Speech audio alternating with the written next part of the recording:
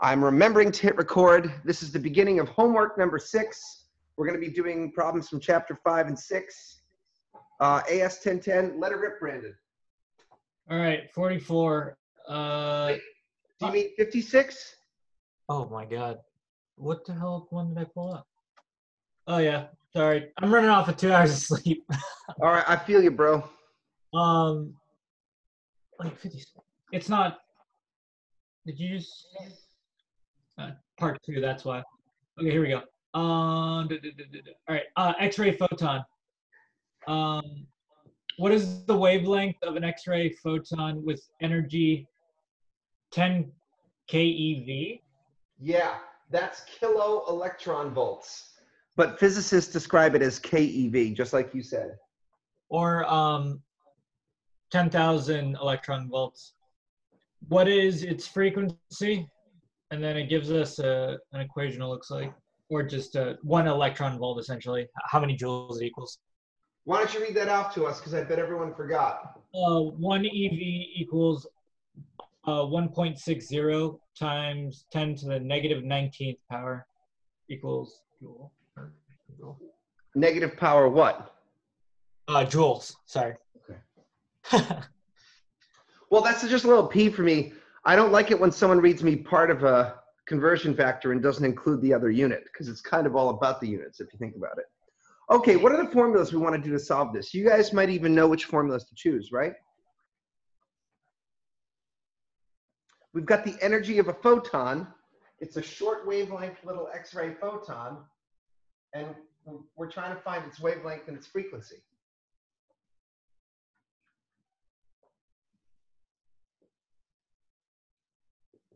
Uh, these are all in our notes, right? From last, Huh? this, was all in our notes from last class, right? Oh, yeah. Okay. And we even did this kind of stuff in our last homework, too. And we did this on the exam.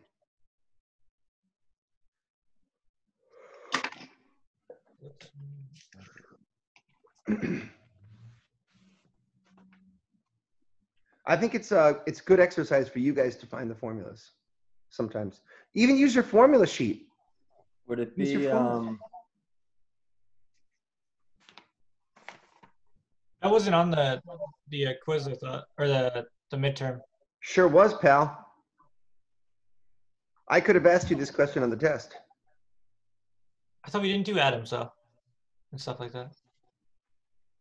Um, I believe we got to. Okay, this is a good question because maybe I'm confusing you with my 1020 class. What is the last notes you have before we did lab last class? It was building an atom, and then you said that wasn't going to be on the midterm. Oh, wow. Yeah, Building an atom was the last thing that we did? yeah, and then Yeah. everything behind that. Yeah, What do we, no, okay, not before the test. What do we do last class? We had a class after the test. Oh, the that was the light. Um, that was all the light and stuff. Yeah.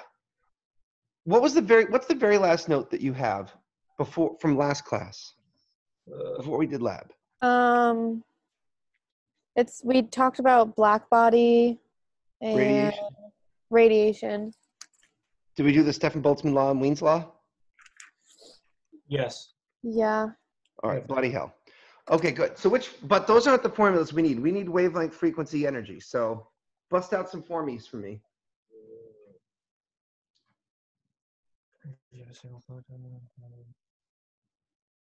I bet someone out there could find the right formula. Some intrepid student.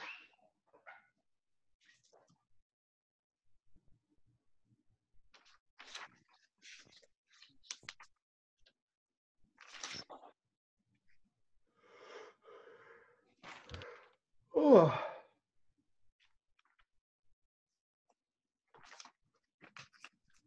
I could always take a nap while you guys work on it.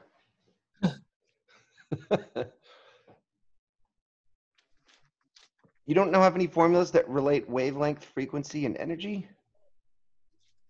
I know we have them. I just lost them in my notes. uh, that one.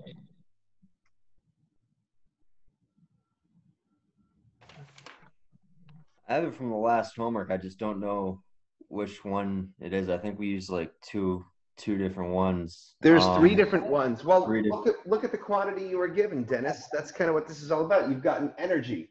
You're looking for a wavelength and the frequency. See if you can find something. see.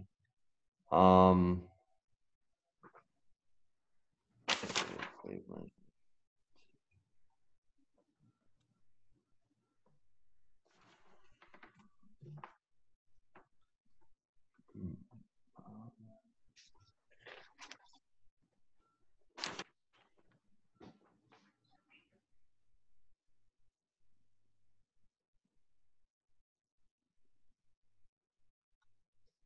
E equals H times F. Love it. All right. What's H?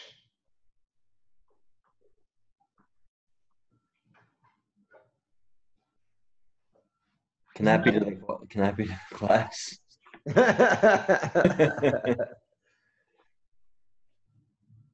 Isn't that um, a, yes, it can. Uh, was it seven times 10 to the negative fourth power uh, joules per second? Uh, it's not joules per Joules second. time It's second.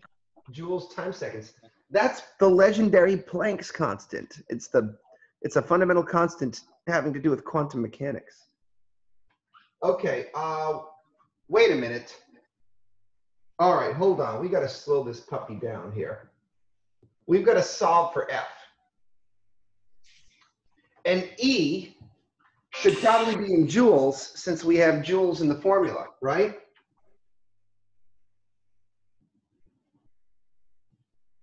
So Dennis, why don't you help me do some dimensional analysis and convert my energy into joules using your conversion factor, which is provided for you. All right. Um. So. One second.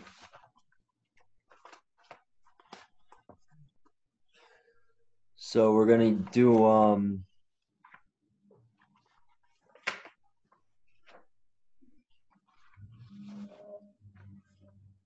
The joule. You're converting something into joules, Dennis. What is it? Um. The.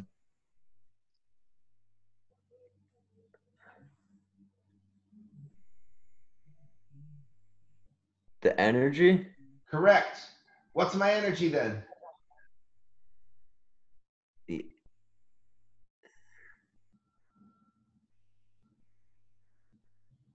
It's right up in the board. You can't miss it. Oh, the um 10 10 um why am I why am I not Just say the letters. KEV? Okay, but do you have a conversion from KeV to joules or dot dot dot?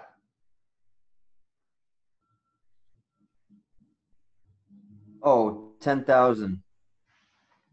EV. Yeah. I'm just trying to figure out where the block is here. Okay, Yeah, no, now yeah. what do I do? Um Wow, you all's is slow today. Either yeah, that no. yeah, yeah, right. I know. Um so you're going to multi you're going to put a multiplication symbol with a division. Love it. Now give me some units. Um, it's gonna be. Just give me give me a sec. Um, would it be? Would joules be on the other side, right? Look, there's there's two other sides. There's up and down. I don't know what you're telling me to do. Uh, so we want to convert it to joules, so it would be on the top, right? That's right. And what goes in the bottom? Um, it would be EV, right? That's right. What's my conversion factor? Um. So joule, um. One point six to, to the negative nine. Uh, one point six times ten to the ni- negative nineteenth. Top or bottom? Uh, top. Okay. What goes in the bottom? Um. One. Fine. All right, punch them up. Take a. ca- Actually, you don't need to punch them up. How many zeros do you have here, dude? I have four, so it'd be. Uh, Add four. um, add four. 20, 21, 22, 20, uh, No. 23 You go in the 10 wrong direction. When you add negatives, they go they go up to, to smaller negatives. Fif- Oh, to. Oh, so as in like it decreases, so 18, 17, 16, Yeah, 15, like so here's 15. negative 19, and you're adding in the other direction, right? Yep, I got you. So to the 15, negative 15. That's right. Okay, geez Louise. All right, now let's rearrange our equation. I'm going to do that one for you for my own personal sanity. The frequency is E divided by H. So that will be 1.6 times 10 to the minus 15 joules over 7 times 10 to the negative 34 joules seconds. Punch them up.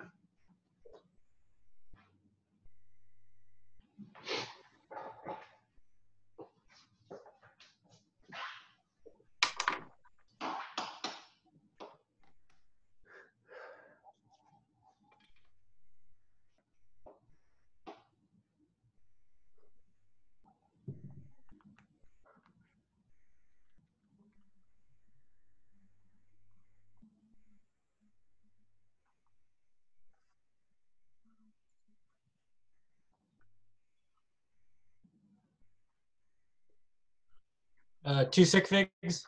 Sounds good to me, bud. Uh, 2.3 times 10 to the 18th power. Yeah, okay. What are my units? Uh, wouldn't it be hertz technically? Because frequency. Yeah, it's cycles per second or hertz.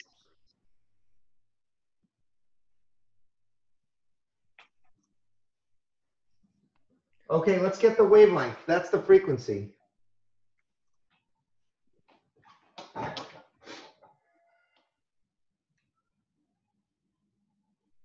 Uh, I was just. Uh,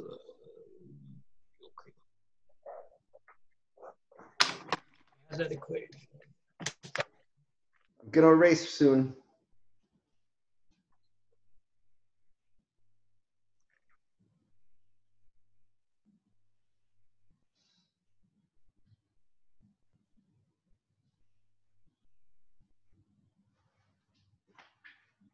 Would it be the uh, um? Is it C? Uh, no, that's not it. Yeah, that is it. Oh, then it's uh, C equals. Um. I, why isn't my brain working? Wavelength Time. frequency. Yeah, and then but you would um. That's, by the way, that's lambda, but you can just say wavelength instead. wiggling. Um, and then you gotta you gotta have f on the other side, right? So you gotta you gotta divide, or yeah, like that. Yep. The speed of light is three times 10 to the 8 meters per second. The frequency is 2.3 times 10 to the 18 per seconds. Punch them up.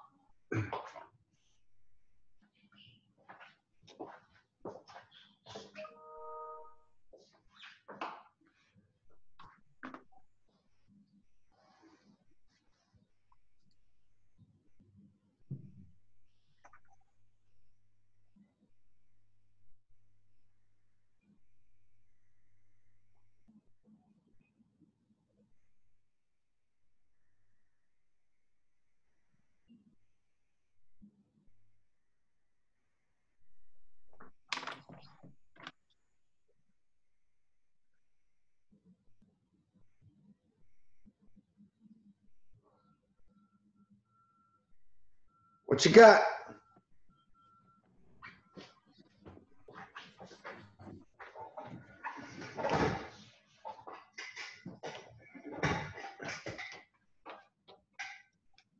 It's uh 1.3 times 10 to the negative uh 10th power, and then uh I think it's is it meters? I Yes. okay.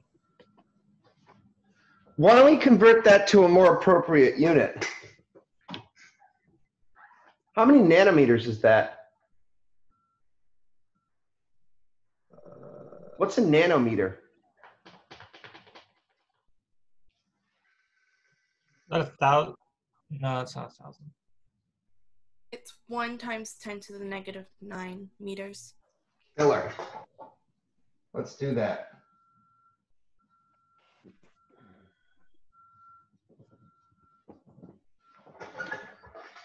Add nine zeros. What do you get? 19, right? Huh? It Would be negative 19. No, you're dividing by minus nine. So you're you're adding when you like we talked about before, when you add to a negative Oh, number, yeah. you go up So to zero, Huh? zero, No. Negative 1. one. All right, so but we don't need scientific notation for that. What should it look like as a number?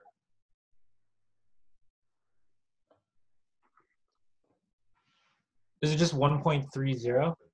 False. That would be 10 to the power of zero. You're at 10 to the power of negative one. Just put in your calculators. Oh,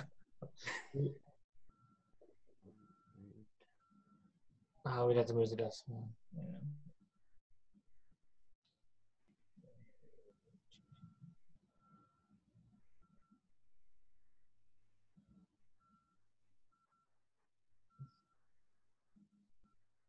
And 13. False.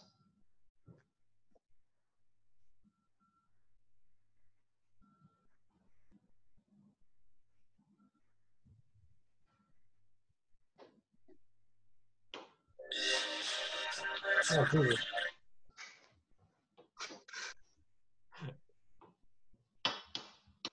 This was supposed to be the easy one. Uh, point 13. Thank Sure. you.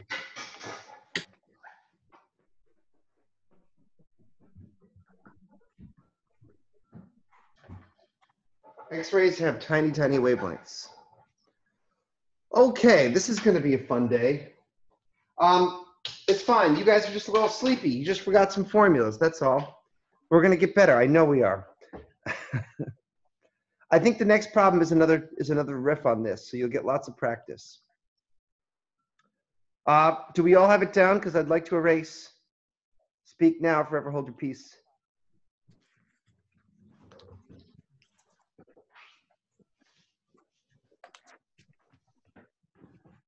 Okay, uh, Brandon, you did such a great job reading that last one. Why don't you read the next one? All right. Uh, 58.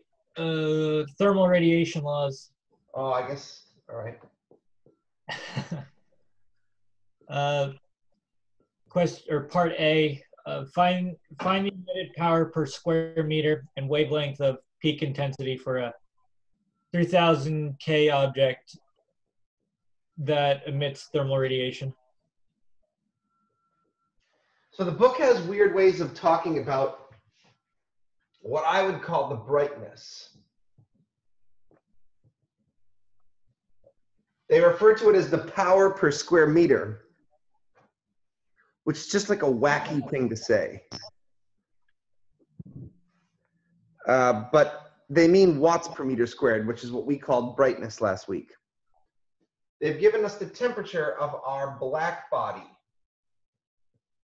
Our black body, our hot, dense, glowing thing. Did you say 3000 Kelvin? Yeah. All right. We're going to use the Stefan Boltzmann law. Brightness is sigma t to the fourth, where sigma is the ye old Stefan Boltzmann constant. It's a number that has to do with radiation. Six times 10 to the minus eight watts per meter squared per Kelvin to the fourth. That number is always the same. multiplied by 3000 Kelvin to the fourth power. Do you guys remember how to do that? How to do a fourth power? Yes, it's that X and Y button. X to the Y key, right. So what we want to do is six, oops.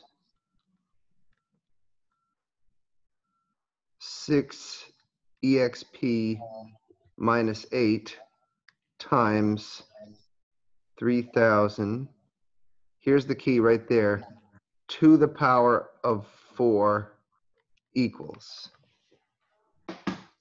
What you got? Uh, uh, three or you, you want three sig figs or two? Uh, four point nine. Uh, to the uh times ten to the power six. God, I'm not dumb. My brain's just not working. That's all right. That's all right. We're all having a slow day. I'm a little tired too. Um, what about the units, Brandon, or anyone? Oh, I don't remember right now. Oh, You don't need to remember because you just look at the thing. ah, Kelvins. No, kelvins get raised to the fourth power, and they cancel with kelvins to the fourth power. Oh, that'd be just watts divided by meter squared, Right, which is what they asked for. Ah, and that equals brightness. Yes. Look at this learning stuff. Yay! I love learning stuff. Now, each each letter A and B has a twofer. They not only wanted the power per square meter, aka the brightness, they also wanted us to find the peak wavelength emitted by our glowing object. We call that lambda max. And lambda max is found by Wien's law. Wien's law tells us that the peak wavelength emitted by any glowing object is 3 million nanometer kelvins divided by the temperature. In this case, that's 3 million nanometer kelvins over 3000 Kelvin, which should be a pretty straightforward computation.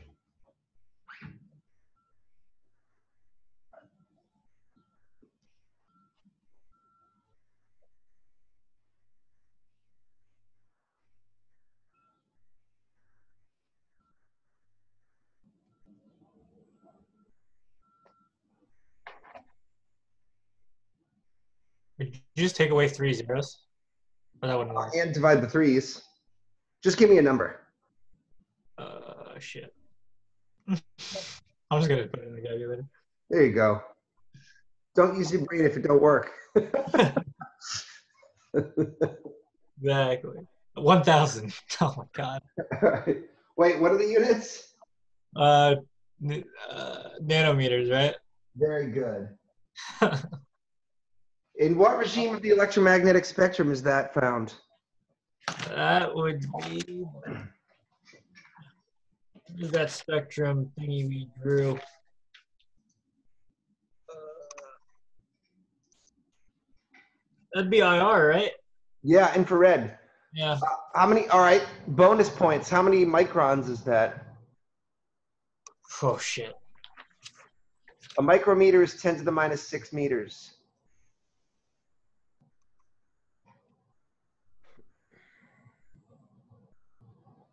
What's a micron? Is that in our notes from last? last- Huh? Is microns in our notes from last? Uh, briefly. Briefly.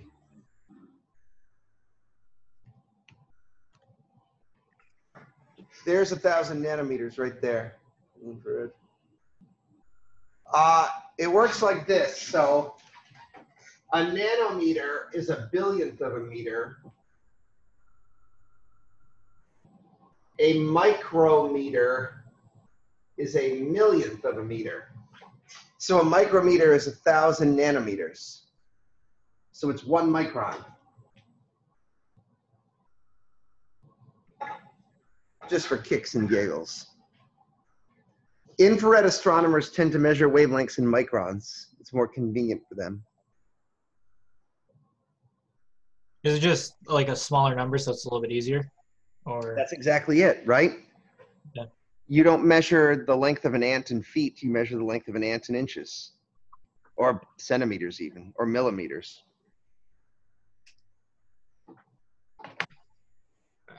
Okay. part B? Uh, yeah. So here's the deal with Part B. Part B is the same thing as Part A with one small difference. We're changing the temperature to, I believe, 50,000 Kelvin, right? Uh, yes. I'm going to save my marker and use all the same infrastructure. So you guys should write it all again. This time subbing in 50,000 Kelvin where appropriate. And then punch them up.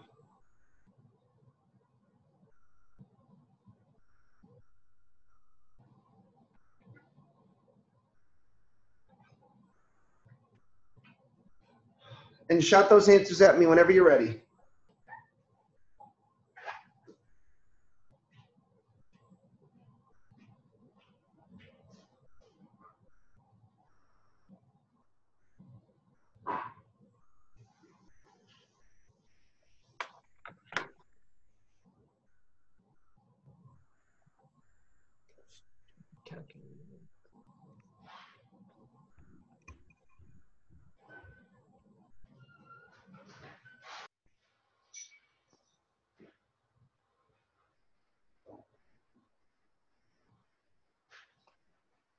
Uh, the for brightness, it'd be three point.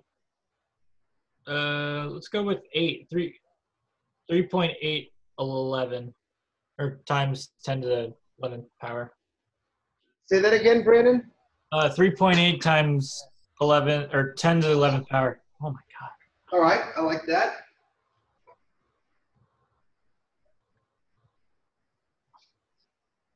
How about the uh, peak wavelength? Uh, that's just.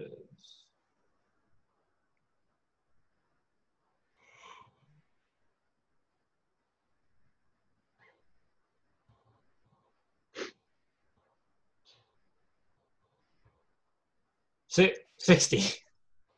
60 nanometers. What regime of the electromagnetic spectrum is 60 nanometers founded? What regime of the electromagnetic spectrum? 60 nanometers. UV. Very good. Ding. Well, Right. All right. Is there like smaller than microns from that? Because isn't it 1,000 equals one micron? Um, well, nanometers are the next unit down from microns. Oh, okay. After nanometers comes uh, picometers, I think, right? Pico is 10 to the minus 12. That would be 0.06 picometers. Let's go. There's names for all kinds of small numbers. Let's get names of large numbers up. And then, while we're at it, we might want these at some point today. Names of small numbers.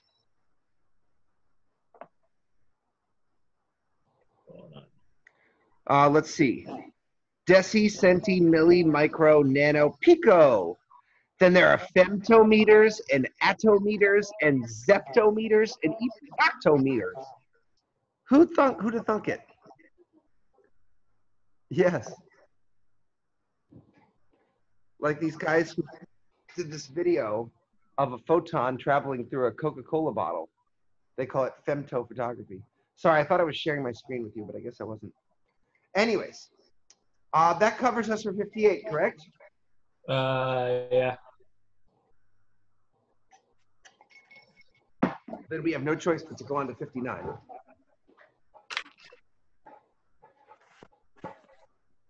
Hotter Sun is the title.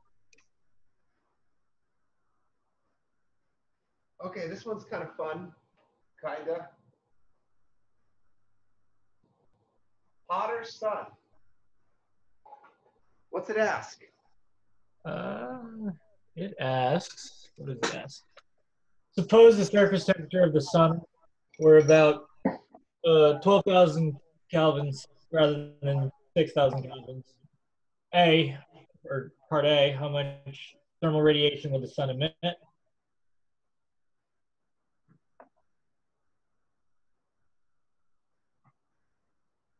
Part A says what? Uh,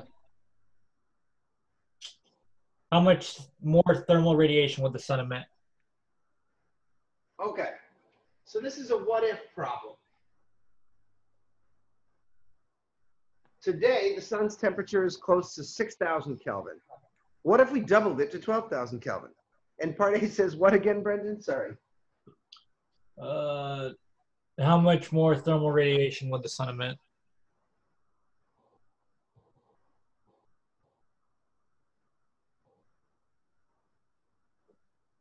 What formula might be the correct formula for that? What quantity measures the quantity of radiation emitted by an object?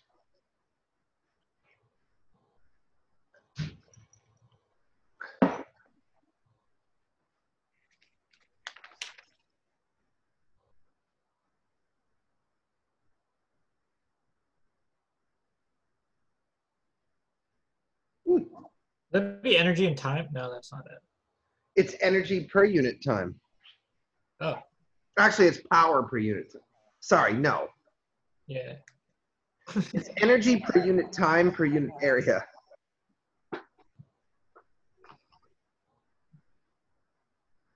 That's not it. Really, they want to know the ratio of luminosities. But the ratio of luminosities will be proportional to the ratio, oh, sorry, will be proportional to the brightness. In other words, if I have a star of radius r, I'm going to calculate the light coming off one square meter at its surface and argue that if the surface radiation on one square goes up by a factor of five, then the radiation of the whole star will go up by a factor of five. The luminosity is proportional to the brightness. And the brightness is a function of temperature according to the Stefan-Boltzmann law.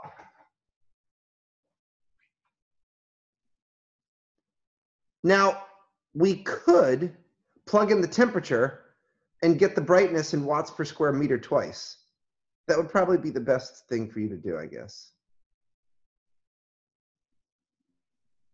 Let's Isn't just, the, do- huh? isn't the watts of the sun uh, 4 times 10 to the To- 26th power?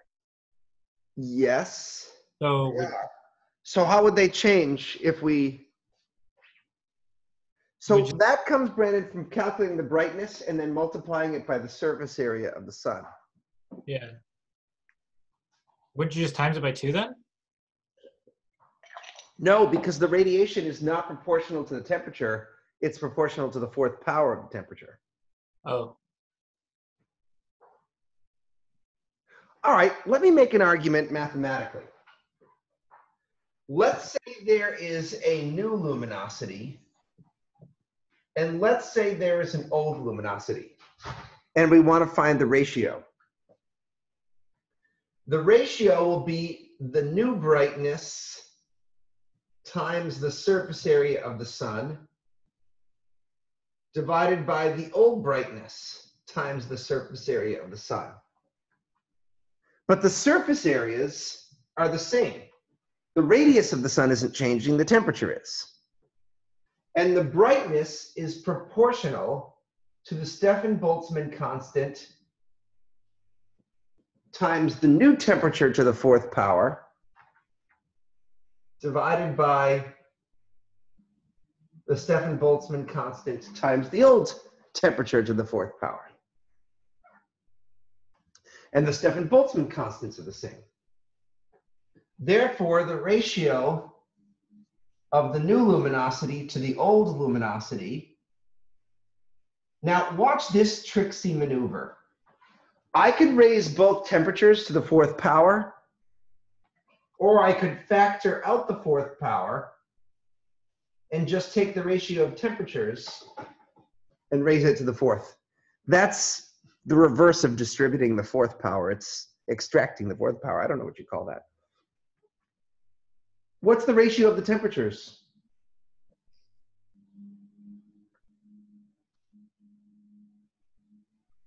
I've totally lost you guys, haven't I? no, no, no, no, no, hold on. Hold on. You just figure that out on your calculator, right? Well, hold on. First, you have to answer my question. What's the ratio of the temperatures? What's T new divided by T old? Uh, T 12 divided by 6. Um, that equals 2. Yeah. So what is 2 to the power of 4? 16. 16, right? What's the meaning of that 16?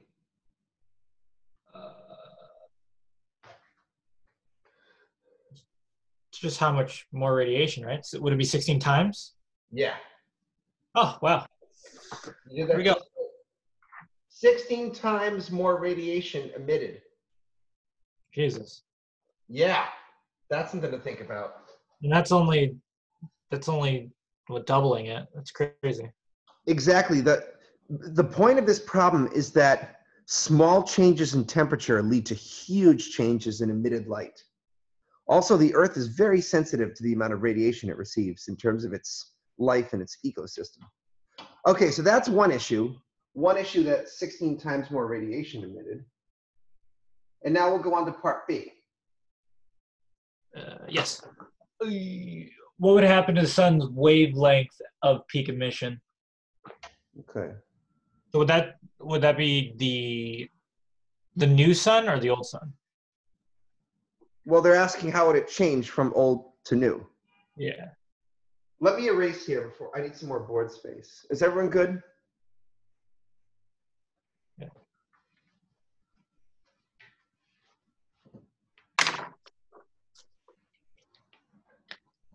All right. In question B, we want to know the lambda max, which is given by 3 million nanometer kelvins over temperature. In this case, it turns out to be a little more useful to actually calculate the old peak and the new peak. So the old peak, which is the peak today,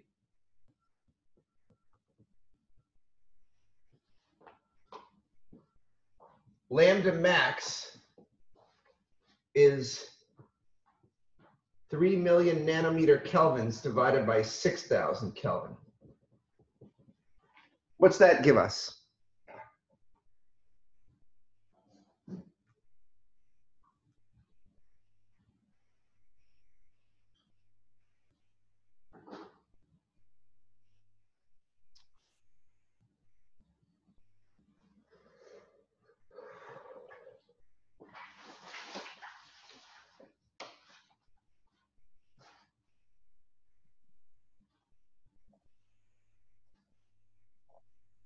Five hundred nanometers. Where's that on the electromagnetic spectrum? Is that visible light? Yeah, what color? Uh, orange, yellow. I don't know. I don't have mine taken in front of me.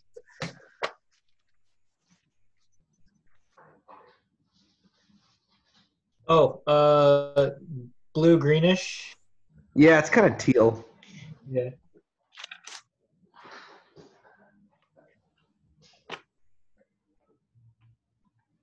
Okay, how about the new peak?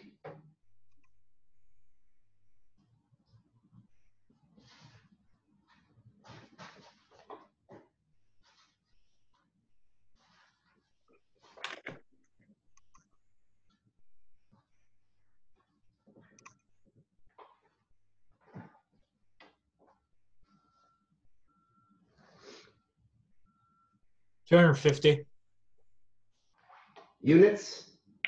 nanometers. Regime? Uh, UV. No. Yeah. Is it? It's short of 400. Oh.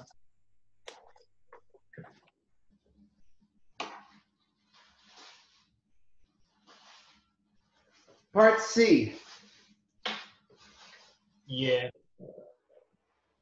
I'm, I'm gonna write this down real quick. I was just Yeah, Brennan's been carrying the, the wavelength here. Someone else want to contribute?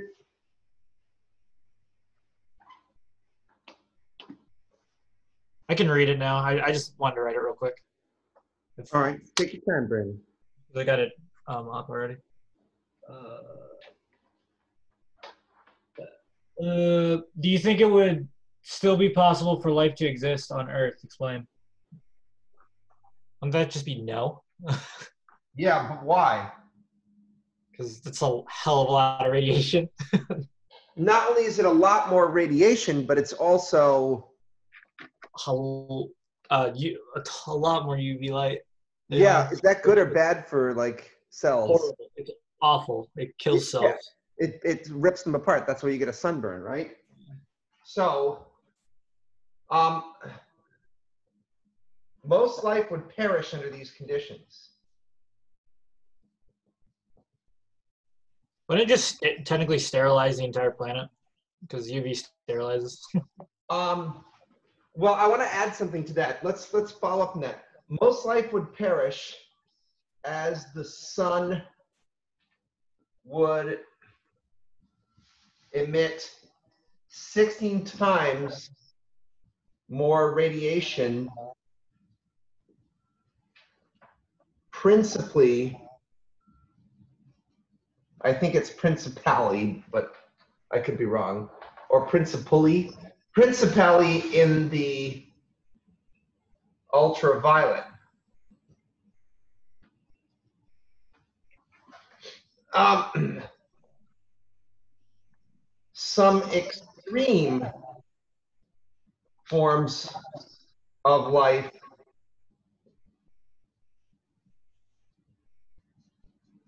might possibly exist, such as tardigrades. Do you guys know about those things? Those are those like microscopic bug. Um, The water bears. yeah, that that can like survive anything essentially. We Well, should show a picture of that. yeah. I sorry, I didn't spell tardigrades very. I was running out of hand space. Um, I guess they did this experiment with tardigrades where they exposed them to the vacuum of space. And they survived, right? Yeah, and the vacuum of space has a shitload more UV radiation exposure than the surface of Earth does. Because our atmosphere contains a lot of ozone, which is, well, it tain- contains a small amount of ozone, which is very effective at blocking ultraviolet light.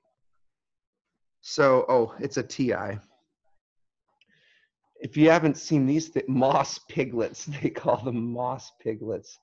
Look at these, look at these freaky little things these little buggies here. Uh, this is, there's some better pictures of them too. They can survive in some extremely harsh conditions, and they're found everywhere. Huh? I'm. I didn't get to finish writing. I was just. Okay, but check out this tardigrade. Look at that. That's the shit out of your nightmares right there. These little buggies can survive ultraviolet radiation. They dry out in the vacuum of space, and then when you put them back into water, they kind of rehydrate and get going again. Life is potent. It can, like maybe maybe we are weak, but life in general is is generally strong. Tardigrades. I think that AR should be an I.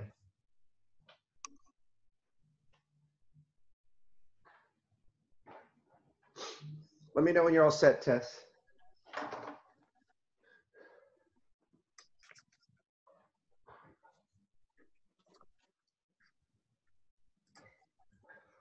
I don't know about my spelling of principally. It doesn't look right.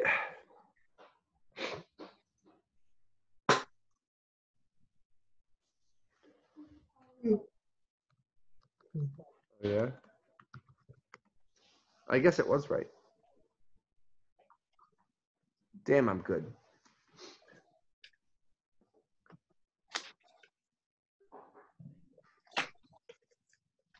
How are we doing, Tess?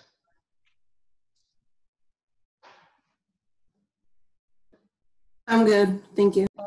Sure. How about everybody else? Dennis, you good? Good. Brandon? Oh yeah. All right, cool. Three down, two to go. Uh, How we doing? We're doing better on time now. chapter six. I'll I'll just read them off because I got them all pulled up. Yeah, you might as well. Um, I'm erasing.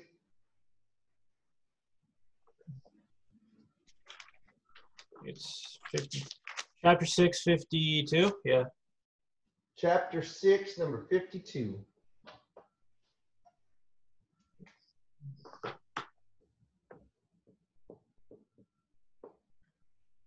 Title? Uh, I think this is right. I don't. I don't know. Finding planets. Is that right? Yeah.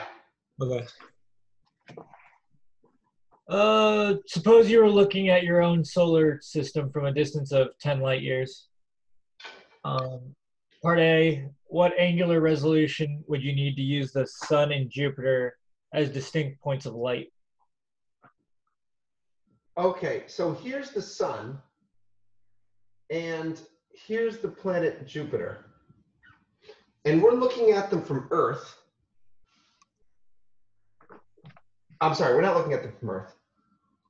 We're looking at them from some distant star system like Sirius. So here you are on a, on a foreign planet. This is your eyeball, okay? And you're looking at them from a distance of 10 light years away. That means uh, the planet is going to subtend some angle, which in this case we're going to call alpha, from, from the star. And I can actually kind of show you an example of this. One of the first ever images of an exos, extrasolar planet, a planet outside of our solar system, is just a crummy, crummy little image of what's known as a hot Jupiter. And um, hey, come on, you stupid internet. Uh, it's not a great photo. Here it is. So the star actually, they had to block the light out from the star by putting a baffle over it. That little black disc blocks the light of the star. So the, let me, let me draw on this here. The star would be here and the planet's here and they're separated by some angle in, in your field of view, some number of arc seconds. Usually the angle is really, really tiny. You need a very powerful telescope to separate the two. Now, um, I think they ask us, well, what do they ask us in part A? First of all, does anyone know how far away Jupiter is from the sun? How many AU from the sun is Jupiter?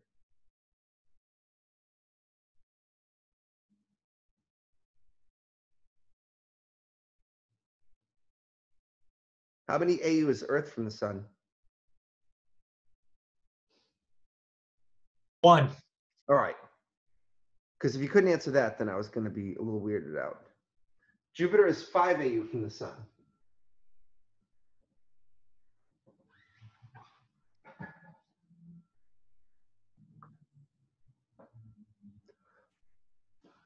And one light year is a very big unit of distance, 9.5 trillion kilometers.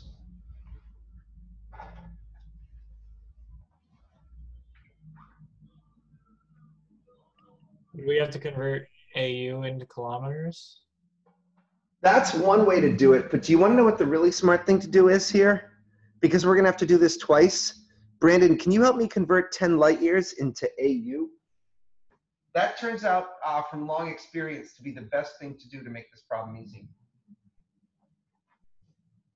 What have you? Why? Wait, why'd you put 10 AU? Sorry, I don't know why I did that. Okay. so we would do dimensional analysis, right? Yeah. Yeah. Uh, okay, so it'd be light years on the bottom, kilometers on top. Yeah. Um, one light year. Yeah, nine point five times. Uh, well, yeah, kilometers. And then kilometers on the bottom, and then AU on the top, Yep. and one kilometer. No. One AU is uh 150 times 10 to the sixth kilometers. Excellent. So Uh, 10 light years would be how many AU?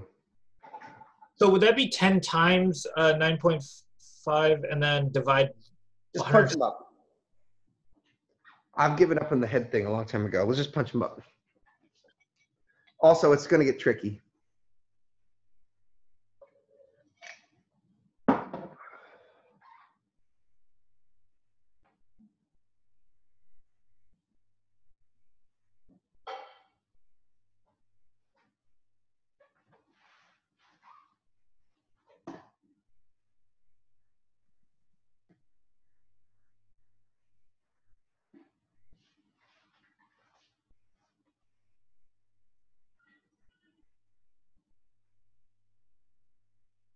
Holy shit, if that's true. What? Uh,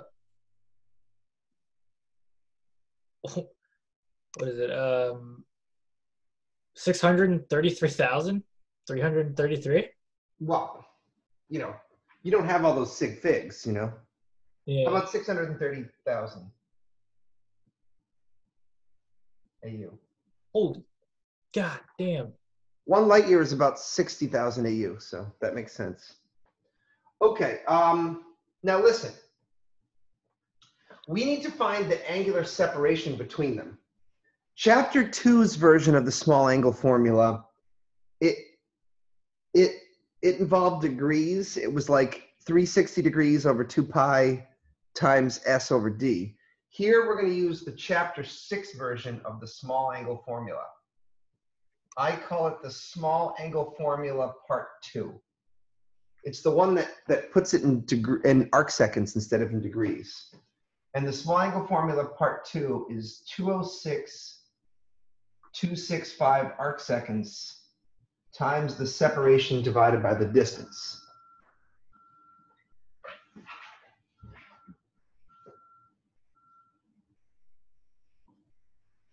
Two oh six, two six five arc seconds times five AU over six hundred and thirty thousand AU.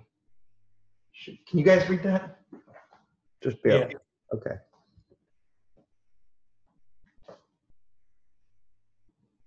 So what's that work out to be?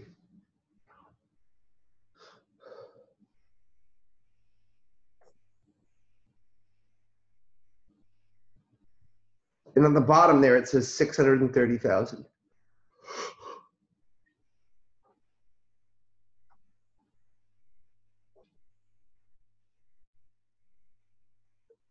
Hmm.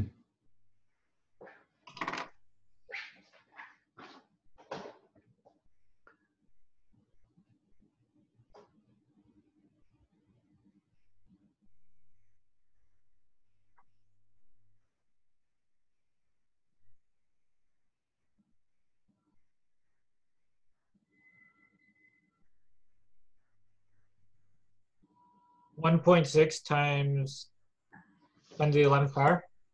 False. Hey, that's that's arc seconds. That's not 10 to the 11. Oh my god, Also, I would never write any scientific notation like that. that was dumb.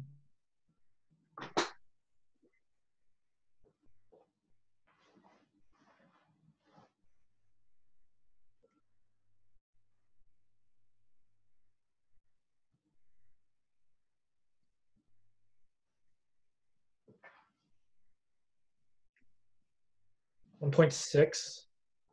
Units? Uh, arc seconds. That's not 1.6 times 10 to the 11, right?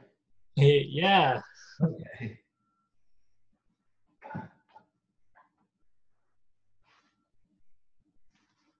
That was all part A.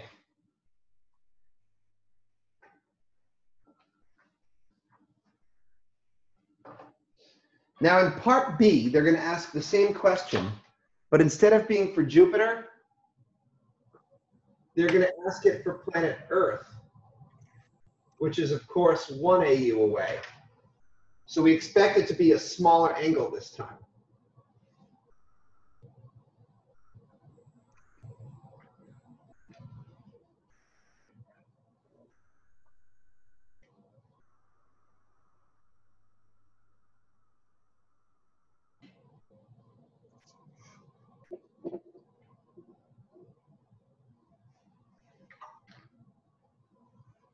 I'm going to erase all this. So you would just do that same equation just with one. AU. One AU, exactly. So it should be pretty easy for us. So for Earth,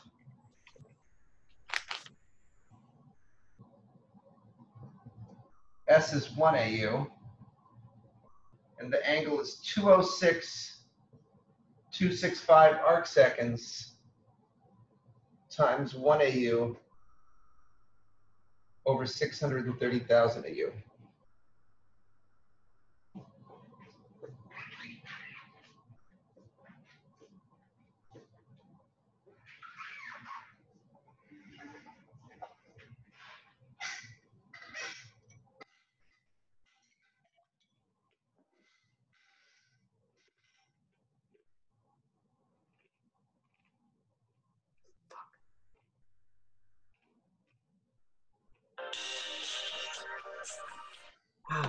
Just keep going.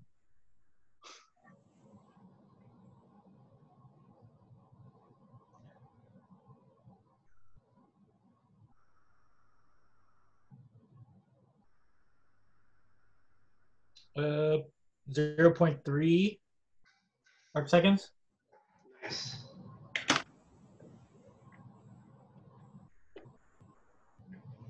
Okay, uh, sorry, that was part B.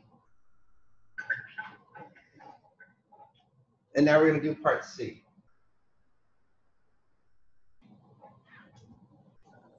One second, and I'll read that right off.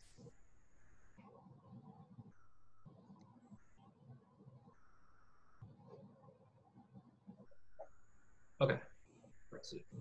All right. Uh, part C. Compare the angular resolution of the Hubble. Wait, that's no, no, no. Sorry. How do you how do the angular um, resolutions you found in parts A and B compared to the angular resolution of the Hubble Space Telescope? comment on the challenge of making images of planets around other stars. Um,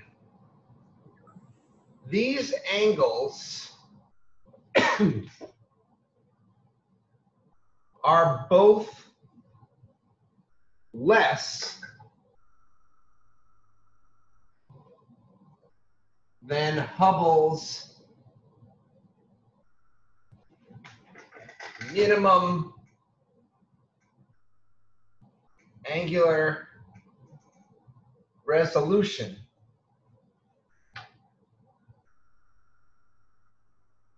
Uh, oh, sorry. Wow, I just screwed up. Hubble has an angular resolution of 0.05 arc seconds. These angles are both more, greater than Hubble's minimum angular resolution of 0.05 arc seconds. So in theory, Hubble, can Hubble resolve the two stars or can Hubble not resolve the two stars if its minimum angular resolution is smaller? It can't, right? Huh? It, it can't. Uh, no. Smaller angles are better. The tinier an angle you see, the tinier detail you can see. Uh, Right. So, yeah, so I guess no, I guess it could. Yeah. Yeah, so in theory, Hubble can see these planets uh, at 10 light years. We should add some extra stuff to this. Um, in parentheses, or maybe below it, we should say, in reality, the planets get lost in the glare of the star. So actually, the, the reasons we can't resolve exosolar planets is not for nearby stars, it's less a question of angular resolution and more a question of glare which is why in this Wikipedia page, you can see that they're blocking out the light from the star here. The fact that this exoplanet is giving off enough light to detect makes some people think it's not actually a planet, but it's actually a really, really low luminosity star. So this was actually a controversial picture. More often than not, the planet's reflected light is so dim in comparison to the sun that you can't see it well. And you can kind of see this in pictures like the legendary pale blue dot photograph from Cosmos, where you can see uh, Earth as a small dot in relationship to the planet Saturn. Let's see if we can find a good picture here.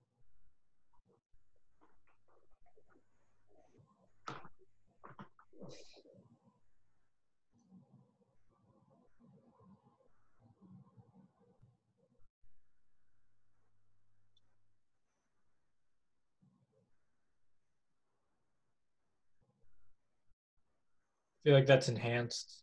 That one. Uh no, this was taken with the Cassini mission. Uh where's the Earth? Center right.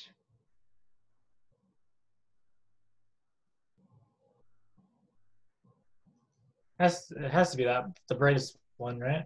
Uh, I don't know if it has to.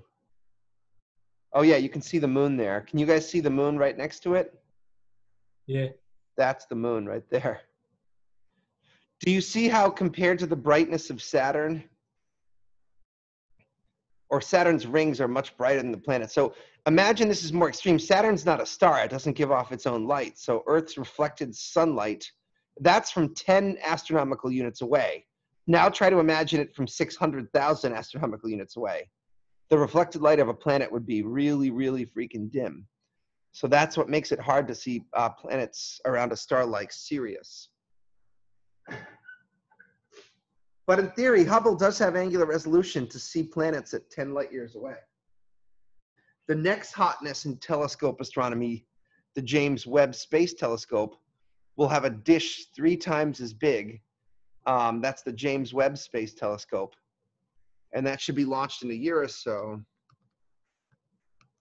That'll even be stronger angular resolution and we'll be more likely to detect planets outside of our solar system. So we're going to see some really, really crazy images of space. By the time this little puppy, this telescope gets into outer space, we're going to be seeing some very wild pictures of space and maybe even for the first time start seeing exoplanets as little dots around their star. So this is going to be pretty wild. Look at that. All those mirrors are coated in gold and beryllium. They're there in, in relationship to the size of the NASA scientists. That thing's just going to be floating in outer space, imaging planets and distant galaxies. Okay, did everyone have time to copy that down? Dennis, are you still writing?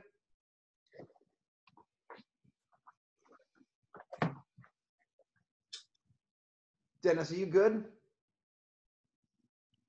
Uh, I'm just trying to read that very last sentence. Does that say in reality the planets get lost in the glare of the star?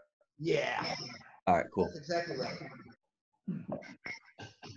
In reality, the planets get lost in the glare of a star. All right, I'm good. Okay, we got one thing to do. Just enough time to do it. I'm gonna erase.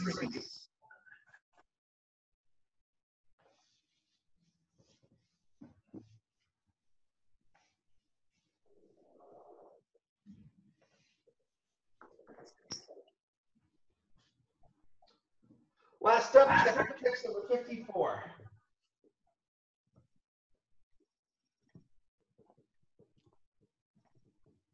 Oh, yeah, sorry. Uh, yeah, size, uh, the size of radio telescopes. Um, Let's draw a radio telescope. It's got a feed horn antenna. And some dish. And then, you know, some superstructure.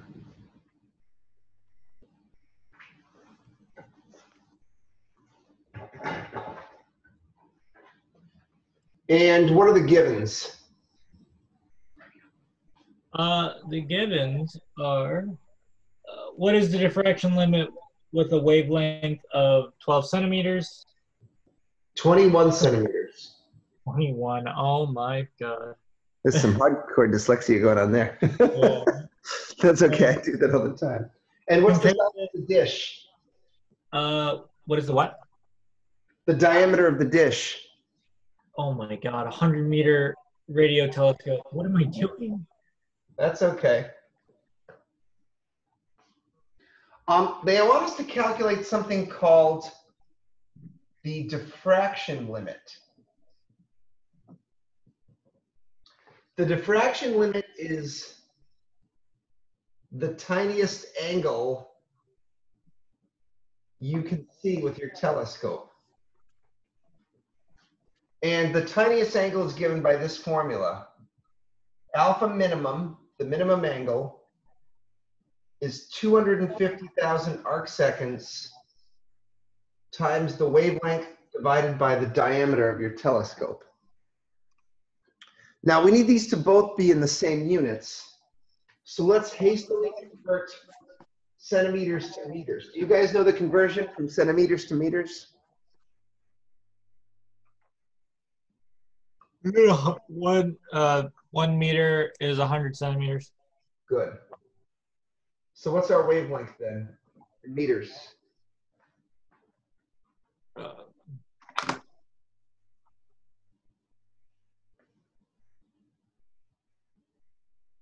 Uh, zero point two one.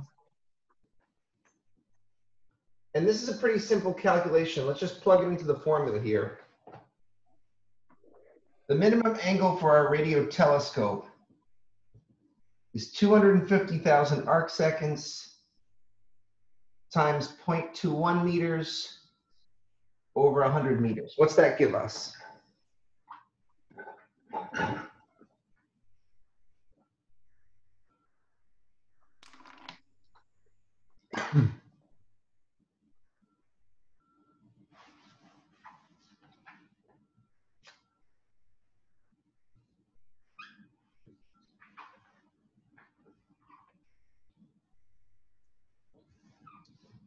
Uh, five hundred twenty-five arc seconds.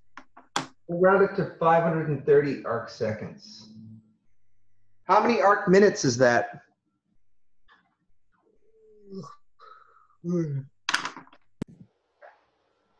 How many arc minutes is that? Eight point eight arc minutes or Nine arc minutes. yeah. How many arc minutes is the moon in diameter?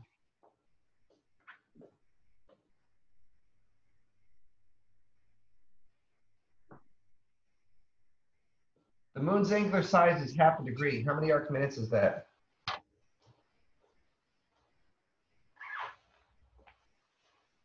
Thirty. 30 arc minutes. How many pixels across would the moon be if you took a picture of the moon with this radio telescope? Each of those, the beam size of this telescope is like a third of the moon. So if you tried to take a picture of the moon, it would basically be three pixels across and three pixels wide. It would probably look like a cross. That's what the moon would look like through your radio telescope. It would look pretty fucking sucky, actually. Right? Because the beam of your telescope can only image points that are about a third of the moon's diameter. The point of this question is why is this radio telescope so sucky? Why does it have such low angular resolution?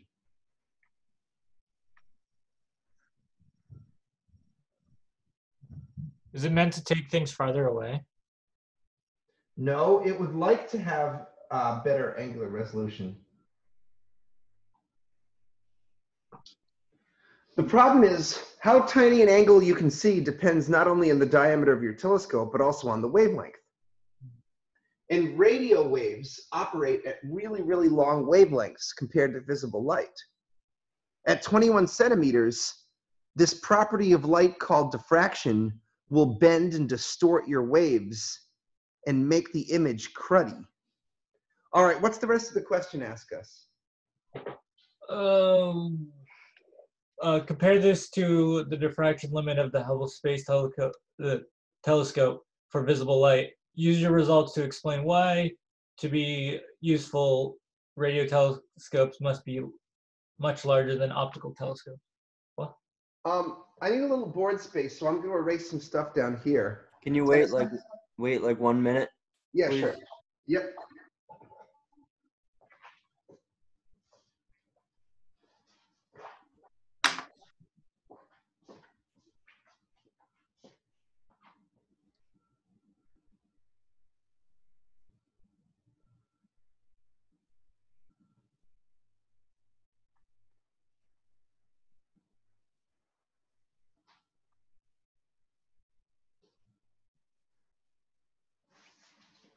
I don't think is this our like second to last week of class? Uh, next week's our last week. Oh my god. Yeah. So yeah, exactly what you said. That's so crazy.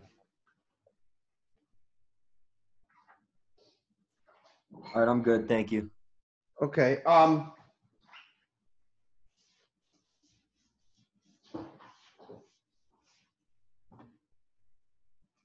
So, uh, we're going to take 530 arc seconds and compare it to the Hubble Space Telescope 0.05 seconds that's 11,000 times worse than Hubble.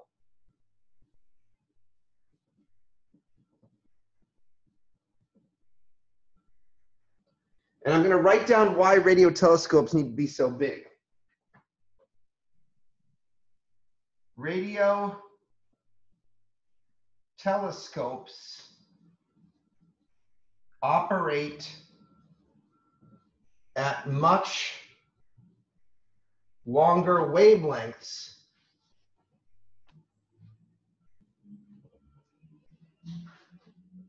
than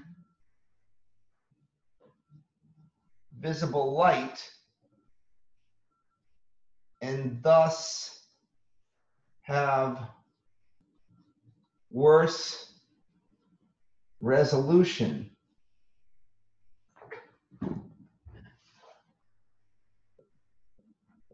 by increasing telescope diameter,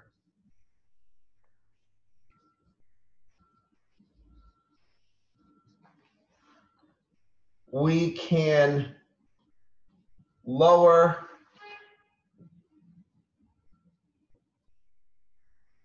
the minimum resolvable angle a bit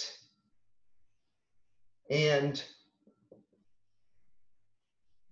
improve image quality.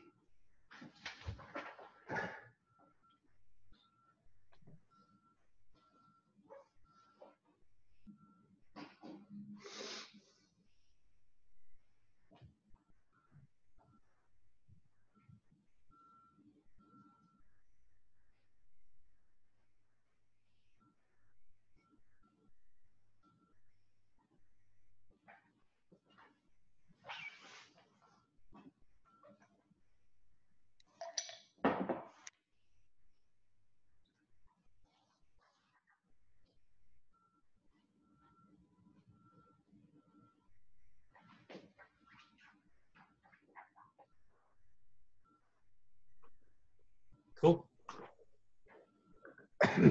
um, for years, the biggest radio telescope in the world was the Arecibo telescope, um, which was in Puerto Rico. I think they blew this up in one of the James Bond movies.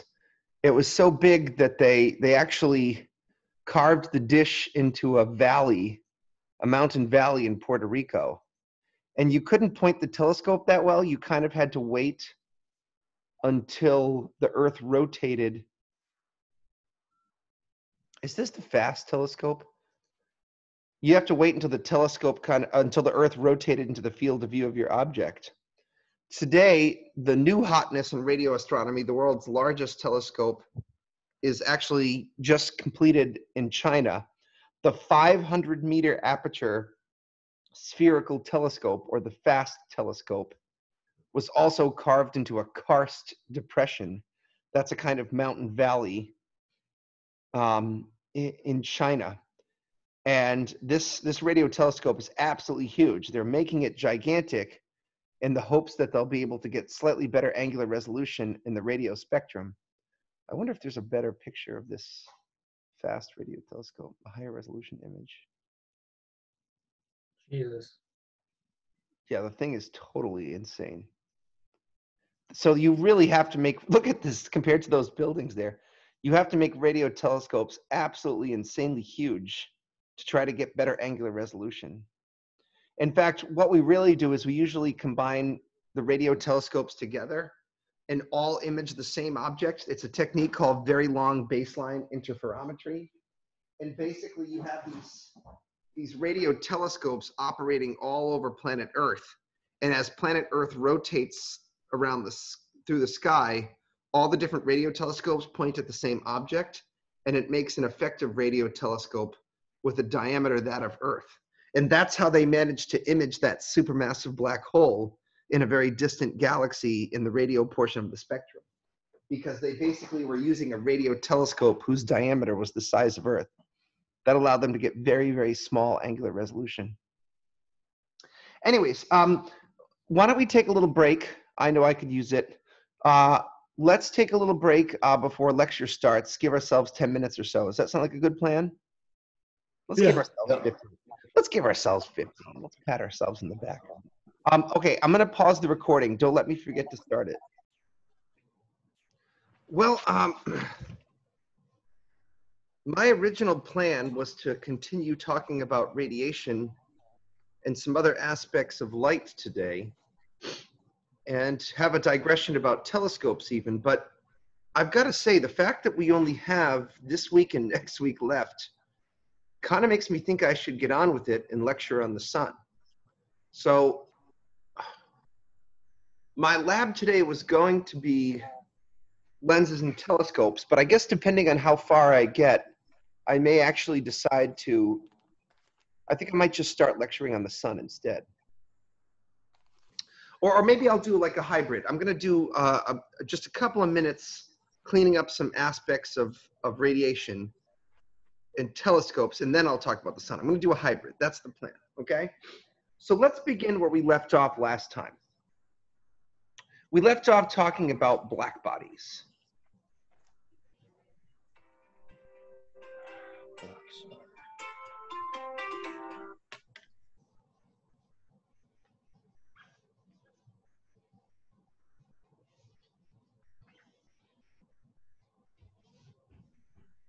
So let's talk about, well, first let's do a review of what we learned last time.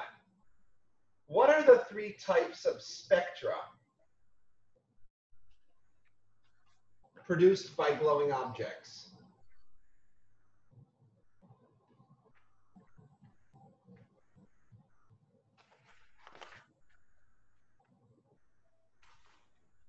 Can you guys help me with that?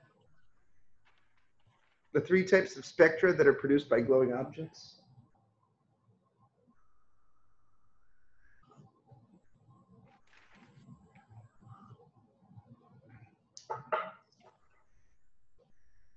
Is Oh, anyone, My mic is muted. Radiation? pardon? Radiation is that one or no? I'm I'm talking about radiation. I'm talking about light. If you take light and you pass it through a spectroscope or a prism, like we like we did in our labs, you can see different types of spectra in nature.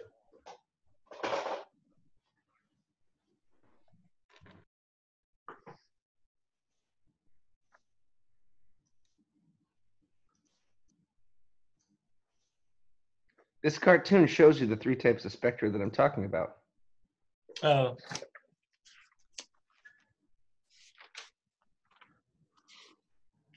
What are these three types of uh,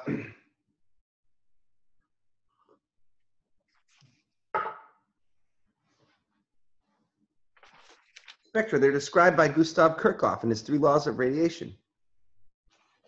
uh, black black bodies? No. That's that's one type. Oh, But a black body spectrum is called a continuous spectrum. Oh, absorption line. And then the emission line. Or emission line then absorption line. So the continuous spectrum is a black body or a rainbow. And then there's emission line spectra.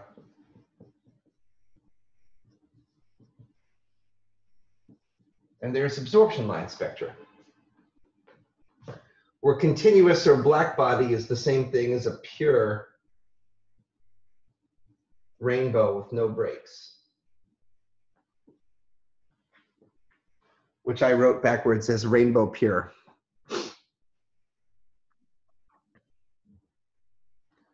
I want to take a moment to focus on this guy, the continuous of the black body spectrum. Something that would produce a continuous or a black body spectrum is some hot object that glows. For example, uh, this tungsten filament in a, in a light bulb, okay? So here's a standard light bulb. Uh, did we do this problem last week or did we, I can't remember if we did a sample problem or not. Yeah, we did. Okay. So uh, for for black bodies, uh, let me just stop the share here. Continuous spectra or black bodies are created by hot, dense, glowing things.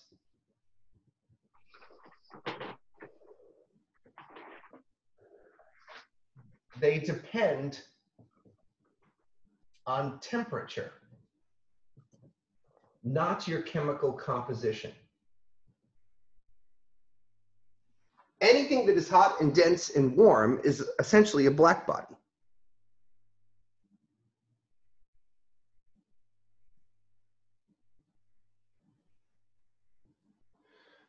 For example, uh, a person could be considered to be a black body. Because a human being has a temperature of 99 degrees Fahrenheit, which is about 310 Kelvin. And that means at some level they must be glowing and giving off radiation.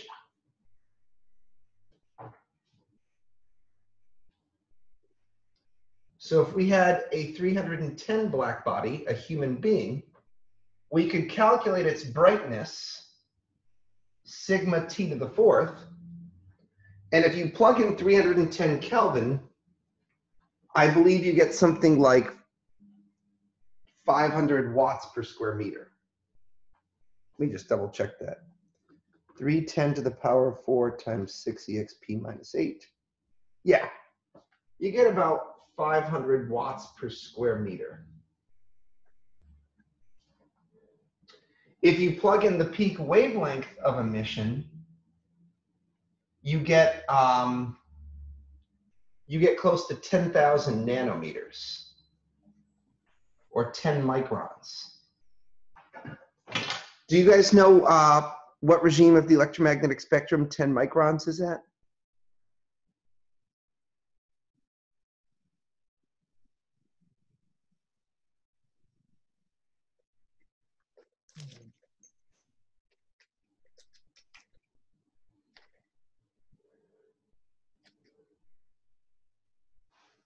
The gamma rays?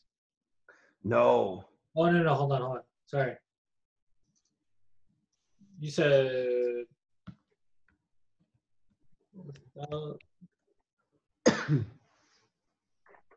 10,000 nanometers or 10 microns. is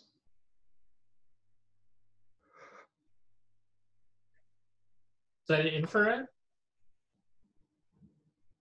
Yeah, it's it's somewhere around here.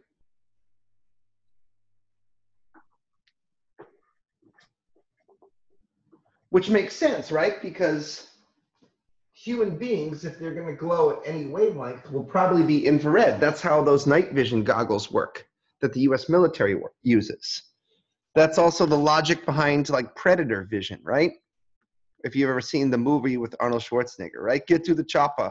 That's that's there's an alien that sees in the infrared. Here's a kind of cool image from NASA, a thermal infrared image of a human being glowing around 310. And this has been color coded for intensity of infrared radiation. Where do you see the greatest amount of infrared radiation being emitted from the man? Uh the brain. That's pretty cool, right? Notice that the extremities are a bit cooler than the forehead. So the um, the extremities uh, are are much cooler and giving off less thermal infrared radiation. So a human being glows like a little infrared black body. You're like a little infrared light bulb, and so do many other organisms. Some animals have even adapted extra sensors to detect in the infrared. So, in particular, the pit viper has a normal set of visible light eyes, which see from 400 to 700 nanometers, like we do. But these things that look like nostrils are a second set of eyeballs. They're infrared detectors. They're known as the loreal pits. And they are actually low resolution infrared sensors. So they can detect the heat or the infrared radiation from little mice in the dark. And that's how they can strike and hit them without being able to see. So some animals actually have adapted a secondary set of infrared eyes to be able to see in the darkness. Uh, bees famously see a little bit in the ultraviolet because they can detect pollen grains on flowers better that way. Um, I wonder why human eyes have developed to have the wavelengths they have. The answer has something to do with uh, the transmission of Earth's atmosphere. So, as you know, your eyes are sensitive to a range of radiation from 400 nanometers, which you call purple, all the way up to 700 nanometers, which you call red. But there are many other wavelengths of light that are it would be possible to see at. Here's an interesting uh, slide. This is called the transmission of Earth's atmosphere. Our atmosphere is not uniformly transparent to all electromagnetic wavelengths. Most gamma rays and X rays and ultraviolet light get blocked by our atmosphere, as well as good portions of the infrared. And while the radio waves uh, do make it to the ground, the sun is only a weak radio wave emitter. As you'll see in a moment, the sun's peak radiation is actually right in the middle of the visible wavelengths. And by a cool, curious coincidence, our atmosphere just happens to be transparent to electromagnetic radiation from about 400 to 700 nanometers. That's, of course, why we can see each other through the air. If, if we weren't looking at visible wavelengths, this would look like a fog that would be difficult to see through. So there's kind of a cool argument for evolution right in itself. So like this is kind of random and off topic, but that snake, you know, it had that secondary set of eyes that saw the infrared. Yeah. Like within different spectrums of light, though, are those eyes essentially like kind of useless? That, that secondary set, like it can't Yep. see at all. Yeah, those eyes are probably only good in a small range around Oh, 9 to 10 Cool. microns. Just like your eyeballs can't see the radio waves that are constantly being emitted from your phone, those infrared eyes cannot see visible light, nor can they see ultraviolet or, or anything else. They're only good for the infrared. Now, a cool question to ask would be what is the pass band? Like, what wavelengths do they see from? And I don't know the exact answer, but I suspect that they would center around 10 microns because that's where warm glowing objects give out their greatest amount of radiation as we sort of i didn't actually make you do the calculation because i'm a little freaked out about time today but you can plug it into Wien's law yourself and find out that it comes to 10,000 nanometers. Um, so I suspect that they peak around 10 microns, which would be the greatest amount of radiation that we're giving off. I wonder what would happen if we analyzed the spectrum of the sun. Since we like to talk about the sun today, let's kind of get into that.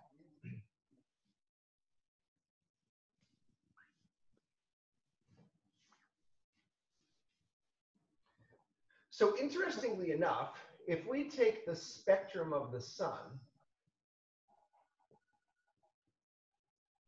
I- don't know if we talked about it in this class or in a different one. I, I remember Brandon answering this question last class, but maybe I'm remembering that wrong. What the spectrum of the sun? Yeah. Uh, we had it somewhere. It's Uh. a black body. But Luminosity, right? no, no, no. Luminosity is his total light output. I'm asking if you take a prism and you break apart sunlight, what will you get? The first person to do this was a British scientist named Joseph Fraunhofer. It was like green, blue, and like another color. No, come on. It's it's more complex than that.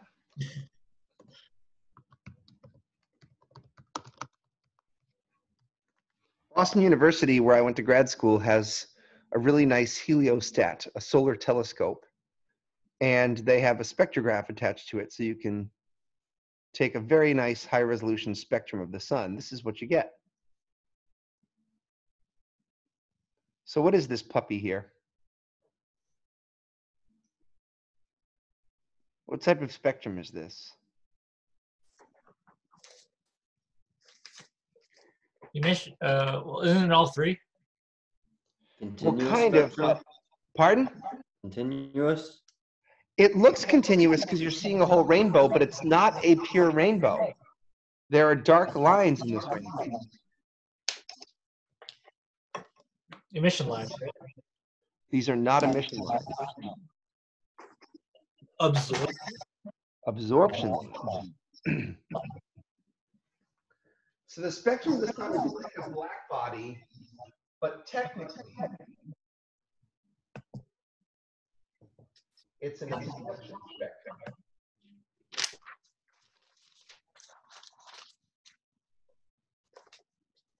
An absorption spectrum has a rainbow with dark absorption lines in it.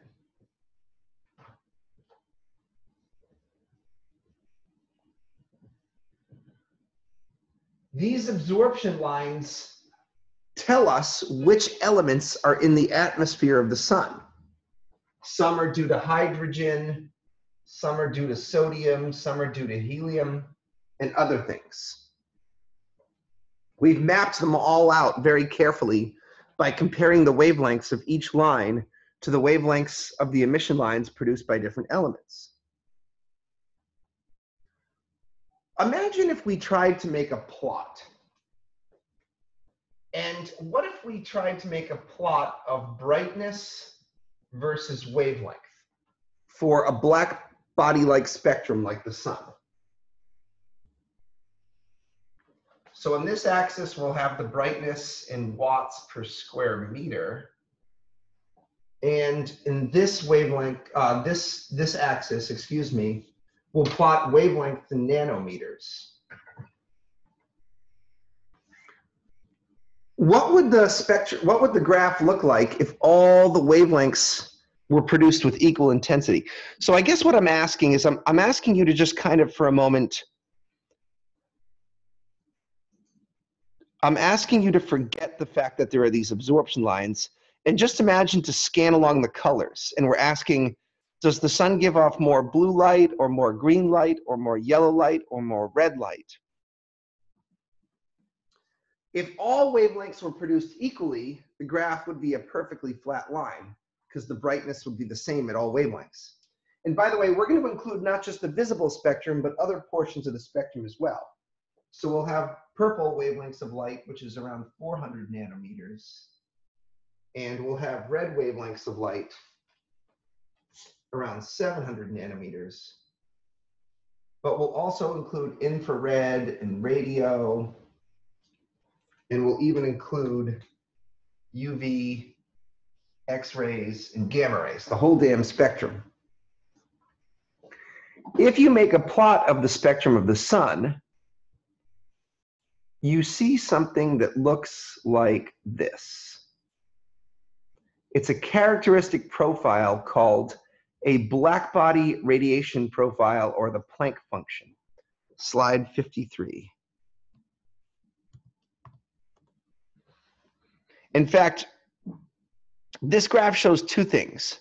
It shows an ideal black body whose temperature is the same as the sun, or uh, 5,800 Kelvin. And the real spectrum of the sun is shown in black. And you'll notice that there's really, really good agreement between an ideal black body and the spectrum of the sun. These little dips in intensity here are the absorption lines that you're seeing in that image. Let's try to draw that picture of the spectrum of the sun. It's, it's kind of like a bell curve, but it's non-symmetrical. It has kind of a high-speed tail. And for the sun spectrum, it peaks. Its lambda max is right around 500 nanometers, which is sort of like the color green.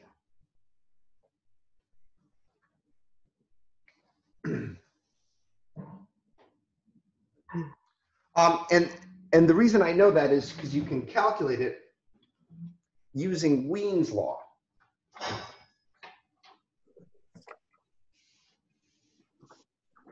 So the surface temperature of the sun is 5,800 Kelvin, famously. And if you plug this into Wien's law, you get lambda max is 3 million nanometer kelvins over 5800 Kelvin. And I think that comes out to be 520 nanometers. Yeah. Which is pretty green.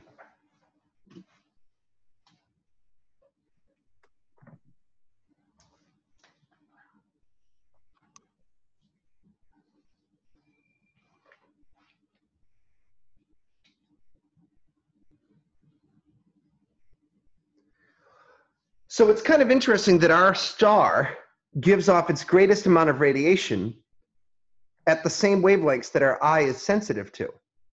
That means two things. Our eyes have developed to see the colors they see, to see the wavelengths they see, for two simple reasons. One, the sun gives off the greatest amount of light at these wavelengths.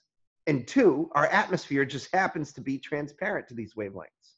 That's a very co- convenient coinky dinky kind of thing if you think about it.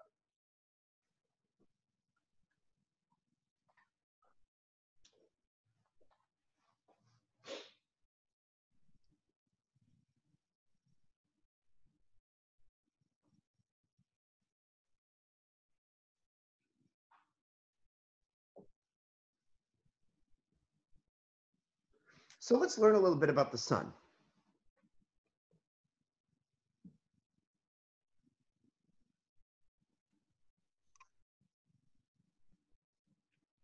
I'd like to start off by showing you guys a couple of fun slides to get you excited here.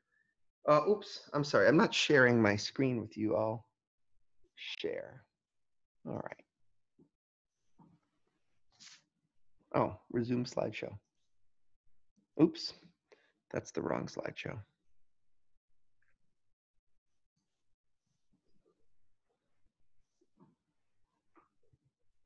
Okay, here's an image of the sun, what it looks like if you look at the surface at visible wavelengths.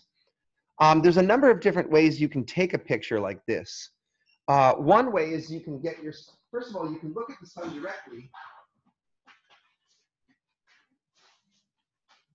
If you guys get yourself a cheapy cheap pair of these uh, eclipse shades, which you can get for under a buck, and sometimes you can just take one of these eclipse shades and you can just kind of stare up at the sun and you can see its disk on the sky.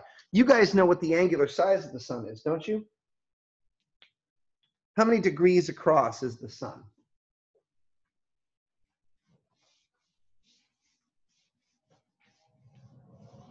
The point five. 0.5 degrees, that's right. So let's learn about the sun. The sun is covered in chapter 14 of our books. Um, seen from Earth, the sun has an angular size of 0.5 degrees, same angular size as the moon. And we can use this plus the fact that the uh, Earth is 150 million kilometers away to calculate some of the properties of the sun. So the sun has some fixed dimensions that do not change. And some of those fixed dimensions of the sun are the mass of the sun, 2 times 10 to the 30 kilograms. The luminous output of the sun also stays constant, at 4 times 10 to the 26 watts. The radius of the sun, which is 700,000 kilometers, and the surface temperature of the sun, which is 5,800 Kelvin. These are numbers you've heard me talk about before, but I think it's interesting to sort of start off there is these are measurements, these are properties of the sun that do not change. By the way, our sun may have a fixed radius, but not all stars maintain a fixed radius on their skies. If you were to live on a planet around the star Polaris, over the course of a month, you would actually see Polaris grow and shrink in your sky with your naked eye. Polaris is called a variable star, and these stars actually puff in and out like an accordion, and they do not maintain equilibrium. Our sun is in equilibrium, so we happen to live around a star which has some very stable fixed properties. The sun also has a basic chemical composition. And we know what the chemical composition of the sun is by studying the strength of those absorption lines, which I showed you earlier. The composition of the sun is mostly hydrogen gas, roughly 70%, followed by helium gas, 28%, and a remaining 2%, which are called metals or heavy elements.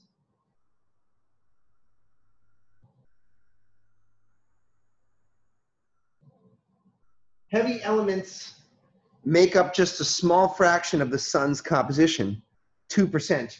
We sometimes refer to them as metals, even though some of the atoms are not metallic. Metals is like astronomy code word for things that aren't hydrogen and helium.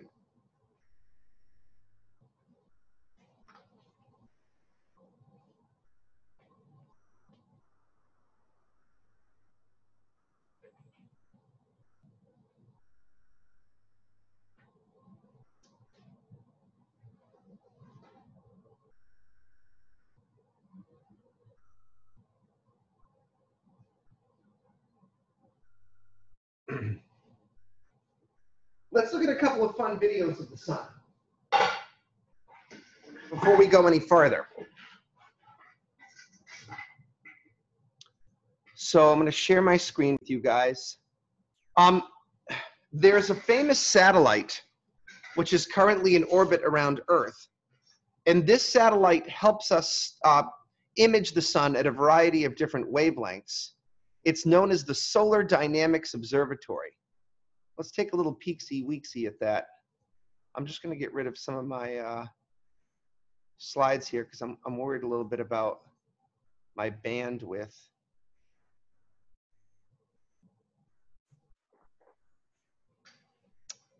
Solar, watch this. If I just type SDO into the bloody thing, the very first thing that comes up is the Solar Dynamics Observatory. That's how famous it is.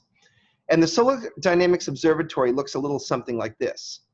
It's a smallish size telescope satellite that's in orbit around Earth, but it orbits Earth in, in such a way that it's constantly pointing towards the sun and is perpetually imaging the sun at a variety of different wavelengths.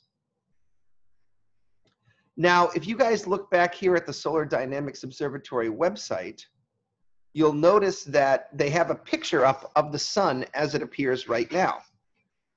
So this picture was taken at a wavelength of 19.3 nanometers or 193 angstroms.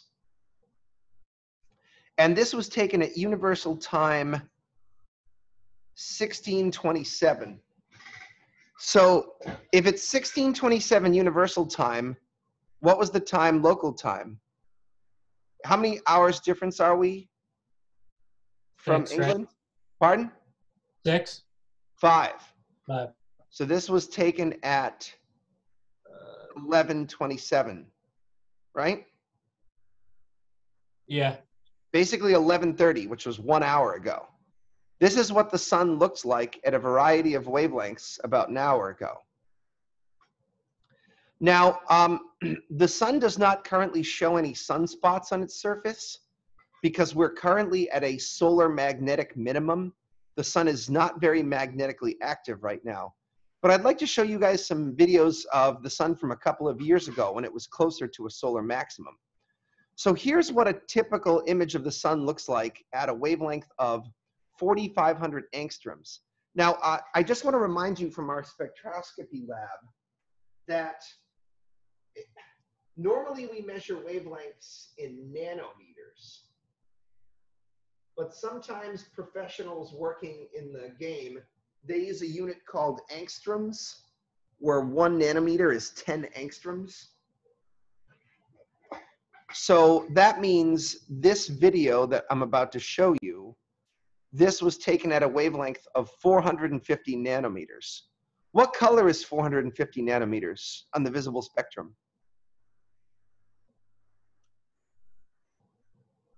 Visible light. Oh, what color? You said what color? Well, I guess I should have asked what regime. It is visible regime. What's the color? Uh, violet to indigo. Yeah, it's kind of an indigo color, right? Yeah. Uh, I'd say 450 is a pretty strong indigo. Can you guys see that? Brandon, don't you think it's interesting that the sun looks yellow when they actually took this image at indigo wavelengths? Uh, yeah. Why do you think that is? Could it, is it the lenses they use? No, they just fake colored it that way to make you feel good. And that's because the sun looks yellow on the sky, doesn't it? yeah. So seeing anything different would confuse people. Exactly. Why does the sun look yellow on the sky? What's the sun's peak wavelength of emission? Uh, Does anyone know why the sun appears yellow? What's the sun's peak wavelength of emission? From earlier in our class.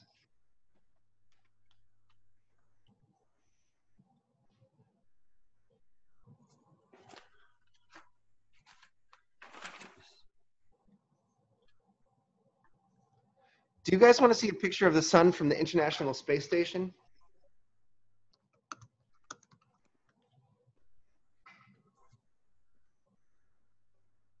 This is what the sun looks like when you look at it out of the porthole on the International Space Station. it's because of our atmosphere.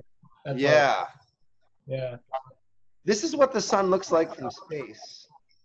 Let me get a higher resolution image. Why the sky's blue, right? The same. Yeah, very good. Okay, wait. So, Brandon, can you help me work through that? This is a wide angle 4,000 pixel image of the sun seen. What, what color is the sun from outer space? It's uh, white. Pretty damn white because it's a black body, right? So, how does this end up looking yellow when we get down to the ground? Because of our atmosphere. All right, and what's that got to do with the sun, the, the sky being blue again? uh, isn't that because the sun reflects off the water? No, no. That's a misconception. um, here's the deal with the sky being blue. You can see a little cartoon of it here. Oops, sorry. I messed. It. So let me go to slide 20 or slide 21. Oops. Um, when you look at sunlight, sunlight is composed of all the different wavelengths of light red, green, orange, blue, yellow, the whole thing. But as light comes down through our atmosphere, the shorter wavelengths of blue light they get scattered by atmospheric molecules more heartily or more effectively than red wavelengths of light. And they tend to scatter sideways and up, down, in all directions. And that means the sun has white light with blue removed from its spectrum and it takes on a yellowish hue. It also makes the sky blue because those blue photons, they then ping and scatter sideways off of air molecules so that when you look up at the sky, you see a uniform glowing field of blue. And that field of blue is all scattered blue sunlight photons. Now, the sun might look yellow during the day around noon, but if you think about sunset, sunset, the sun doesn't look yellow, it looks a kind of orangey red. That's because you're looking through an even longer column of atmosphere and you're scattering proportionally even more blue photons out of the field of view, giving the sun a reddish or a yellowish color. So the sun's not actually yellow, it's just white, but it looks kind of yellow from the ground because of our atmosphere. In any case, let's go back to our slideshow and let's see what the sun looks like at visible wavelengths if you kind of take a peek at it through the Solar Dynamics Observatory. Now, the day I'm about to show you is from a few years ago, and it's about a one or two hour episode. And it might be a little jerky over my internet, but I'm going to kind of hit play and see what happens. So I'm hitting play on this video of the sun. And do you guys notice any motion here? Yeah, it's going to the right a little It's bit slightly rotating. How can you see that it's rotating? because of the sunspot. Yeah, the sunspots are moving, right? Ever so slowly. Now, I want you guys to notice a couple of things about this image. Do you see how uniformly illuminated the disk of the sun is? This is a very important thing for our class. Because the sun's surface temperature remains so incredibly constant, the radiation that it's giving off, the thermal radiation, is also very uniform, with only a small motion from these sunspots here. I wonder if we could kind of estimate how big those sunspots were just by looking at this, this image here. So let's come up with some kind of corresponding ratios. I'm going to take a ruler. I've got one over here, thanks.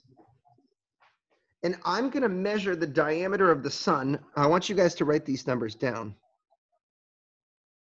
On my screen, the sun's diameter is 12.7 centimeters. So let's write that down.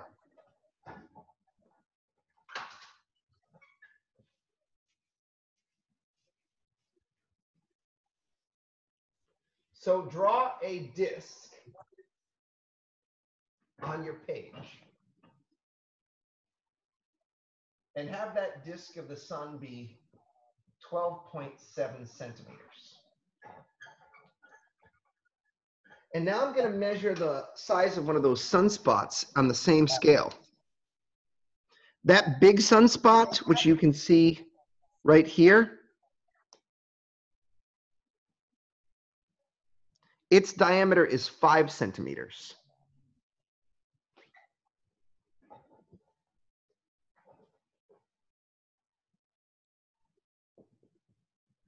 And I think I want to start off by saying, how big is that sunspot?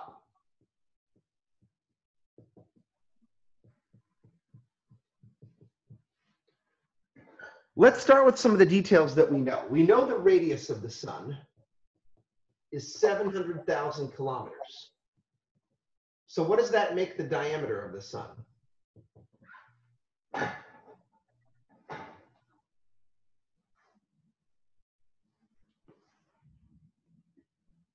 Is anyone actually with me?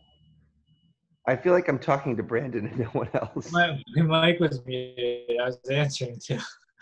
Well, I guess it's me and you, Brandon. Everybody else is smoking weed or something. I don't know what they're up to. So what do you what do you think? We have 14 million. No, it's uh, times two is 1.4 million, right? Seven times two is 14, but Yeah. it's- right? Okay, so Brandon, do you think you could use dimensional analysis and help me figure out how big a sunspot was?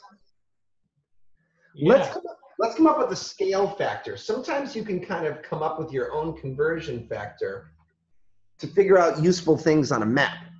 And in our scale factor, 12.7 centimeters, I'm gonna I'm gonna put a prime up there so that we realize it's centimeters on the screen, is equal to 1.4 million kilometers. So can you suggest a method by which I can calculate the size of one of those sunspots? Um, dimensional analysis. Okay, so how do I begin? Wouldn't you wouldn't you want to find the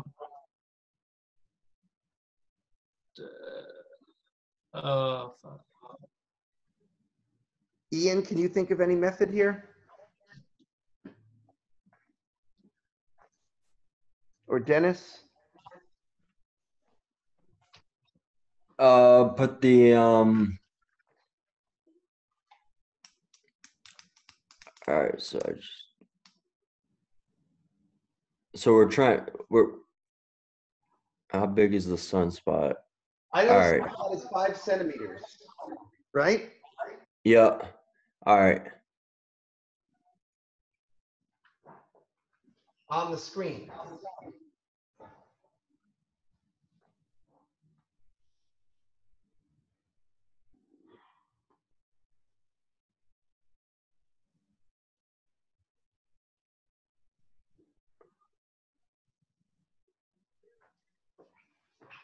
Hmm. You. You wouldn't put the. No. What's the first step in dimensional analysis? Well, first you you put out your your bars with your units. That's the second step. I think you should start with the first step. We're All kind right. of step one right now. Yeah. So uh, seven hundred thousand kilometers. No, that's not what we're trying to convert. Oh, I know. All right, you, you can go, Brandon. You gotta do five know cents. it. You're trying to convert the size of your sunspot. So you have to start with five centimeters prime, right? yeah, times uh division bar. And now? It would be you would have to do kilometers, right? Sure. So it would be one centimeter on the no. Yeah, one centimeter on the bottom. One one centimeter prime, one screen centimeter, right? Yeah. Is what? Uh is how many No, wait. No, wait. Put, could you just do it? If you followed the rules of dimensional, ana- dimensional analysis, you wouldn't be so confused. You're trying to mess with numbers and units at the same time, which is always the way to lose. So put kilometers on top. Now you need a conversion factor from screen centimeters to real kilometers. And should should we do the the bar two, like the uh, the multiplication then Nope, we don't need bar? bar two. We have a conversion um, from screen centimeters to kilometers. All right, so twelve point seven on the bottom. Right and on top? Uh, one point four times ten to the sixth. Okay, punch them up for me. Uh I didn't You can do it. I don't. My I'm. What's I've wrong with my calculator? calculator just right here. I mean, you can. Anyone can do it.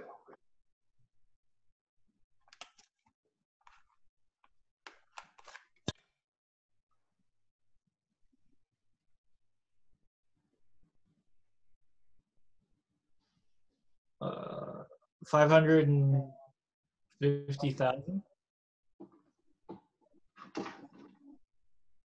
Doesn't seem right. Five times one point four EXP six divided by twelve point seven.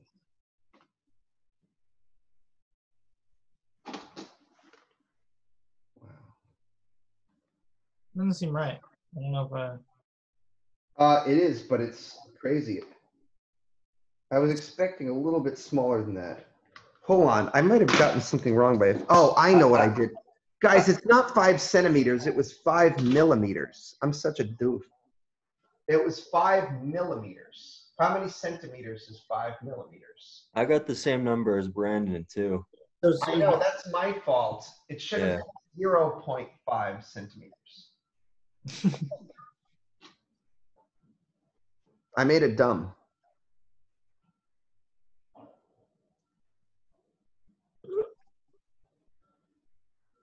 Calculate it one more time. uh fifty-five thousand. Yeah, kilometers. Is that better or worse? How big is the Earth? The Earth's radius is 6,400 kilometers. What's That's so. Hundred and twenty. Hundred and twenty. six times two is 12. Twelve thousand eight hundred. Compare this number to the size of my spot. It's five times as big. Yeah. So that sunspot that you see right here, explain that to me again, Brandon. It's Fucking huge. Yeah, that thing is five times the size of Earth. And look at the rest of the sun. So how many how many Earths can you fit in the sun then?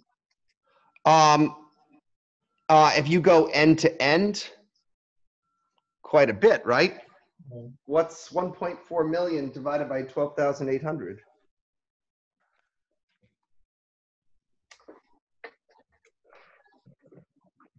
A hundred. Yeah. A hundred Earths can go right across the sun. Mm-hmm. That's pretty wild, right? It's ridiculous. The sun's huge. And by the way, do you see how it looks like the sun is rotating slowly? Keep in mind, this is over the course of a couple of hours, guys. It's, it's I like think it's like, it's not really rotating slowly, is it? It's rotating a few Earth diameters each hour. It just looks like it's slow because you're looking at this huge ass ball that's 1.4 million kilometers across. You see what I'm saying? Jesus. Okay, here's where it gets even crazier. What if instead of looking at the sun at visible wavelengths, what if instead I tried some different wavelengths? Like if I went into the ultraviolet or even in the X ray, then I would see some really crazy stuff. Watch this.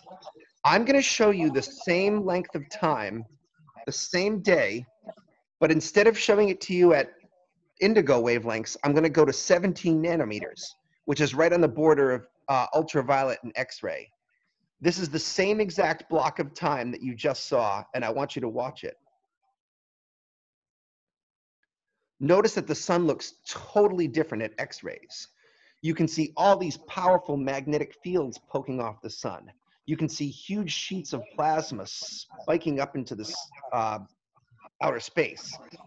And in a moment, you're about to see a giant eruption of plasma called a solar flare. It's going to create a big burst of X rays and shoot. Whoa, did you see that? Did you guys see that eruption on the surface of the sun?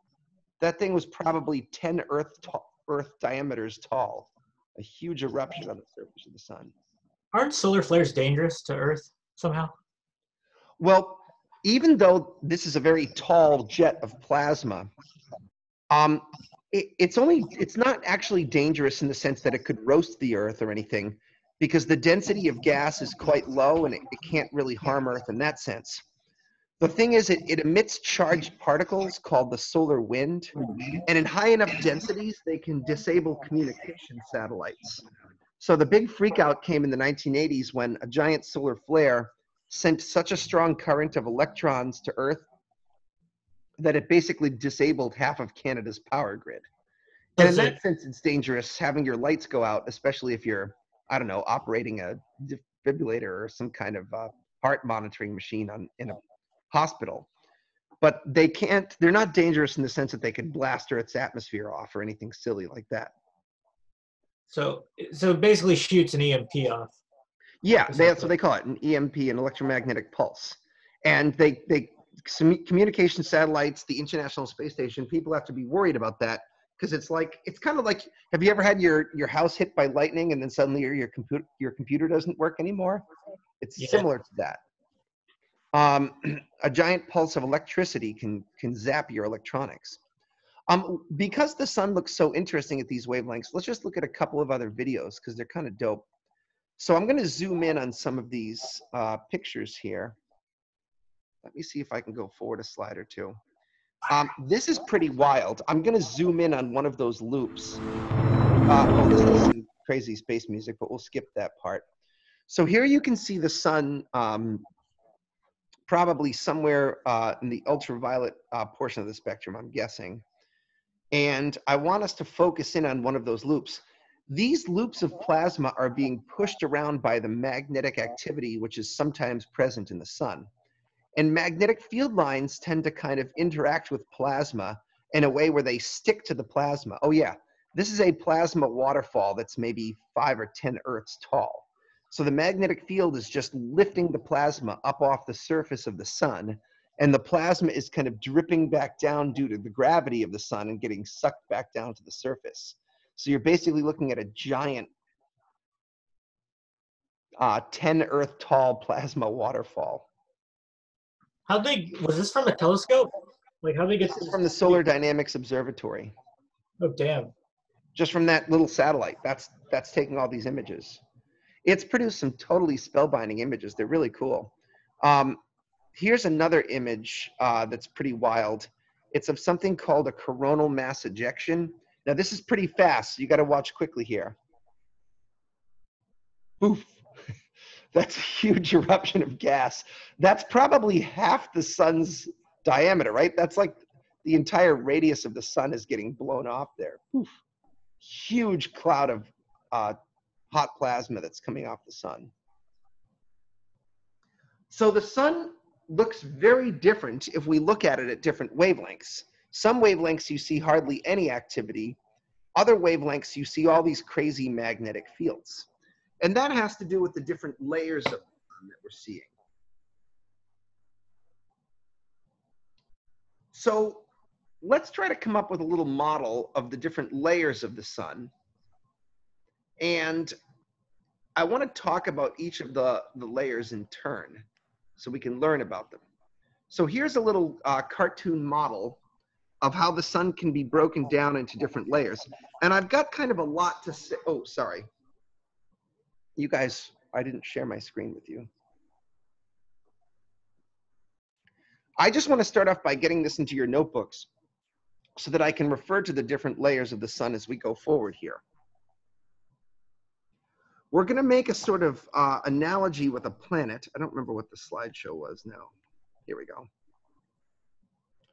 We've got some outer layers uh, of the sun called the corona and the chromosphere. These are kind of like the atmosphere of the sun. We've got this surface layer, which is called the photosphere. And then we have our inner layers, the convection zone, the radiation zone, and the nuclear core. And I want us to kind of start by taking those as notes so I can refer to those terms and then we'll, we'll sort of talk about what happens on each of these layers.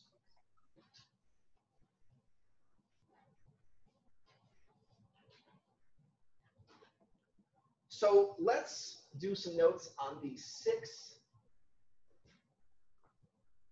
layers of the sun. And what we're going to do is we're going to make a sort of uh, analogy with the atmospheres of planets. The outer two layers are called the corona and the chromosphere. And these can be thought of as sort of like the atmosphere. If you made an analogy with planets. I'm going to use ATM as my abbreviation for atmosphere.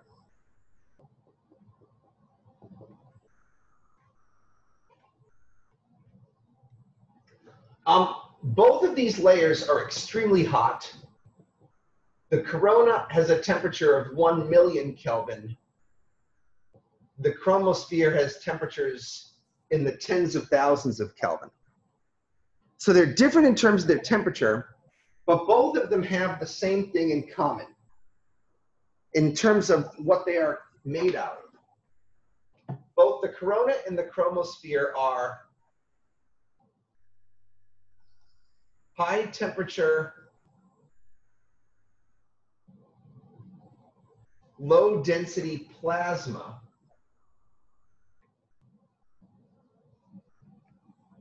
that's heated by magnetic field lines. And I'm going to have a talk with you guys about how magnetic fields heat plasma. I should probably already talk to you guys. I should probably also talk to you guys about what plasma is. Does anyone in the class know what I mean when I talk about plasma? What is plasma? Isn't it, I I, talk- Blood plasma. Huh? isn't it like ionized atoms? Yeah, it's the fourth fourth state of matter, right? Yeah. So, um, plasma. Uh, let me just see if I can.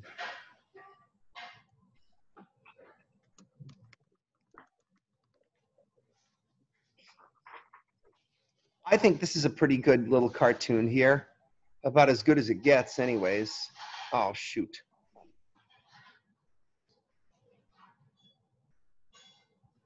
Hey, I hate this. Oh, here we go. Can you guys see this here on my screen? If you have a solid, all of the atoms in a or molecules are kind of locked together in a rigid crystal lattice. When you heat up a solid, it turns into a liquid. That's when all the molecules or atoms kind of float free. In a gas, they can actually lift up and kind of bounce around in a box. And if you continue to heat up a gas, you can separate the electrons from the protons. And then you have a kind of charged gas. Charged gases are more complicated than normal gases. And I'll probably introduce both of them when I talk about the ideal gas law.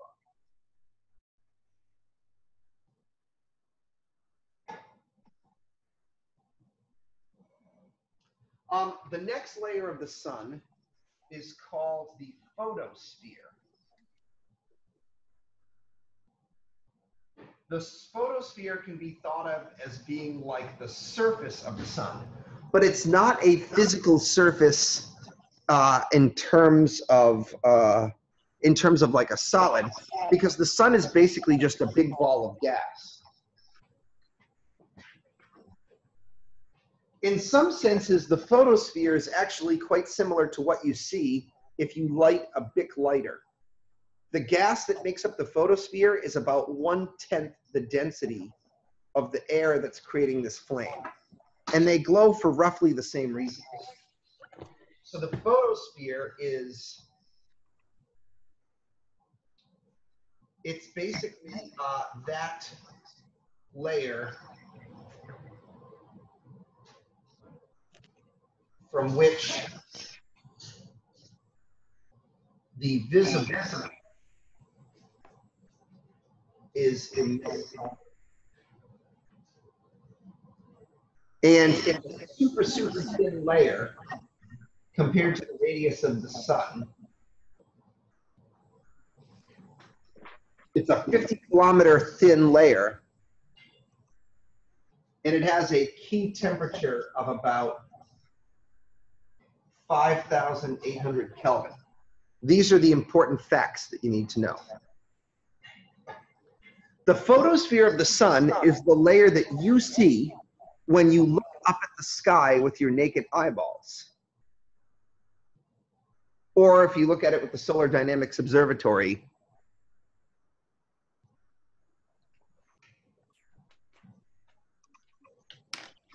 I just want to go back a few slides and show you a picture here. Here's a, a, a cool little artistic picture that someone takes of a, of a man appearing to hold the sun as a glowing ball in the sky. When you look at the sun like this, that layer that you're seeing there is the photosphere.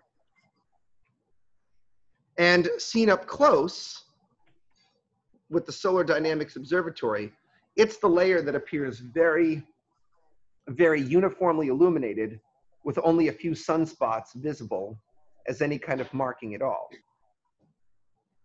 I'll say more about that in a bit. Lastly, we have the interior layers of the sun.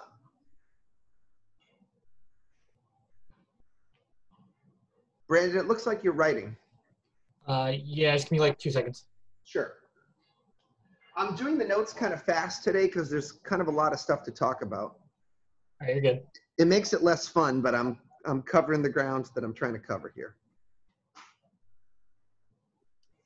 Good. Um, the interior layers of the star, the ones that you cannot see directly,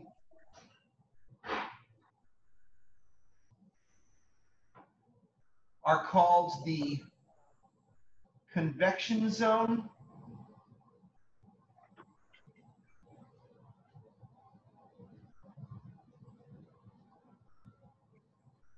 The radiation zone and then the central nugget of the star, the nuclear core. And the temperature gets higher and higher and higher as you go from the convection zone to the radiation zone to the nuclear core. The temperature of the convection zone is in the hundreds of thousands of Kelvin. The radiation zone gets up to millions of Kelvin and the central core has the highest temperature of all. It's a key temperature of 15 million Kelvin. That's the temperature at which the hydrogen can undergo fusion. And it is fusion which is powering the radiation the light that we see from the sun.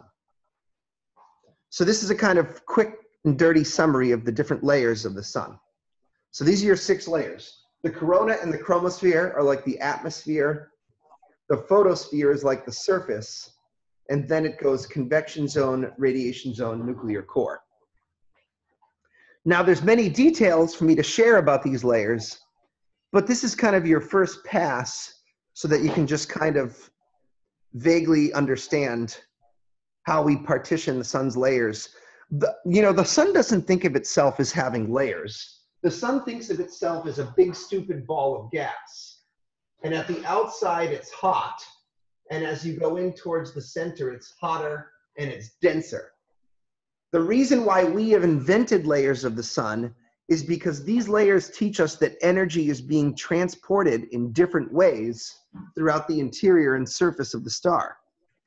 Because the sun is such a massive ball, there's a lot of complexity into how it operates. And the way it behaves changes as you go from the inside to the outside.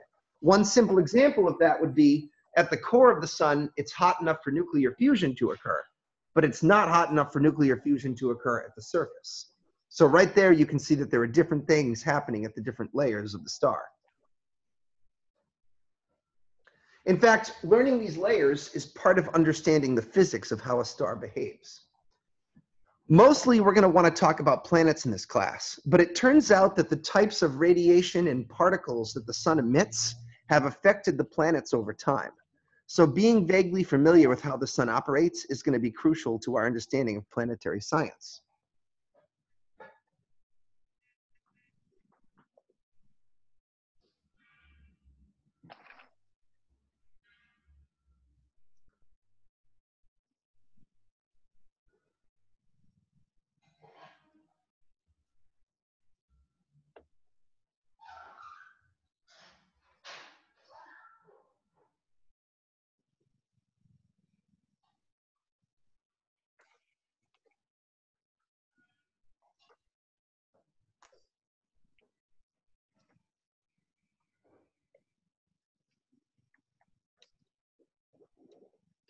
Okay.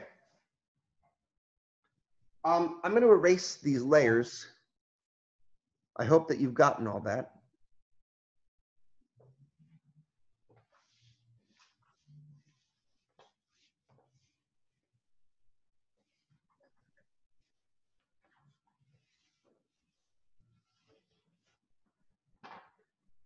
Let's learn a little bit about how um, gases and other things behave at some point I want to talk to you guys about magnetic fields, but I guess we'll get to that when we do get to that.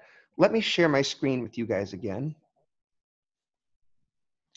And let's let's tiptoe back through the sun. Uh,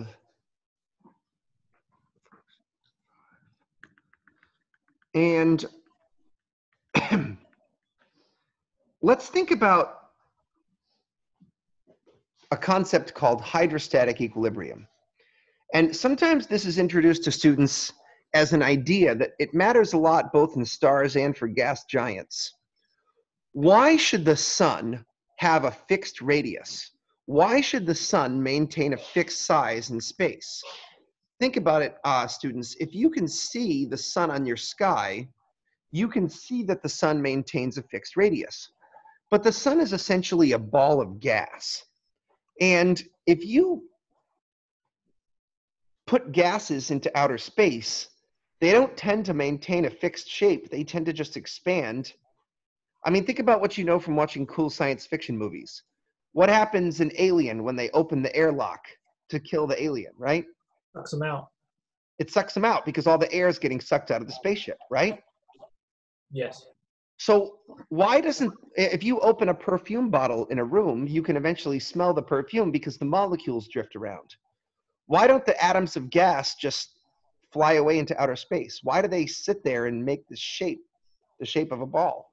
Electromagnetism. No. That's not the answer. Yes. Because that's how the universe works. No. Jesus just waved his magic wand and the sun doesn't explode, right? Is that how it works? yep. I don't know. Uh, no, there's got to be a physical reason for it.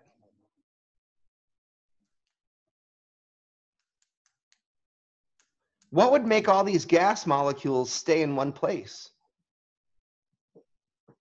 Rotation. Not rotation. Rotation actually tends to fling things apart. Fusion. No. Fusion produces the sunlight. I don't know. Dennis, Michaela, you want to guess?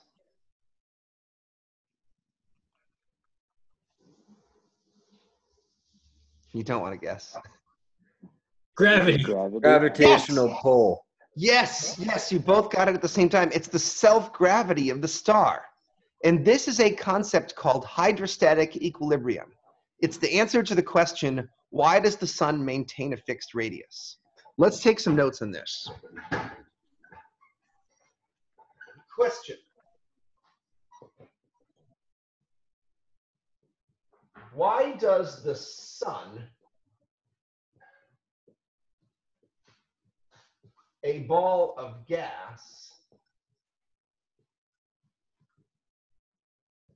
maintain a fixed radius of 700,000 kilometers?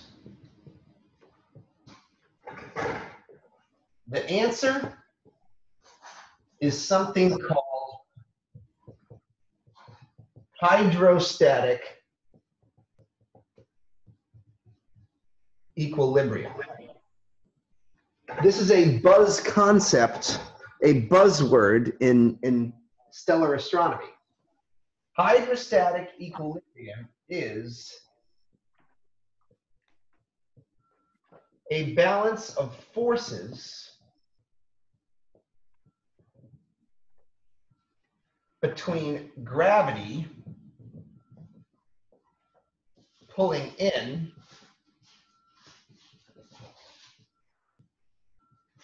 and something called thermal pressure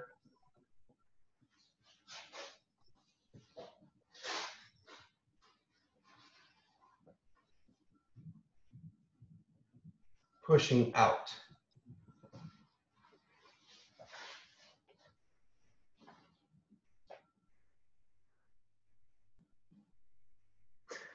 Thermal pressure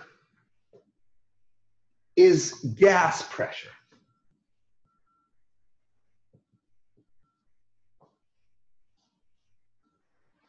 And gas pressure is related to something called the ideal gas law. If you've ever taken a chemistry course, you may have been forced to learn about the ideal gas law. We actually kind of need it for our class, so I'm going to introduce it again.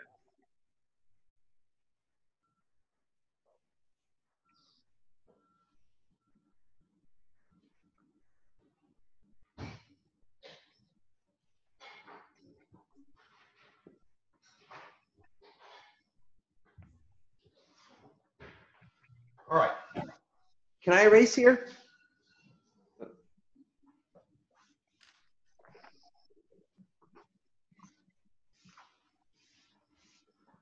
Um, let's let's think about some uh, the ideal gas law.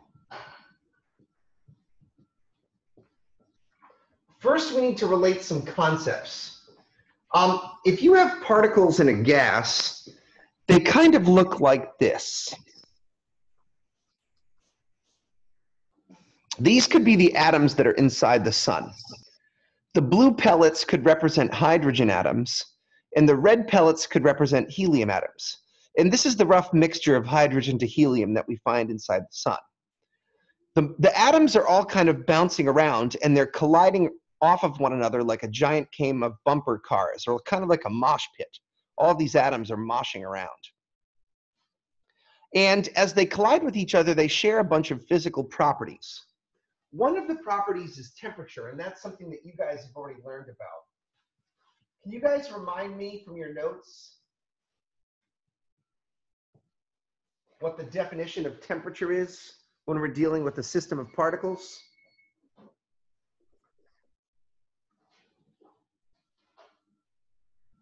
How do we define temperature? Hot. Kidding. Huh? I said hot. I know it was a joke. Your experience of heat is not always the same thing as temperature. Temperature is the average kinetic energy of a system of particles. Nice. It's the average kinetic energy of the particles. That's very good. And since kinetic energy is one half mv squared, temperature is kind of like the speed of the particles. That's kind of a lie, but it's kind of the truth at the same time. Now, when we define pressure, pressure refers to something else. It's a related concept, but pressure is the force per unit area that the gas might exert on the walls of a container, like the membrane of a balloon. So typically the picture you have is of a wall. In this case, the wall could be the edge of your box or the rubber membrane of a balloon. And there's a bunch of gas particles smashing into it. And as the gas particles collide off of it, they exert some force per unit area. So there's some force of the, of the molecules punching into the walls of the balloon that keep it expanded.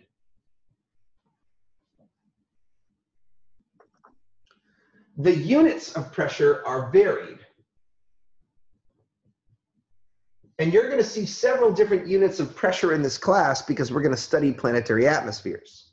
In the MKS system, forces are measured in newtons. Area is measured in square meters. And this is defined as a Pascal.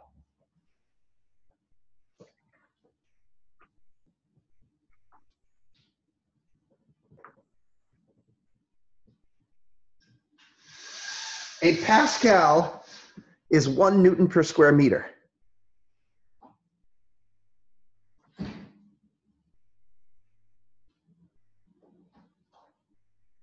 How about um how about other units of pressure from your everyday life? What do you use when you fill up your tires? That's Tire pressure. I'm sorry, there's a little bit of noise in the background. What's up? Tire pressure. Yeah. Uh, There are no units called tire pressure. oh yeah. Oh. What's the units of it? Uh, or pumping up a bike tire. yeah. Air, not air pressure, but uh, It's it's PSI, pounds per square inch.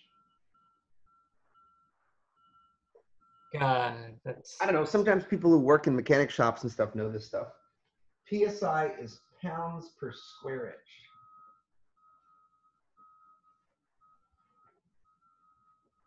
some other units of atmospheric pressure that you're going to see are one atmosphere, which is approximately equal to one bar. Meteorologists tend to measure atmospheric pressure in bars. Planetary scientists tend to measure in units of atmospheres. But the basic idea is that one atmosphere of pressure, the atmosphere that you are under at sea level, is 100 kilopascals, which, as you metric lovers know, is 100,000 pascals. And that's also equal to 14.7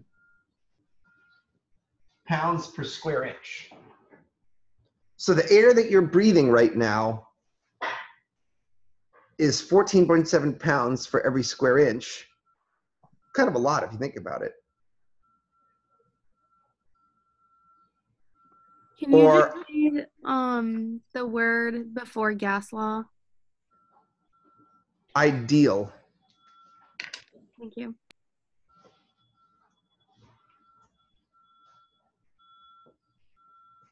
You mean up here? Yeah.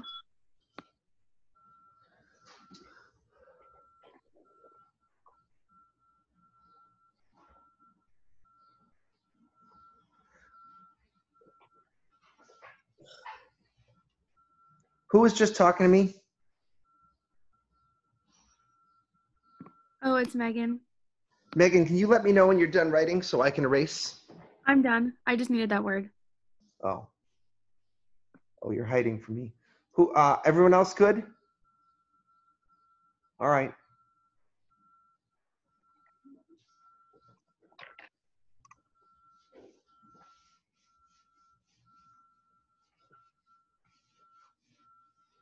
The ideal gas law is important if you're going to study the sun. You kind of have to know a little bit about how gases worked. Okay. The ideal gas law is a relationship between these three quantities. And it goes like this. This is the this is the mature adult physicist version.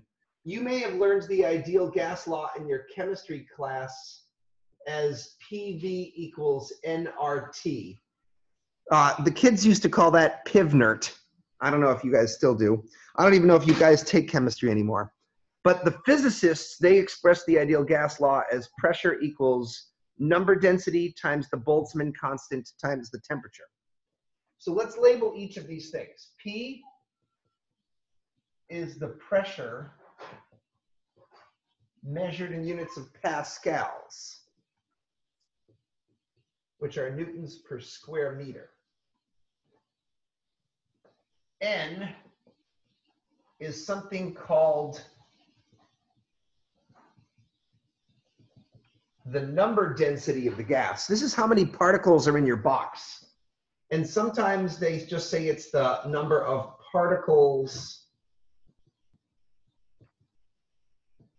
per cubic meter. Sometimes people use particles per cubic centimeter too.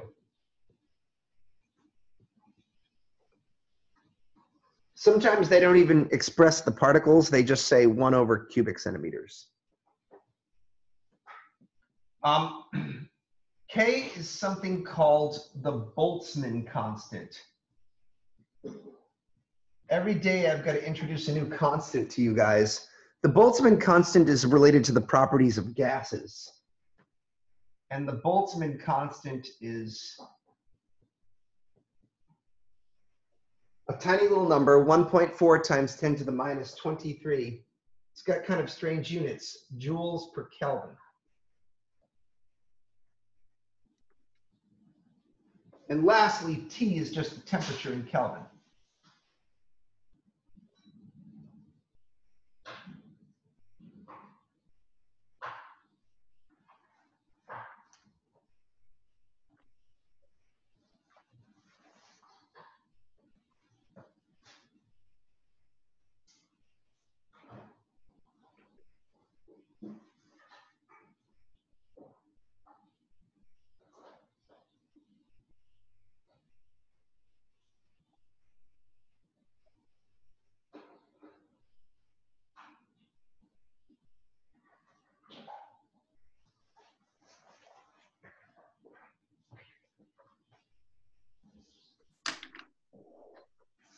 All right. Um, before we tea break, let's try to understand what the ideal gas law is teaching us.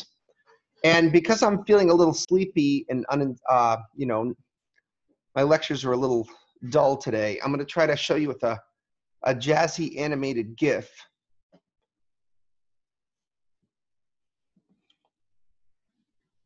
Uh, check this out. One day I found this gas properties application. It's kind of cute. It kind of relates the three properties of the um, ideal gas law in a, in a cute little form here. So we're going to be measuring the pressure in atmospheres. So that's basically relative to the atmosphere of Earth and the temperature in Kelvin. Let's pump the handle up, shall we? Pump, pump. Here come the gas particles. Boop, boop, boop, boop, boop. And they're bouncing around. And you can see two pumps puts us at 300 Kelvin, which is pretty close to room temperature.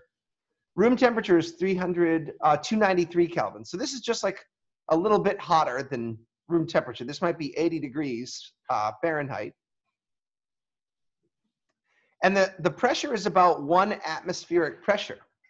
So that's pretty close to the atmosphere in this room. Now, what do you think would happen to my gas if I added some fire?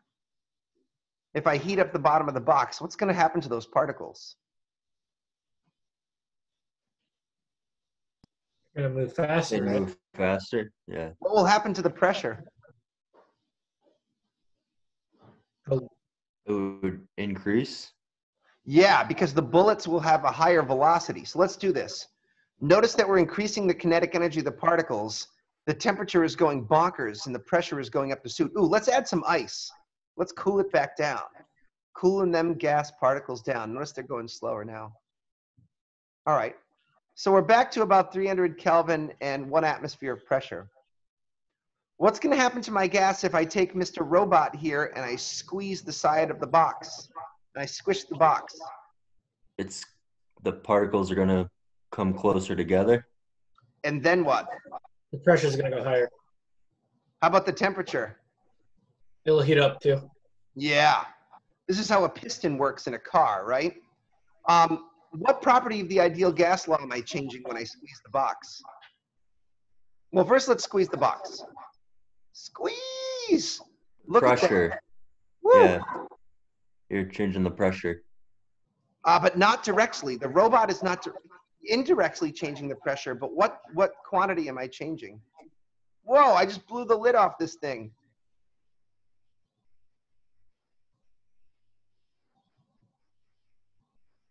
When I squeeze the box, what property of the ideal gas law am I changing?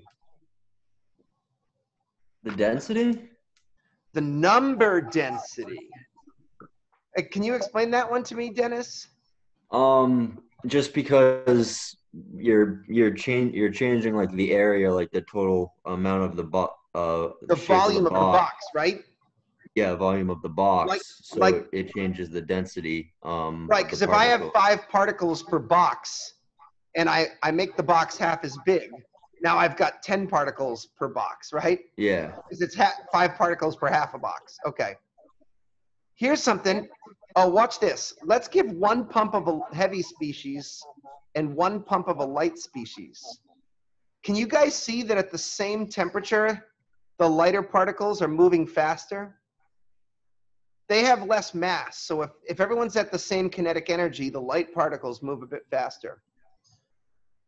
What do you think would happen if I added some gravity to this bad boy? Because I can adjust the gravity over here on the right.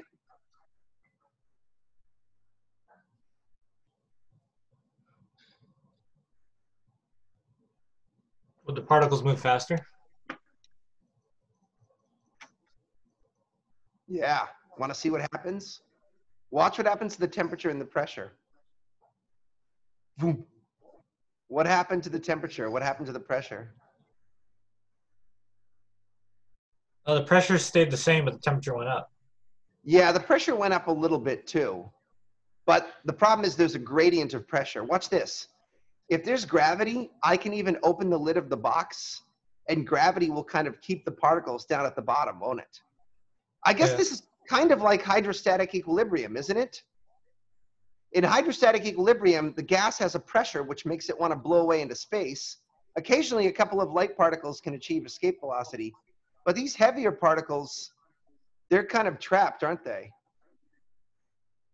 Let's put some more light particles in and see what happens. Whoa!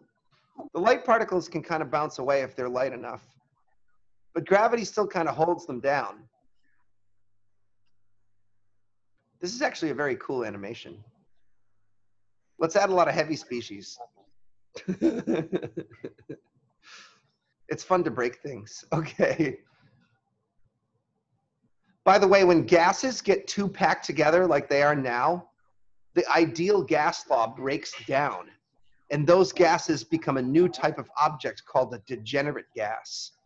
You know, the gases in the center of the sun are so tightly packed together that the ideal gas law actually breaks down. But for the most part, in a majority of the sun's volume, the sun can be considered to be a ball of gas which obeys the ideal gas law.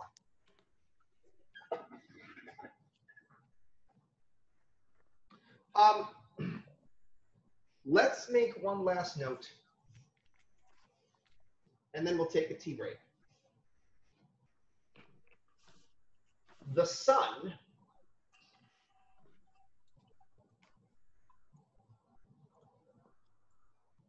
is a mixture of neutral gas, which obeys the ideal gas law. That's where you have one proton and one electron, right? And some amounts of plasma.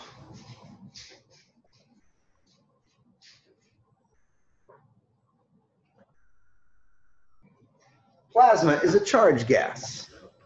And in a charged gas, the protons and the electrons float separate from one another. These gases are more complicated than neutral gases because they have electric fields and magnetic fields which mess with their motions.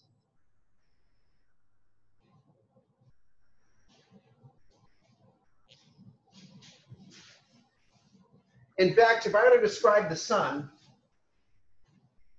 up here at the photosphere, it's like 99% gas and 1% plasma.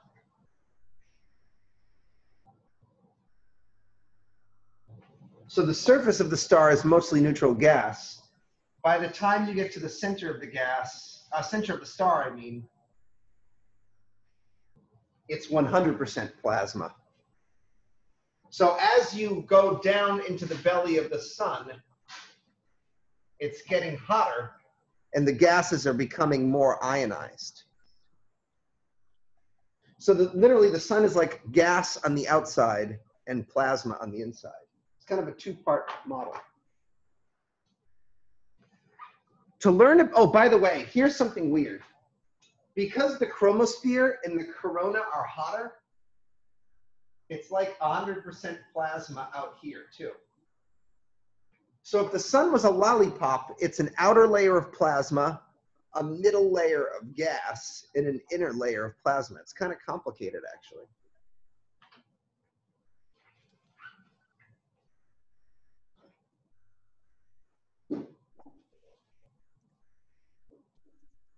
Um, it's not quite 100%. I kind of lied there, but I don't know the exact number, so I'm making it up. All right, why don't you give yourselves a little tea break? Um, let's take some time to have a snack. I think uh, we could probably use that because we're all a little slow today. Sound like a plan? All right, I'm gonna pause. Hello, people.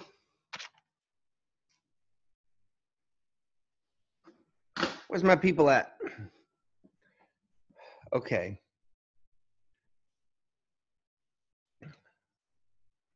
My animation is still popping here. I wonder uh, what our options are for lab today. I'm having a thought, a lab thought,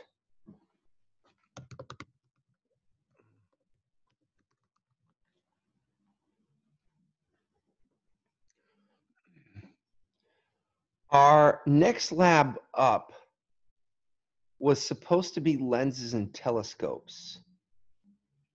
Uh, I'm having a different a different think about this.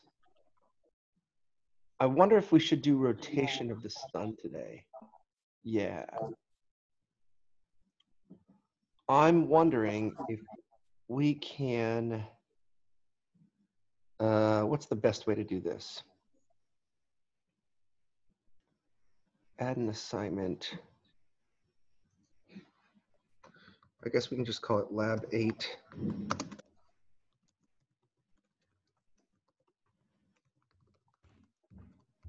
Rotation of the sun.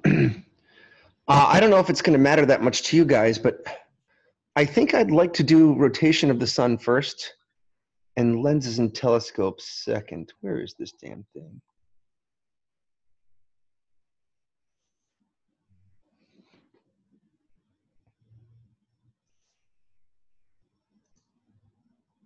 If it's a document, I'm just gonna have to like print it out before we do it real quick.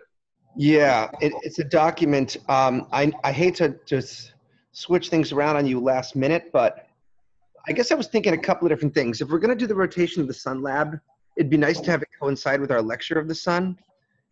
Yeah. Uh, the other issue is I'm kind of tired and crabby today, and I think this will just be a better lab. The other lab on lenses and telescopes I love very much, so I'd like to save that. So this is a short, fun little lab that'll kind of match up with our sunspot lab. So why don't we go ahead? If you can print this out, Dennis. Do you want me to do it now, or be, or are we doing like a little bit of a lecture before? We'll do a little bit of I mean, lecture. So I'd say, do you, can you print it out from the screen you're on, or do you have to go to a different computer? I just I just have to run upstairs real quick. It'll take literally five seconds, less than a minute. So Yeah, go ahead and do it. You can miss a second or two of lecture, I think. All right, um, cool. Uh, do we need the? Because I want to save printer ink. I don't want to print out that sunspot thing. Like that's Oh, we need Um, we need this page with the suns. We don't need 13.3, but we need 13.4 with the sunspots. We need 13.5 and 6, unfortunately. is is way. Well, hold on, hold on. Um, I'm gonna track the sunspots on my page. Do you? So this lab involves tracing paper, and I'm guessing most of you don't have tracing paper, right? Yeah, we don't. If you're worried about ink, then um, don't print that out, and you'll just take the measurements along with me. But print out this page and, and the next page, uh, Okay. 13.5 and 13.6, okay? Or pages three and four.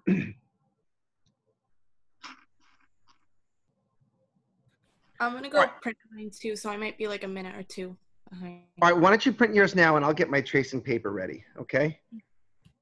Where do we get that? Uh, you get that on Blackboard. Okay. You go to Blackboard, go to Lab, and then go to Lab 8, Rotation of the Sun. It should be there now. Are we not? Are we not doing lab seven? Uh, we'll do Lab 7 on uh, Wednesday. We're just Oh, going to okay. reverse the order if that's cool. All right, I have to go print it, so I'll be right back.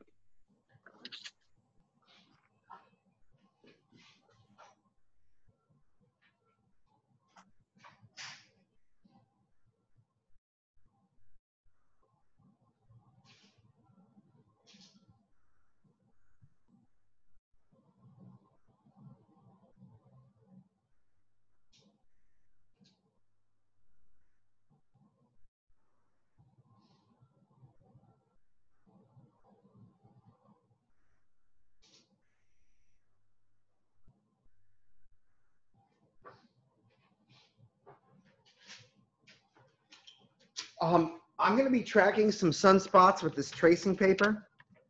So if you have tracing paper, that would be cool. If not, that's fine.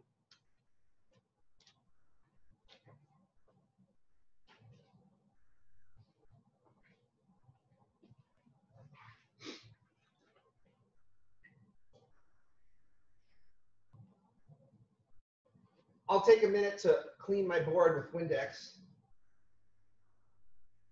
Since nobody's around.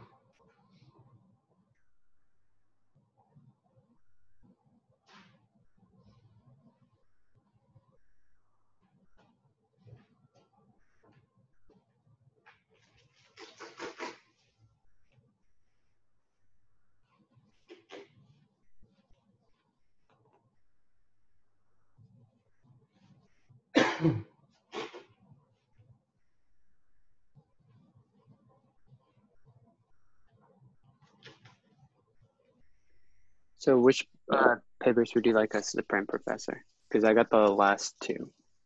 The last two is fine.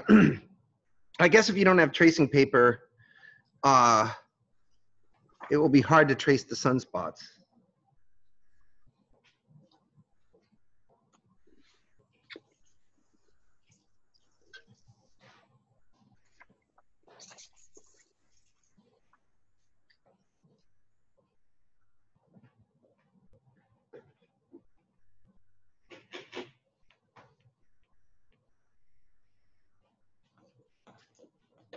Oh no!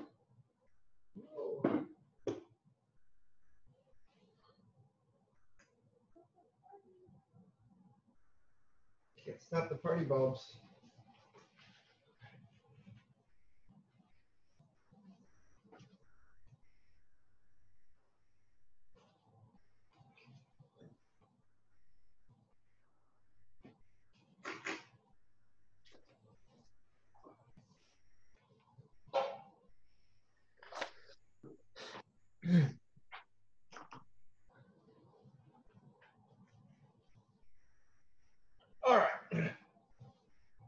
That actually worked out because I got to clean my board here. Is everyone back?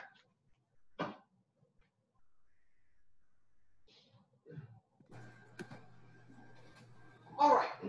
Um, before we stopped, we learned a little bit about, uh, we learned a teensy bit about um, the sun and gases and plasmas. And now we're going to try to take a look and understand how this can lead to some of the different types of phenomenon that we see at the surface of the sun. So I want to show you guys a couple of cool videos from an older, uh, an older satellite that used to image the sun.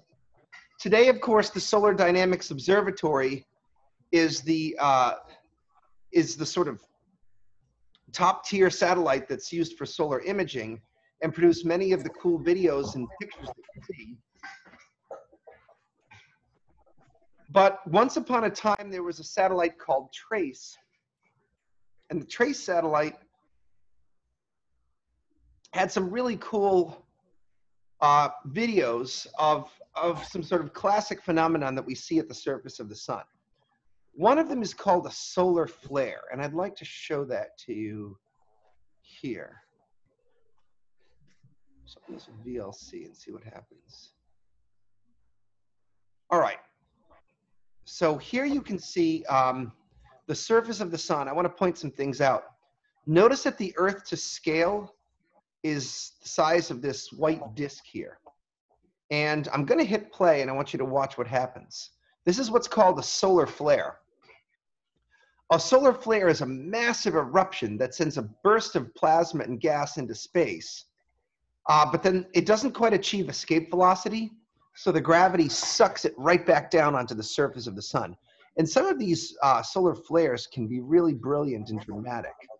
Um, I'm sure if we went to the greatest hits uh, on the Trace satellite, sorry, or on um, we could see some mind mind-blowing images of solar flares. Um, well, of course, the, the Solar Dynamics Observatory catches them in, in much greater resolution at a variety of different wavelengths. Let's see if we can see one here. Boom, did you see that? Those are massive and very intense solar flares. Sometimes we even see these things called coronal mass ejections, and I'd like to show you a video of a coronal mass ejection.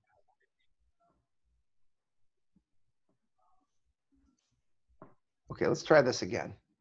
So here's the Earth to scale, and you're going to see a powerful magnetic field kind of twist around and send a burst of gas into space. So look at that. It's this massive eruption shooting gas and plasma into space. And a few moments after the eruption, you can see some static strike the screen of your camera. So we have solar flares, and we have these other things called coronal mass ejections. All of these are related to the potent magnetic field activity that we saw at the surface of the sun in one of my earlier slideshows. Remember that when you look at the sun, function F5, while the surface of the sun looks like a steady uniform light, if you look at the sun in X-rays, you see all of this different sorts of crazy activity. You see these wild looking magnetic fields. And I want to start off by kind of introducing to you guys how the magnetic fields of the sun develop. And it's also a kind of a cute opportunity to talk to you about where magnetic fields come from. So let's kind of look at a classic physics textbook picture of where magnetic fields come from. You guys are mostly familiar with the sort of bar magnets that you, you find in a toy shop or maybe uh, stuck to your refrigerator. But in a classic physics sense, the way you generate a magnetic field is just by sending a current of electricity, a current of electrons down a wire. And when you do so, the moving charges pushing the electrons forward creates a sort of circular patterned magnetic field. So, oops, uh, what I'm gonna do with you guys is we're gonna come up with three rules for magnetic fields that you can take away with you as notes.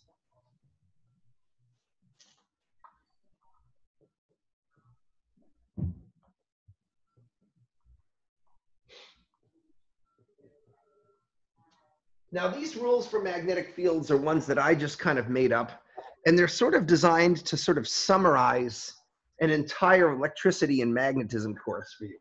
Not that you could do that with three simple statements, but it's a stab at it anyways.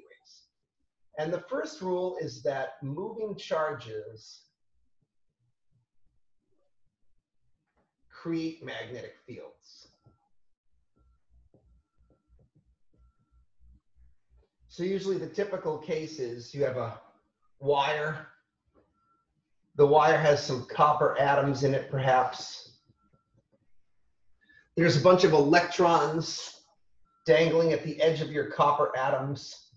Those are known as the valence electron. Usually in a copper atom, the 26th electron, the very last electron, is just kind of weakly dangling from the atom.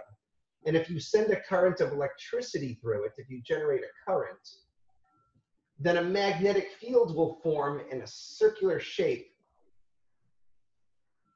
surrounding your wire. Here's an interesting think. What if I were to take a wire and attach it to a battery, and then using a pair of needle nose pliers, I were to bend, I would to bend that wire into an almost perfect circle so that the electrons were flowing around in a circle almost if you neglect this wire part. In that case, the magnetic field would take on a very classic shape. Kind of looks like a set of bunny ears, and it's called a dipole magnetic field. Dipole magnetic fields happen when currents travel in a circle. And there are many examples of them in nature, including the Earth's dipole magnetic field. The implication, of course, is that somewhere deep inside the Earth, there are a bunch of charged electrons which are circulating around as the Earth sloshes around in its 24 hour axis spin. And the circulating charges deep down in the interior of Earth are what's generating this magnetic field. Now, once we create magnetic fields, we have another problem. Other charges like protons and electrons can stick to these magnetic fields.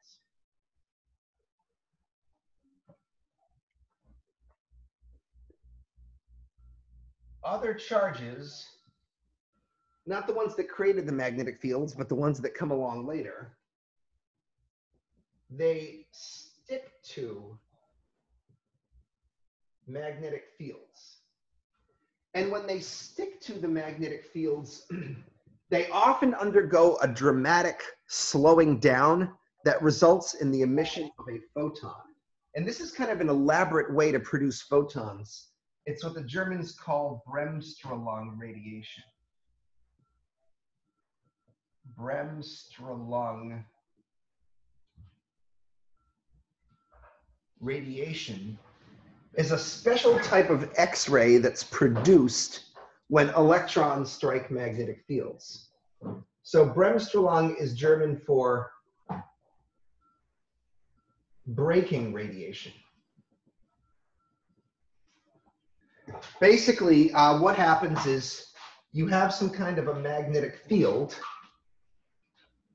a high speed electron comes careening towards your magnetic field line. And when it hits the magnetic field, it gets stopped or stuck to it. And as a result, it shoots off a very short wavelength and very high energy X-ray. Basically, the loss of energy that the collect that the electron feels when it, it, it slaps into the magnetic field, it sort of hits this thing, gets emitted as an X-ray. And this is the idea behind Bremsstrahlung radiation. Now, why am I telling you about this obscure type of physics reaction between charged particles and magnetic fields? There's some breaking things happening around my apartment, actually. All right. Anyways, um, let's show it. Look, let's look at a little animated GIF of how that how that works. Okay. Um, in my physics Java apps, I can kind of demonstrate this by using the radiating charge application. Where is it here? Physics Java apps. Radiating charge.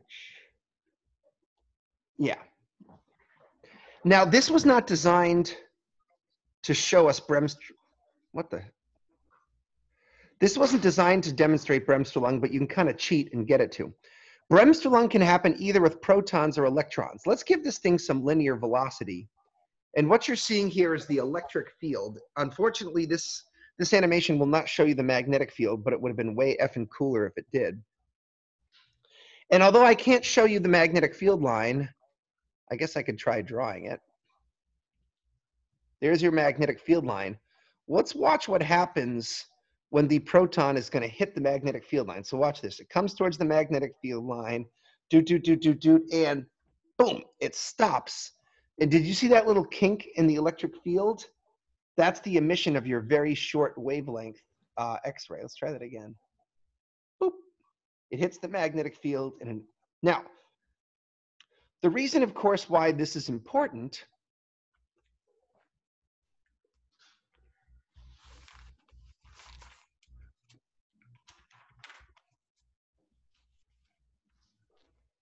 is because um, normally you cannot see magnetic field lines. But the reason you can see the magnetic fields poking out of the surface of the sun is because zillions upon zillions of protons and electrons are striking these magnetic fields and they're emitting x-rays out towards the observatory, towards the Solar Dynamics Observatory, where they're captured by an x-ray detector. Let's go ahead and look at another real-time image of X-ray emission on the surface of the sun. Where do you guys see the greatest intensity of X-rays in this video? Where's the X-ray emission the brightest?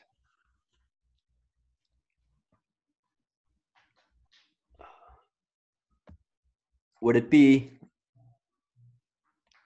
um on like the left side and on the right side? Uh, yes. Uh, I, but I was thinking like you can see it here. And then like right there on the left, and then the center right there where you just circled. Yeah, like right it's, there. It's kind of wherever the magnetic field lines are strongest. Like if your magnetic field looks like this, the magnetic field lines tend to kind of bunch up really close to the uh, lower parts of the corona. By the way, you're looking at the upper atmosphere of the sun in this picture. This picture is showing you only the corona. What, the, the photosphere is called the surface. What color is the surface of the sun in this video class? What color is the surface of the sun? Like a burnt orange? Well, the colors are getting kind of wigged out over the inter it's um they're supposed to they're not a burnt orange, they're they're black. The photosphere is black. Does it look orange on your screen? I mean, it. I I I can see it's black, but it's like I don't know from like from this this. stuff is yellow. Yeah, That's yeah, it's just like a black layered with like a yellow tint type thing. yeah, that's why it's yeah. Right, but but the point is what you're supposed to see is that the lower layers, the surface, the photosphere of the sun it doesn't produce any X-rays because it's producing light by thermal or black body radiation. But this type of radiation that you see up here, this is non-thermal radiation. It's not black body radiation. It's closer to like emission lines. So sometimes we say this, when, when magnetic fields create X-rays, we call it non-thermal radiation.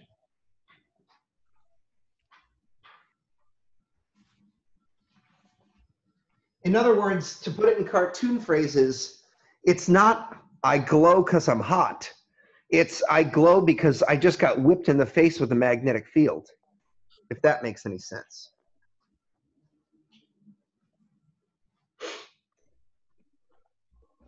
So what happens is along come little protons and electrons, and when they grab those magnetic fields, they kind of get stuck to them. They gyrate around in a little circle, emitting X-rays as they go. Now, in that sense, you can think of magnetic fields as being like flypaper, and the electrons and protons are like flies getting stuck to it. Although I suppose if you had a big enough wad of flies, you could actually stick fly paper to flies instead of the other way around. That's our third rule. The third rule is magnetic fields get, um, or they stick to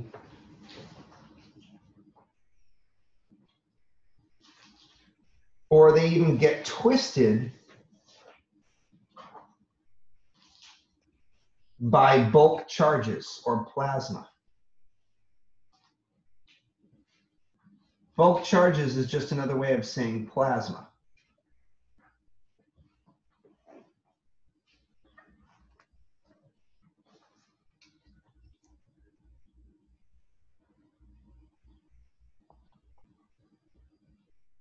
This is how the magnetic field activity of the sun gets so incredibly messed up. So here we can imagine the sun as a giant rotating ball of plasma. One of the interesting things about the sun is that the sun is not a solid surface like Earth. It's a giant rotating goopy ball of tapioca pudding. And because of that, it does not have to rotate at the same rate, nor does it. You can see from this illustration that the equator of the sun completes a rotation in every 25 days but the poles of the sun complete a rotation in 35 days. So literally the equator is rotating faster than the poles. And over time, this is gonna drag along the magnetic field lines with it. So here you can see at first we're trying to generate a nice simple dipole magnetic field. But as the, as the sun rotates with the equator faster than the poles, the magnetic field lines start to get twisted up by the rotation. And after several rotations, the magnetic fields will even poke sideways out of the surface of the sun. And pretty soon the sun starts to look like this stuff down here. Plasma gets stuck to those magnetic field lines and starts giving off little x-rays as emission. So literally the rotation of the sun actually creates these twisted up magnetic field lines. And it turns out, believe it or not, that the magnetic fields are actually related to the sunspots at the surface. So sunspots are also regions of plasma that are getting trapped by magnetic fields, but they're getting trapped a little further down. They're getting trapped kind of closer to the photosphere near the surface. So sunspots are kind of cool. Um, we can say a couple of things about them. Let's look at a couple of pictures and then I'll have you take some notes. Let me fly ahead here to my sunspot lesson.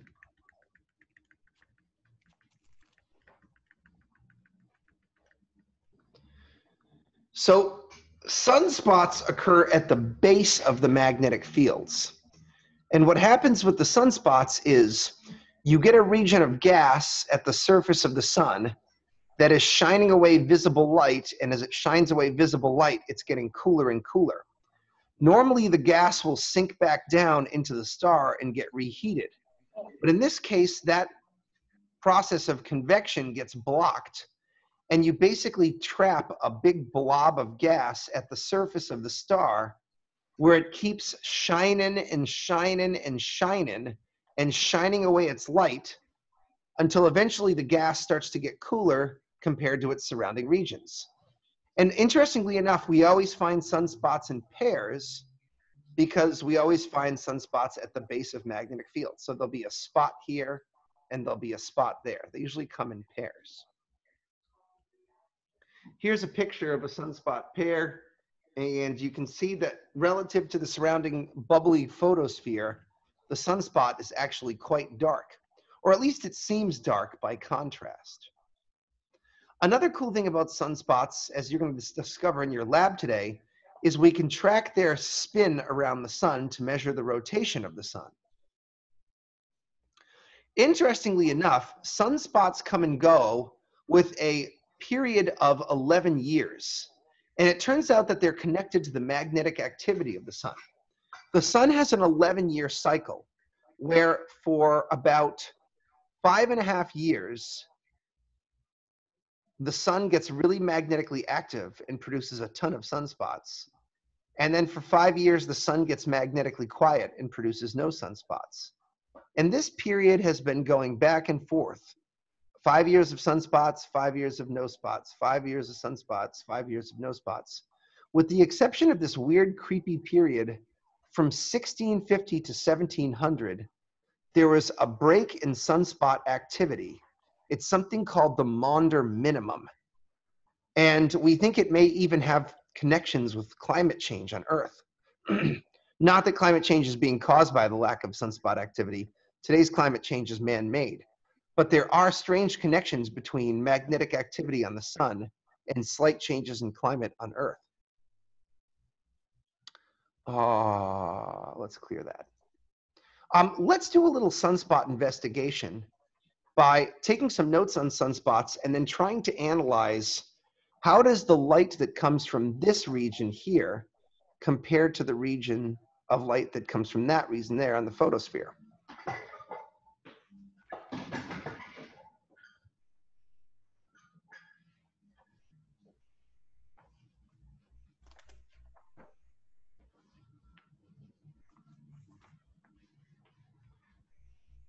Okay, a few basic notes on sunspots since they're the point of our lab today. Sunspots are regions of cooler gas and plasma that have been trapped by magnetic fields at the photosphere.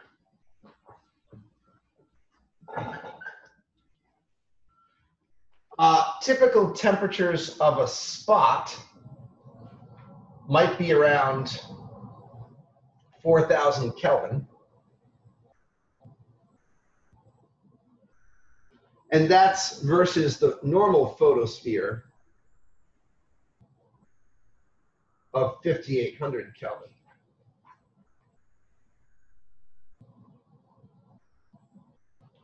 They come in pairs.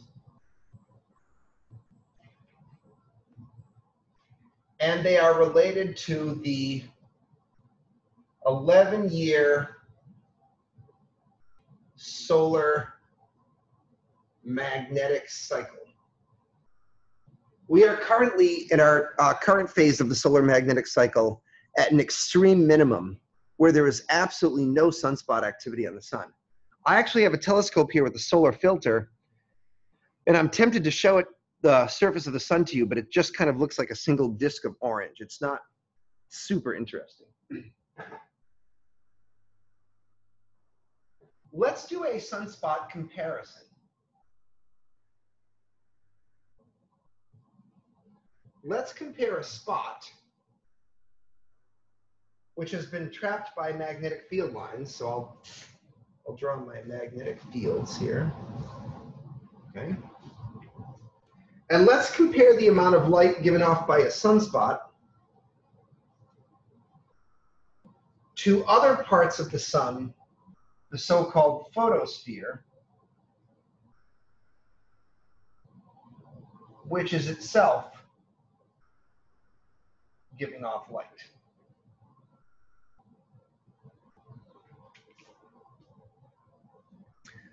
I want to ask two questions, which I'll put up here. Question one, how much more light is emitted by a normal patch of photosphere compared to a spot? So that's my first question. And the second question is going to be to compare the peak wavelength emitted.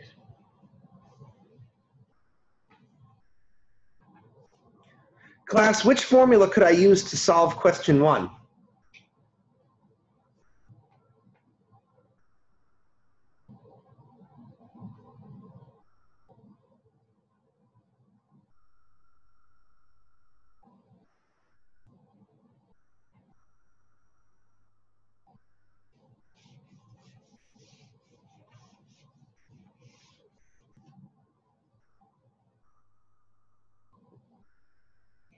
What formula from our class can I use to, to answer the first question? I'm looking for a quantity of light emitted.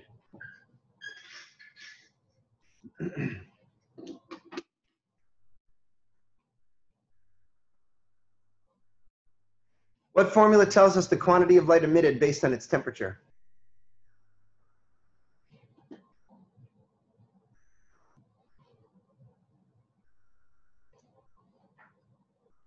Wouldn't it be like B equals sigma? I think that's what it is, times temperature to the fourth. That's very great, yeah. So the brightness of a spot is equal to sigma t to the fourth. Now, we calculated the brightness of the photosphere earlier, and we got, uh, I believe, 65 million watts per meter squared. But in this case, I don't think it makes sense to actually calculate the brightness of the spot and then divide the two. I think we should divide them up front the way we did in our homework today. So we'll divide the brightness of the photosphere divided by the brightness of a spot. Sigma times the temperature to the fourth power of the photosphere over sigma times the temperature of the spot leads to the ratio of temperatures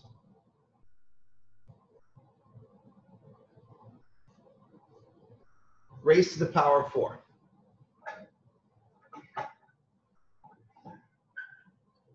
And plugging in the numbers, 5800 Kelvin over 4000 Kelvin raised to the fourth power gives us what?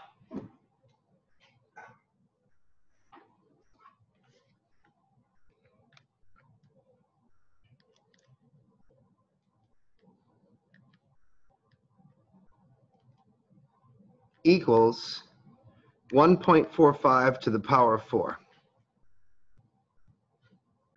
What do you get?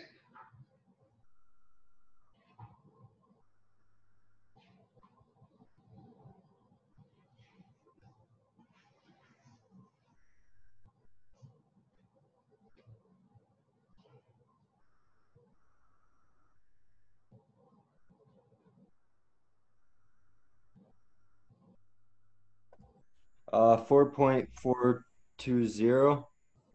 Let's just call it 4. 4 times more.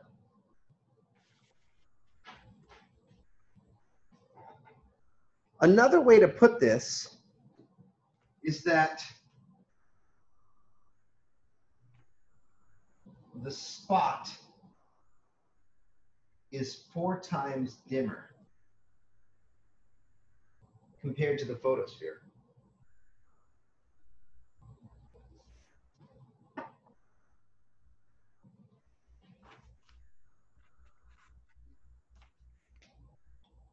What if I compare their peak wavelengths?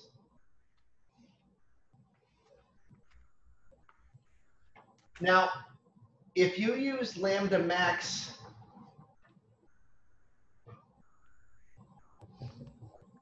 is 3 million nanometer kelvins over 5800 Kelvin,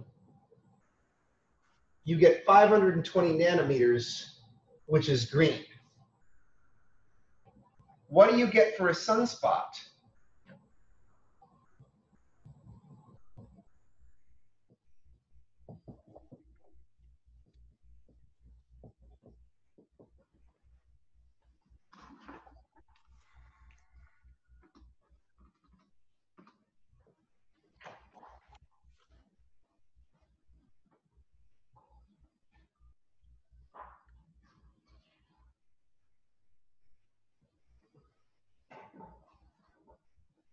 My mic was muted. 750 nanometers.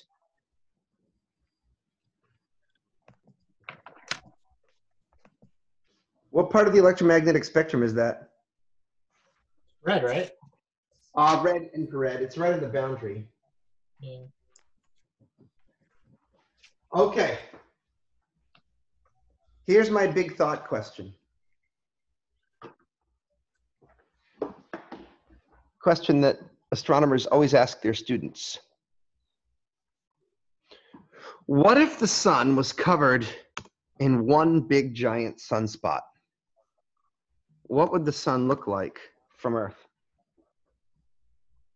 If the sun was covered in one humongous giant sunspot?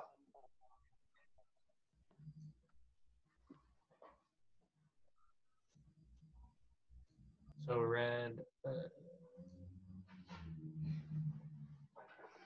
be orange? Or like Huh? orange? Because it wouldn't be red because of the atmosphere, right? It looks he looks yellowy because of the atmosphere. So keep going. Would it be green? No, clearly not.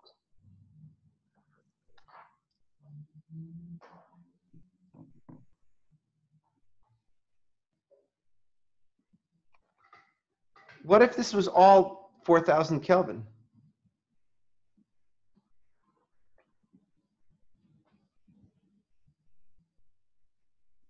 So you said the sunspots, right? They they they they heat up like every like eleven or something years, and then they No, no, don't say heat right? up. They're actually cooler.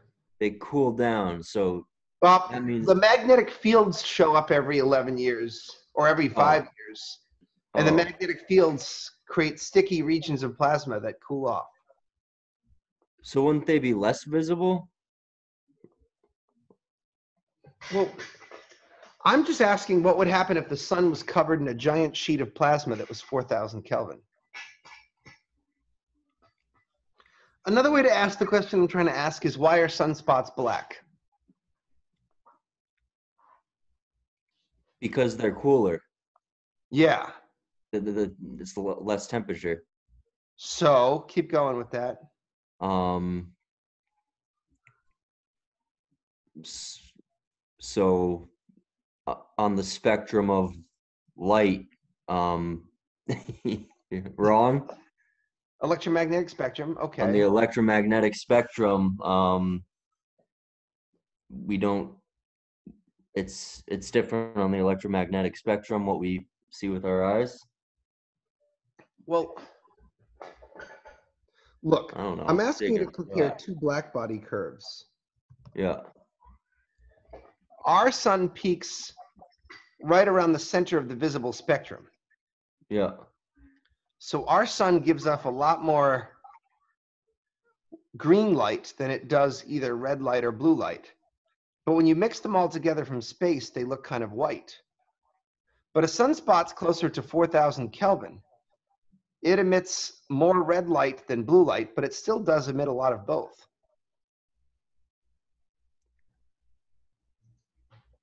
If the sun was the color of a sunspot, it would probably still look, it would look like a slightly redder sun on our sky. Instead of it being yellow, it would be a little orangey. But from space, it would probably still look white. The sunspots are only looking black because they're black by contrast. It's a photography issue. If your camera is exposed for the brightest object in the frame, which is the photosphere, these are going to look black in comparison because they're giving out four times less light. And they look dark by comparison to your eyes. But in fact, these are still bright regions of gas. They're just not quite as bright as the regions up here. I don't know. Something to think about. I have about. no idea. Well, the idea is that sunspots are still hot gas and they are still glowing. Just because they're black doesn't mean they're not giving off any light. They only look black as a contrast issue, you know? If you tried to expose the sunspots, the photosphere would overexpose the photograph and blow out the image. Okay. Um, as you saw in the first part of our lecture, sometimes these spots can be like multiple times the size of Earth.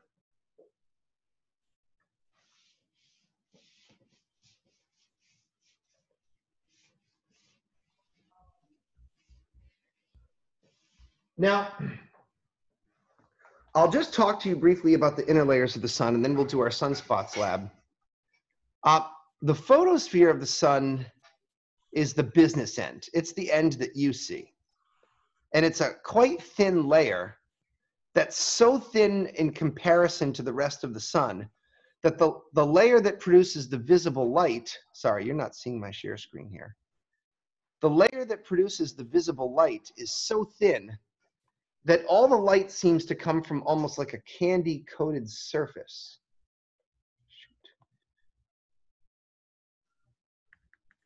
But that, that candy coated surface is just a layer of very thin gas that's producing all of the visible light.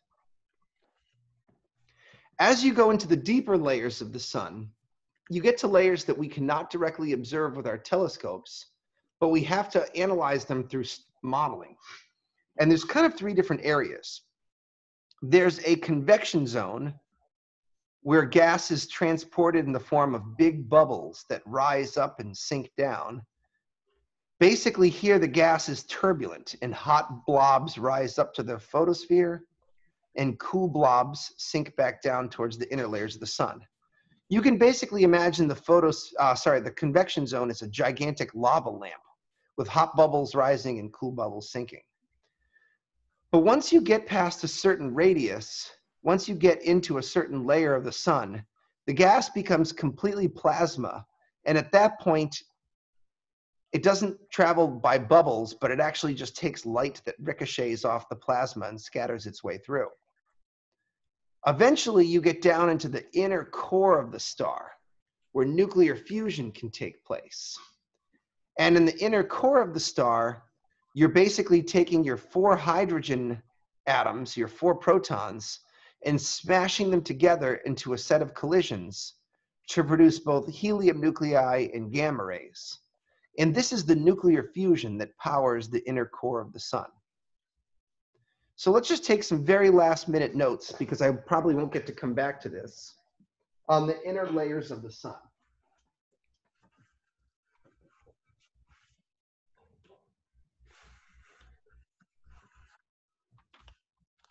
In the inner layers of the sun,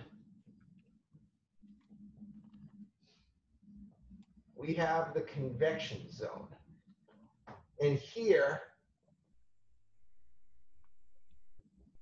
energy is transported by a process called convection. And for lack of a better time to describe it, convection basically means hot blobs rise and cool blobs sink.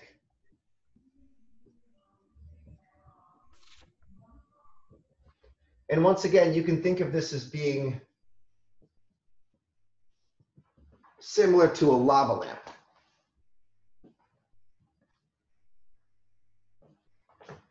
In the radiation zone,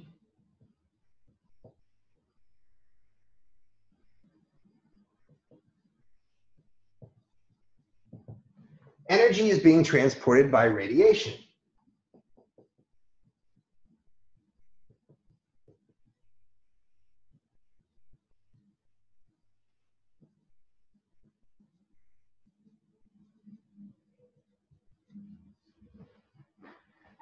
The gas is quite dense inside the radiation zone. So what that means is photons basically bounce off plasma particles.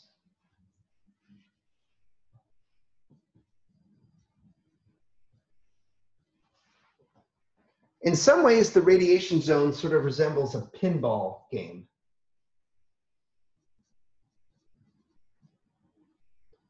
Where the photons are like the steel ball bearings, the pinballs, and the plasma particles are like the bumpers that they bounce off of on their journey through the star. In the inner core of the star,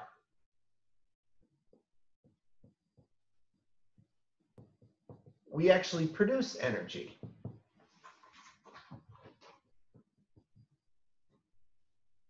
Energy is produced by nuclear fusion. I'll save description of nuclear energy for a different day, but I'll just say it's powered by nuclear fusion where four hydrogens slam together to make one helium and two gamma ray photons.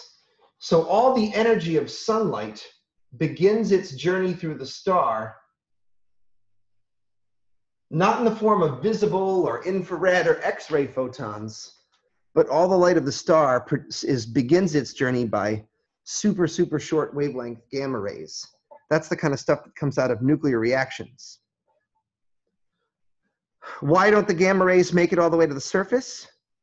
Because as they pinball their way through the star, they transport energy to the particles and lose energy, changing their wavelength to X ray photons and visible photons and infrared photons.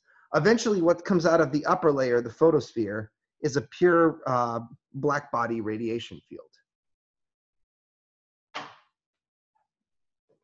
Okay, that was a lot of notes. Um, I knew this would be the only day I could talk to you about the sun, so I just kind of jammed it all in there. It wasn't very pretty.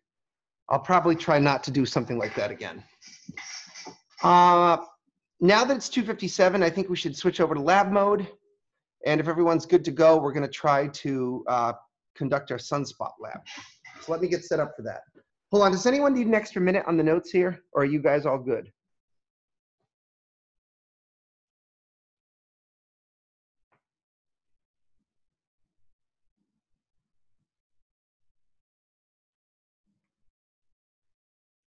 Ian, are you good? All right, then I guess everybody's good.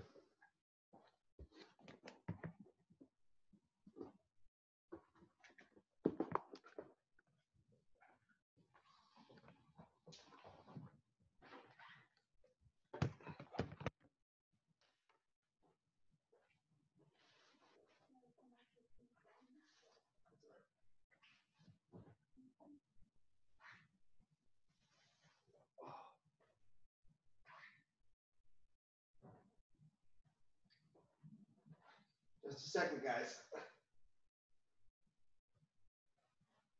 It's starting to heat up again.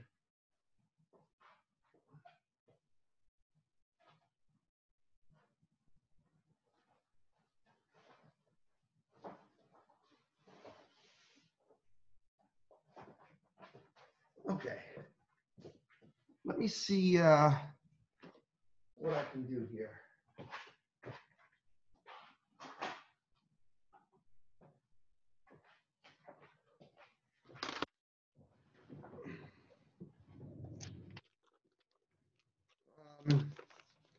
I'm gonna use this piece of tracing paper, although I, it had a weird pencil mark on it.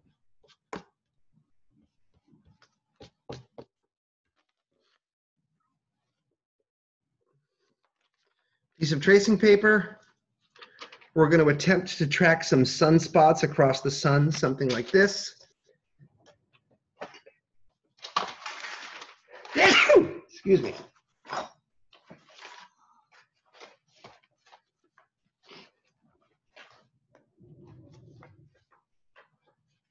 Okay. Um, if you want to follow along completely, you're going to want your tracing paper with those sunspots. I have an extra copy of that floating around. Let me see if I can also print out. To do this lab right, it's going to be helpful to have a ruler and a protractor and a compass.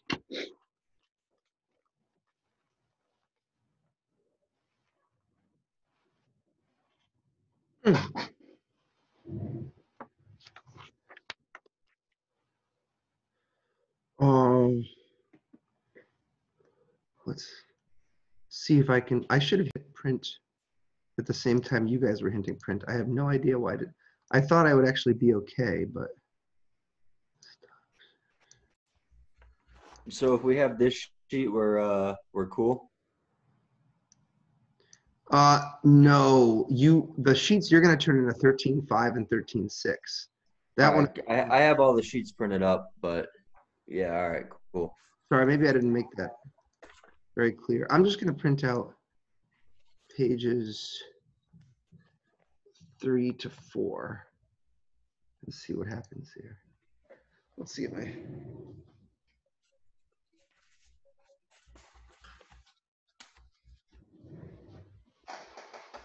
Hold on a second.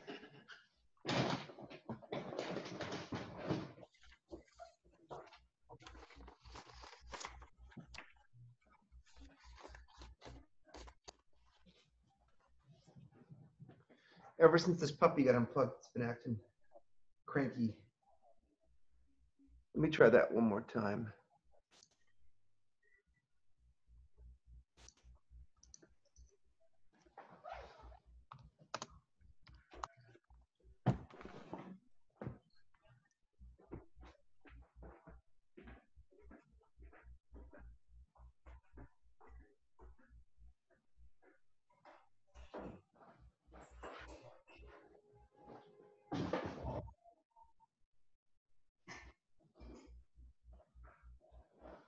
Okay.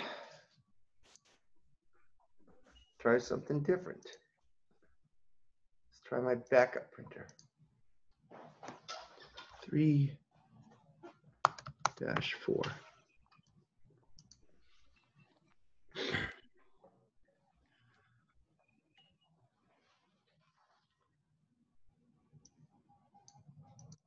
Just a second, guys.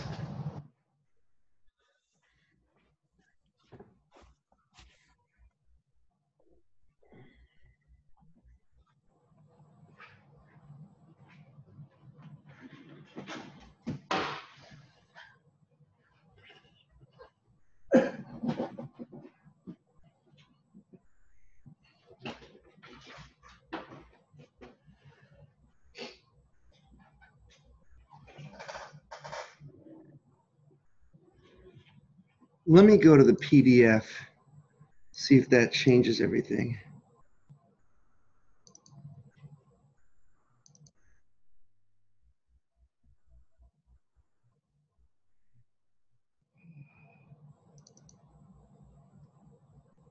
Sorry, it's being everything's being cranky here today.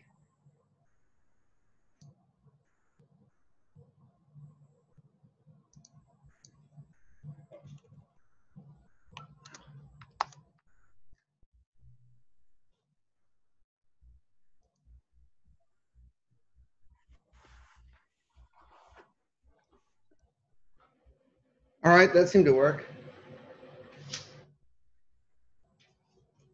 Don't ask me what the hell that was all about.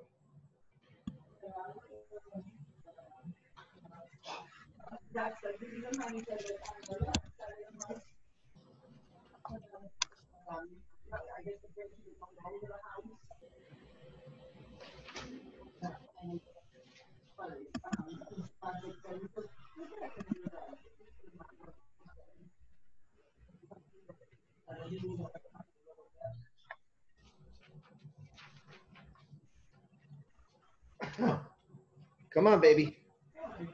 I printed out the whole damn thing by accident.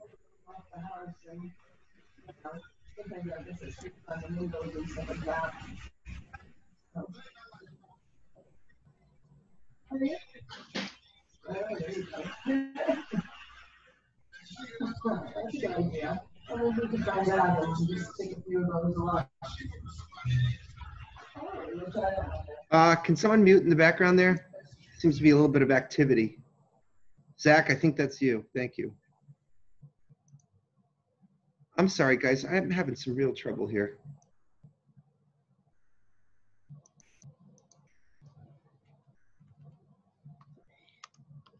I don't understand why it printed out the first two and not the rest of them.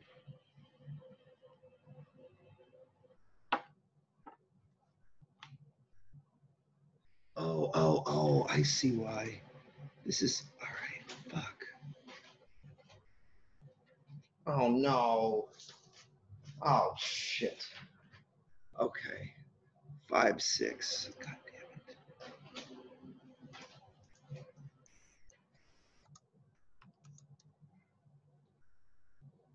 All right, I'm a bonehead.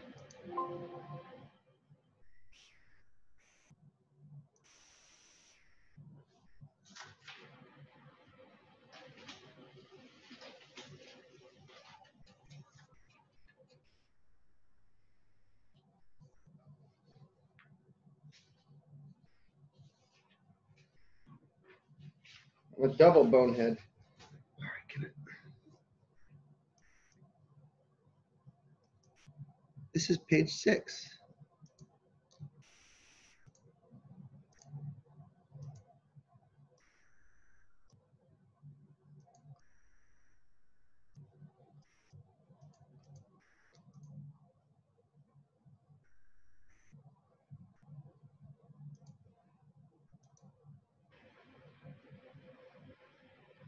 Weird. It's it's printing.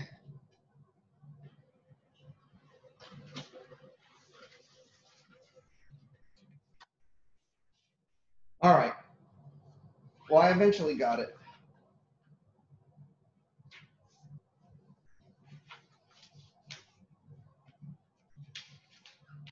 Sorry, guys. Things are moving a little slow in my brain here today.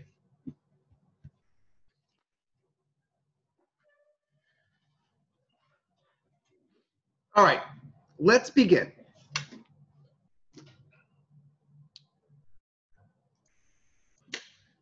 The goal today, friends, uh, are we still recording? Yes, okay. The goal today is for us to measure the rotation of the sun by tracking some sunspots across the surface. And we're gonna be doing this by tracking a set of spots. Let's see if I can get my phone in action here. Do you guys remember what the answer is going to be? Does anyone remember what the rotation of the sun's equator is from our uh, our lecture?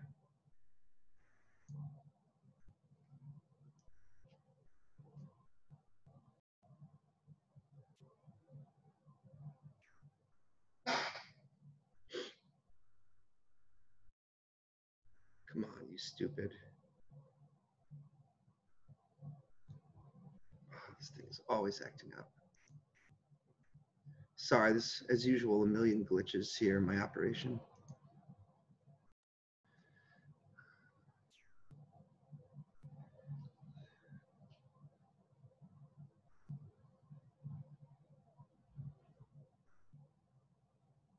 Ah. All right. I think I've got to reset my phone, as always. Um, the the average rotation of the sun along the equator is around 25 days. That's the goal we're going to be looking for. And we're going to see if we can get that by just tracking the motions of spots across the surface. Now, our goal is to pick uh, one spot that drifts across the northern hemisphere. That will be called our A spot. And another spot that drifts across the southern hemisphere. That's going to be our B spot. And while I'm waiting for my stupid phone to figure itself out, I'll start by showing you the spots that I think we should track.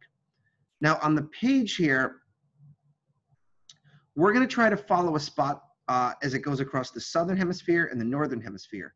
And they can be a little bit tough to track your first time around. Uh, let me just scroll up here to the first day. Um, the spot that I'd like to get is this really dark one here. And if you look at these little two next to it, that's the same as, uh, oops, excuse me, not that one. This spot here is that spot there. Let me try that again. This spot on 727 rotates to that spot, which then rotates to that spot, and then that spot, and then that spot. So that's the B spot that we're going to track five observations across our southern hemisphere. Um, you can tell it's the same spot because it's big and because you can see these two spots here in each of the frames. So here I can see the two spots, the two spots, the two spots. We're not going to track all of them. We're just going to track this B spot. And then down here in the lower half, we're going to track a northern hemisphere spot using some tracing paper. We're going to track,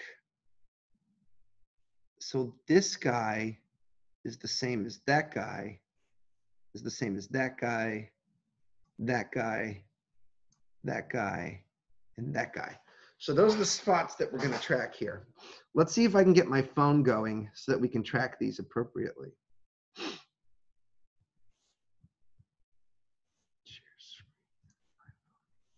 Hopefully it'll work this time.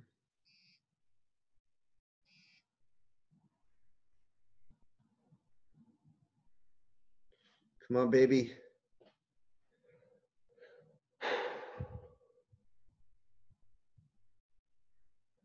Uh, no, we, can, we cannot have this nonsense. It's extremely frustrating because sometimes it works and sometimes it doesn't, and I never know what to expect.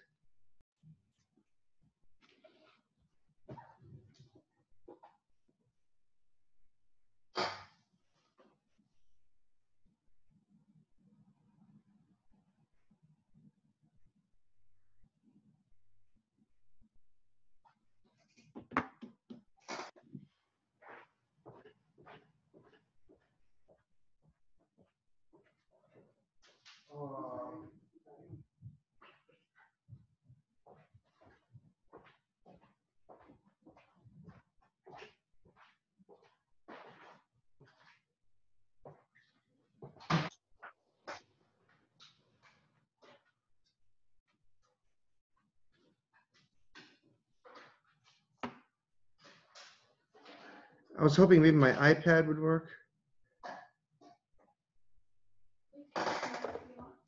Yeah, I might need to. I don't know why this thing is such a crappy puke. Okay. Uh, usually if I just restart the thing once, that's enough. Maybe because yours is newer. Can I try your phone?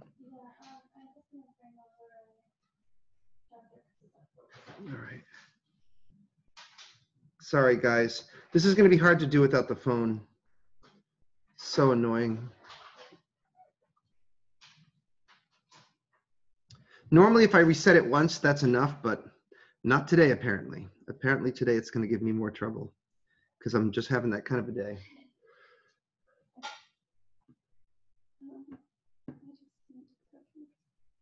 Okay. I'm going to try mine one more time. I honestly like mine because it's so small that it's easy to hold, but uh, come on, guys, just stick with me here. Uh, let me try it one more time.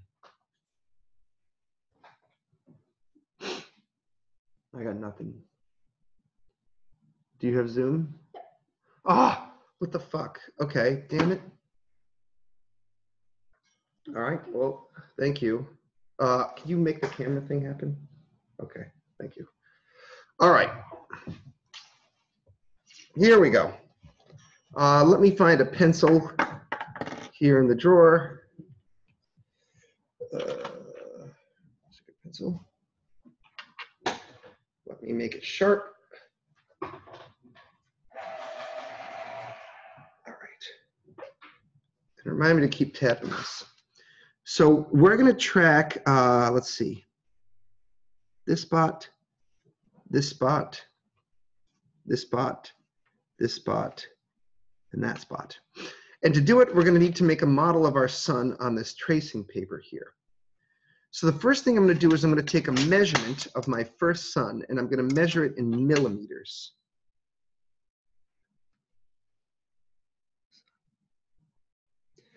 What would you guys say is the measurement of that disk of the sun in millimeters?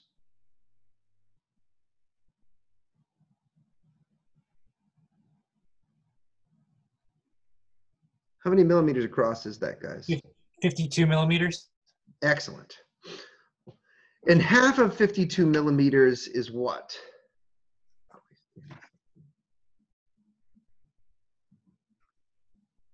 26. All right, so what I'm gonna do is I'm gonna make a line somewhere on my page that's, that's 26 millimeters. See if I can kind of hold the, the phone and do this here. So I need to kind of clamp this ruler down and hold the phone. Luckily, this thing has good zoom focus. So There's zero millimeters and 26 is right about there. That's gonna be the radius of my circle, 26 millimeters. And what I'm gonna do is I'm gonna take my compass, I'm set my compass equal to that radius. Right about there. I even like to give a little swipe to test. Okay. That's decent. All right. Now what I'm gonna do is I'm gonna put my tracing paper underneath all this stuff. I'm going to draw a circle that's 26 millimeters in radius.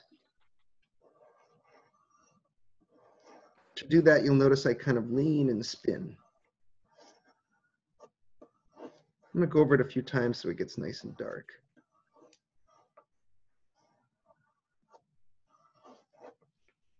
All right. Let's see if I did that kind of hasty. Let's see if it came out any good. Oh, ho, ho, how about that, huh? This is why they pay me the big bucks. I'm a good circle maker. Right there. Now, um, what we need to do before we can start tracking spots is the spots drift and it's real easy to shift your orientation. So we have to first trace over some registration tick marks here. Now, if you had tracing paper, you could follow me along at home, but I'm guessing most of you don't. And even if you did, you wouldn't admit it because you don't feel like doing any of this. I know how it goes. You can just watch me do it, okay? So let's just make some registration tick marks. One, two, three, four. And this is north and this is east. I'm gonna line those up every time I measure a spot, okay?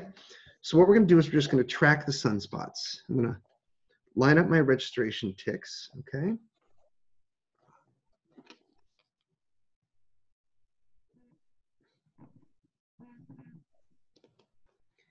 and I'm going to track my first spot.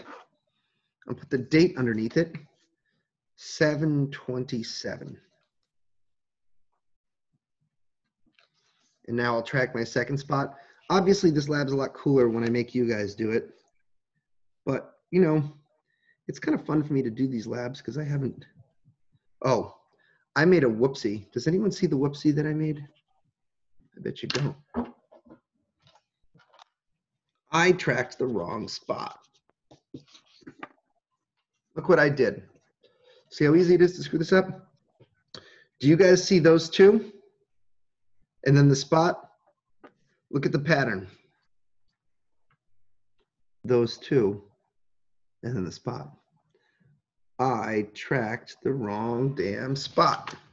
So I'm gonna fix that by erasing my first spot. Keep the date there.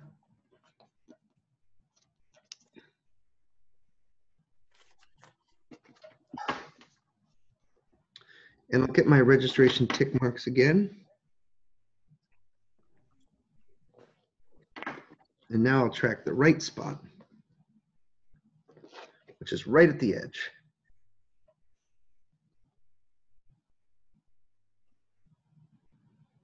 Okay.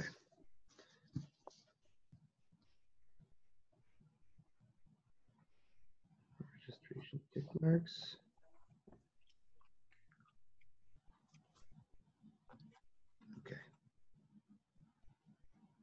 Sorry, guys, it's actually quite difficult to hold the phone, the tracing paper, and your pencil at the same time.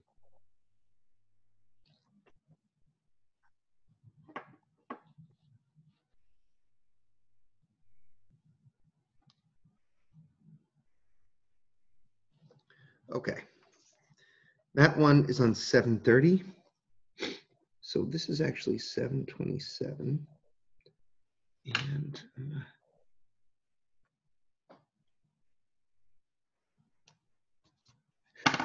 what a mess. Normally I like to do this a lot neater, but I'm having a bad day. Okay, 730. There it is. Let's do our next one, which is going to be on 8-1.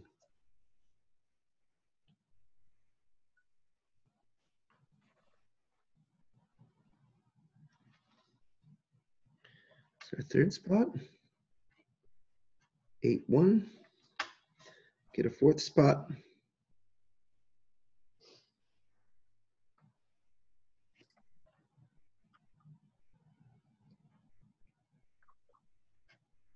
That's eight, three.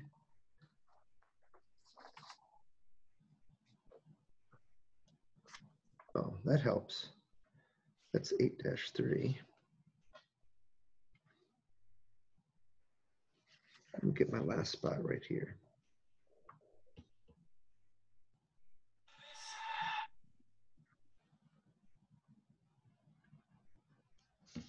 That's eight, six. All right. Well, it's uh one of the reasons I like my phone a little better is I can hold it in that holder, but this this is a newer phone, so it's much bigger. It's harder to to manipulate. Unfortunately, this is the one that's working today. So, okay, now we're going to track our A spot. It turned out to be a good idea to circle those because I easily got confused. So there's that spot. There's that spot. That turns into that spot. It's basically the big dark one that you see in the bottom half. So that's six observations. First, I'm going to line up my registration ticks north, south, east, and west so that I don't drift too much. And this time to speed things up, I'm going to track the spots and then I'm going to put the dates on them afterwards.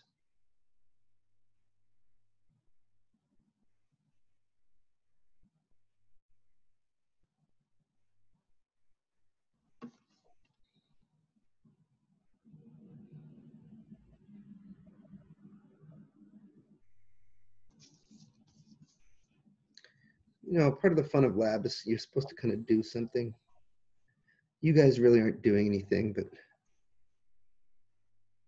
I guess you're just trolling. You're just watching. That's what that's what internet life is. It's just trolling the sunspot tracker, who is me. All right, there you go. There's another sunspot. And then our very last one.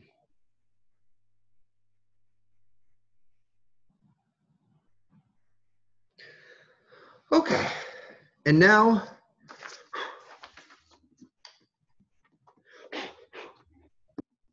thank God I've got this big work area. You know, it's nice to have a big work desk, just a place where you can do your stuff. It's very important. Um, let's see. We have 8, 8, 810, 812, 814, 816, 818. So make sure I don't do anything stupid here. This is 88, 810, 812, 814, 816, and 818. I've dated my spots. You all see this? So do we put that on uh, spot A in the side? No. um, that's coming. All right.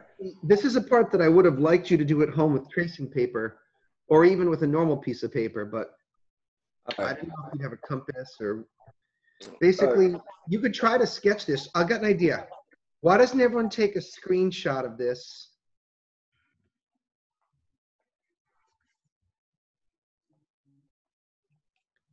And maybe try to sketch it out freehand if you can.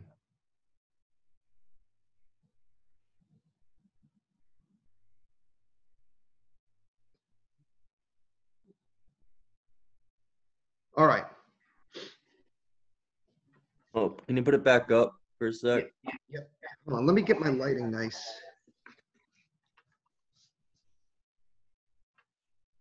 Yeah. Hold on.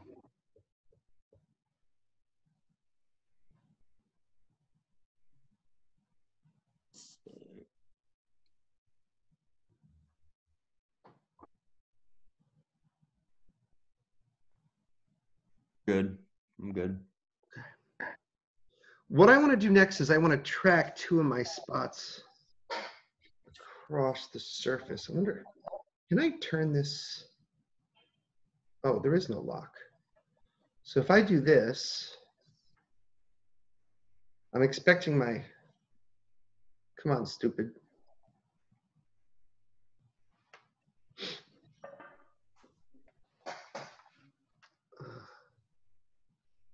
Normally this thing twists with it.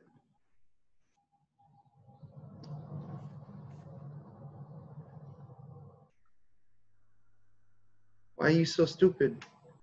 Okay, well, normally, you guys know what I'm talking about. If I twist it sideways, my phone is going sideways, but for some reason the the share screen is not.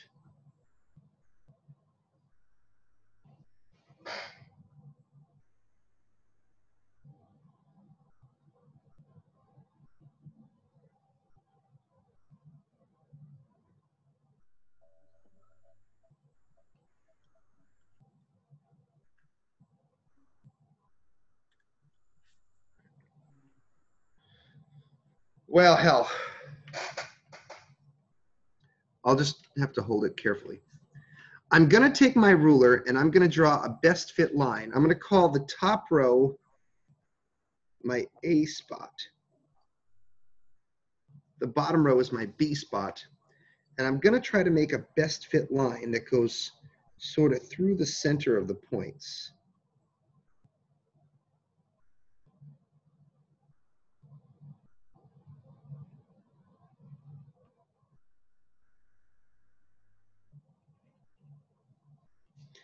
There's my A spot best fit line.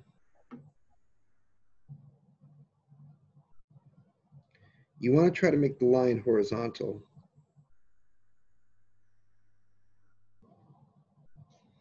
There's my B spot best fit line. So what we're going to do, guys, is we're going to imagine that we're basically taking a slice through the sun at these two latitudes. And this is a sideways view showing us how far the spot is rotating each couple of days. Now you might think, well, couldn't I just wait until the spot rotates all the way around the sun and that's how I'll measure the rotation? It's not so easy. You guys could see that it gets a little bit confusing even when you're looking at the spot day after day. As soon as those spots go around the limb or the edge of the sun, you've totally lost track of which is which, and you're not going to find them again. So what we want to do is we want to make a top-down view of the sun. So imagine this is in 3D. we're going to kind of slice through the sun at some latitude and we're going to try to figure out how many degrees is a spot rotating each day.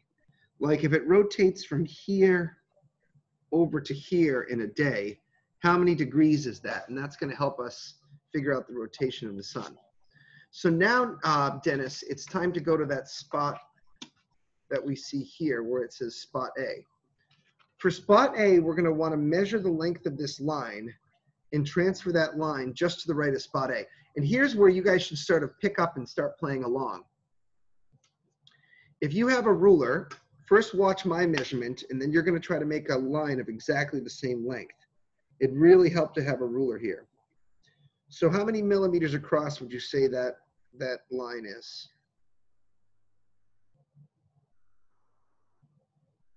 Uh, 50? Yeah, pretty darn close to 50. So I'm going to make a line that's exactly 50 uh, millimeters long on this page. Now the midpoint of 50 is obviously 25. I'm going to mark that with a vertical cross so that I don't confuse it with a sunspot. Then I'm going to try to draw in a hemisphere, a semicircle, by adjusting my compass to 25 centimeters. Oh, shit. This is, hold on. Oh, where's the damned, uh, the tape here?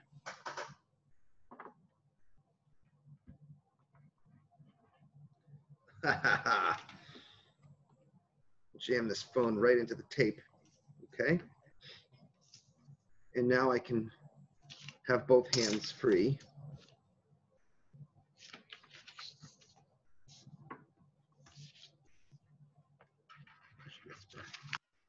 Oops. It helps to have a little bit of padding when you use your compass.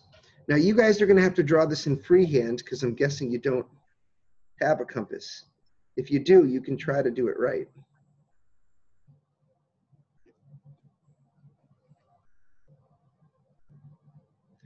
It's supposed to be more fun to do it right. I don't know. I don't know if you guys will actually think that's fun. Let's do the same thing for spot B now. I'm trying to get this phone at just the right angle. Okay, here we go.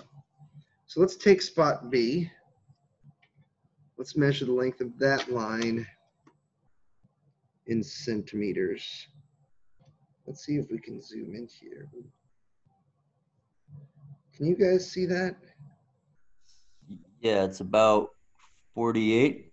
Yeah, fully agree. Thanks, Dennis. So I'm going to make that line 48. And what's the midpoint of 48? 24. That's right. So I'm going to make a vertical cross, nice and neat and careful, right at 24. Okay. Now I'm going to set my compass again. I'm going to adjust my compass.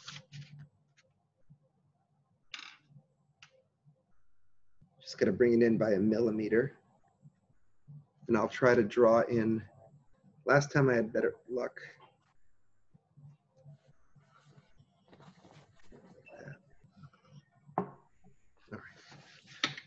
So these are supposed to represent top-down projections of the sun.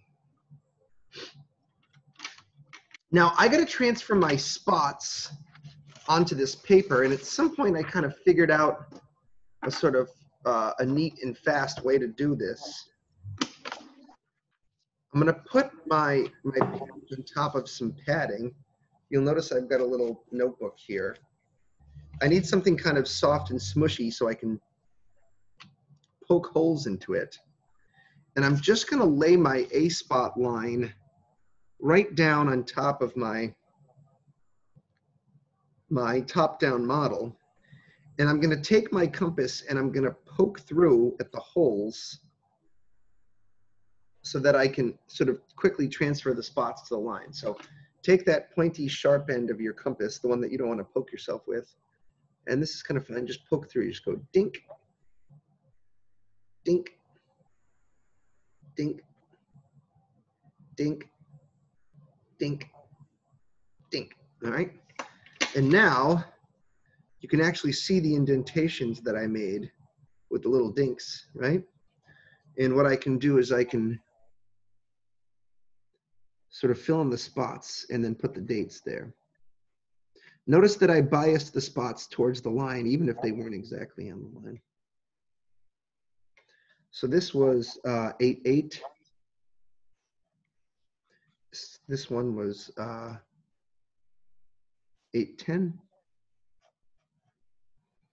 Uh, 8 12.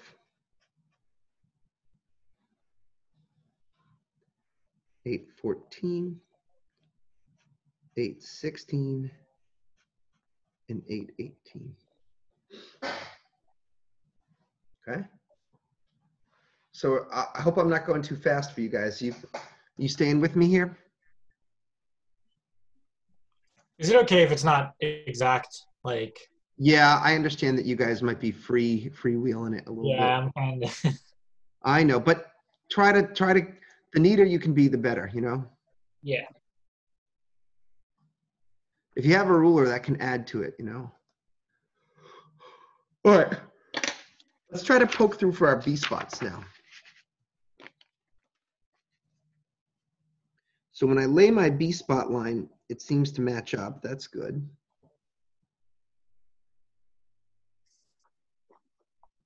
Pretty good agreement there. And I'm just gonna sort of, sort of poke through. Dink, dink, dink, dink, dink. Let's put our dates on here. So we have, uh, let's see, 727, 730. This is 730. Oops, not 38, but 30. Let's get my Pink Panther up there, right? 730, all right? This, uh, this guy here is 8-1. I'm gonna kind of shade them in a bit. This one is 8-3. This one is 8-6.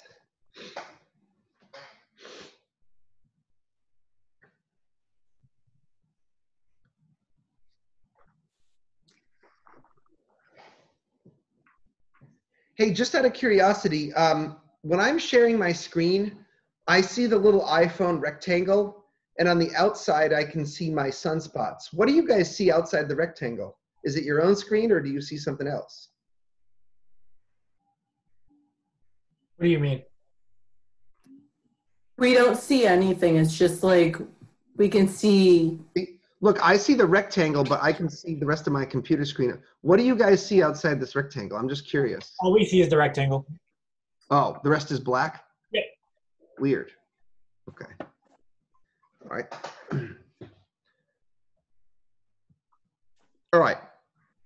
What we're going to do now is for each sunspot, A and B, we're going to track two of our spots up to the surface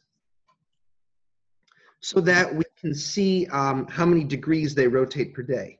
We don't want to be too close to the center or the angle will be small, but we don't want to be too close to the edge like this, or there'll be a lot of uncertainty at what point on the sun's surface it's striking. So I'm going to kind of just go with the 810 spot and the 816 spot because they're kind of in the middle on either side of the center. And I'm going to start by just taking a ruler and I'm going to perpendicularly track them up to the surface, but no farther.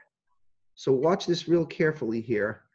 I'm actually even using the, the inches as a sort of guide to make sure I stay perpendicular. I'm to track 810 up to the surface like so. And I'm to track 816 up to the surface. Oh shoot, Jordan, I, I can't, uh, I can't do your phone with the damn, I don't have the thumb for it. Sorry.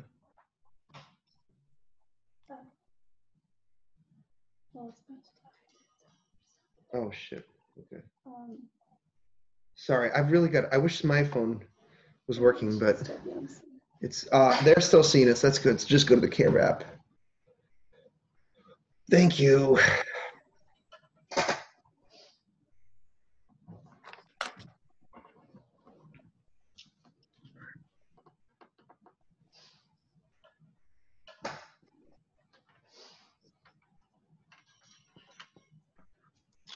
All right.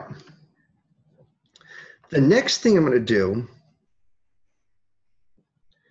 is I'm going to track an angle from the center of the disk where the, the tick mark is, and I'm going to have it intersect with the surface intersection of the sunspot. This is a top-down view, and we're going to be watching the sunspot rotate across the disk. Extend this line out like wicked far, like as far as you possibly can on both sides.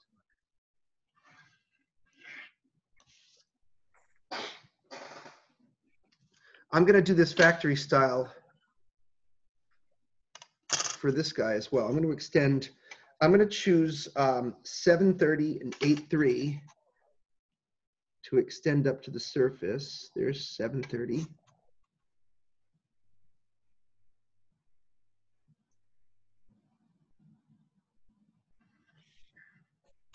There's 8.3, and I'm going to extend this angle wicked far out.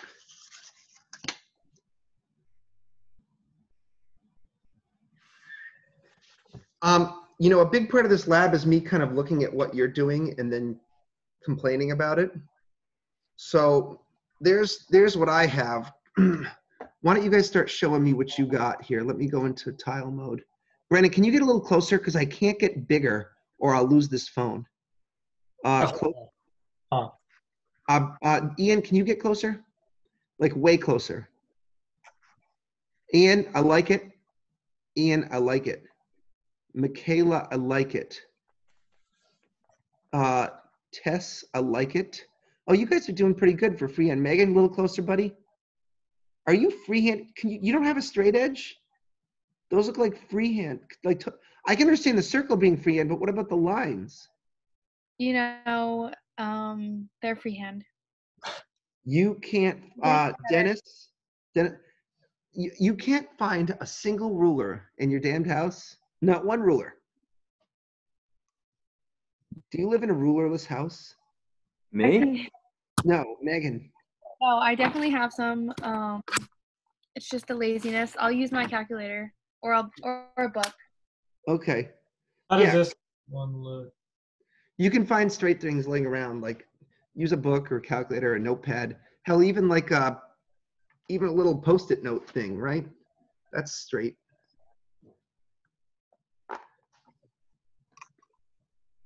I mean, Megan, it's it's okay, all right. I'm still gonna give you points, but you know, I'm not asking you to go like 100% here. I was thinking maybe like 35% or 40%. Just making the line straight would be kind of at like the 35% I commitment. will try. All right, okay. All right, all right. All right, now you're going to learn how to use a protractor. I'm presuming, probably correctly, that you don't have a protractor at your house. But you should really pay attention here. I want to teach you guys how this works. To use a protractor, what you do is you take this you take this circle and you put it at the vertex of the angle. The vertex is where the uh, elbow is, okay? And then you pin the vertex with your pencil. You pin and you spin. So I'm going to pin it and spin it until the zero degree line, which is here, lines up with one of my arms. Clearly this angle is less than 90, so I can read off my protractor. What would you guys say this angle is?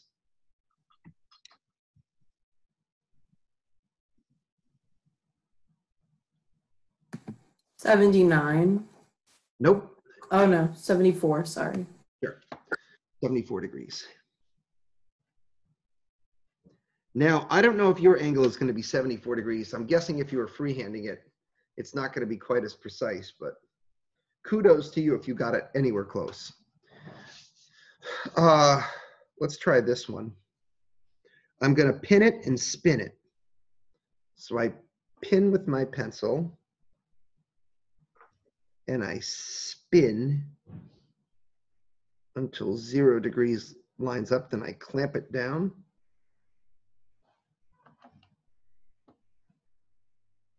Ooh, that's an annoying one.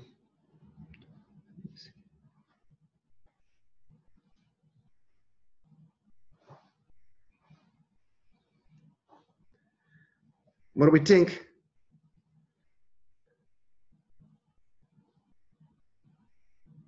Fifty-seven degrees. Okay. Ah.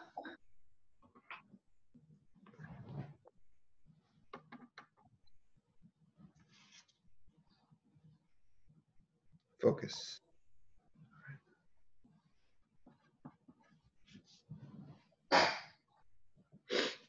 All right. Um, let's get the time interval for spot A. How many days was it from here to here?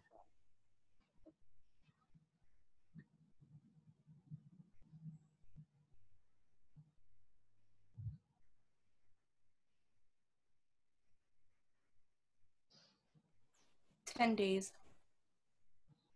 No, Six days. it's 810 to 816 would be six days, right? That's what you meant, I'm sure. So if your time interval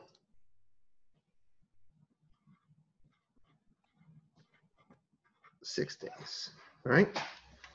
Um, now to get our angular velocity, an angular velocity is a measurement of the degrees that your sunspot rotates per day. And one of the cool things about units is units kind of tell you what the formula is. What formula do you, how should I get my degrees per day if I have an angle in degrees and I have a time in days? You divide the degree by the amount of days that we have. Exactly. The units kind of tell you what the formula is. So we'll do 74 divided by 6. How many sig figs do you think we should keep?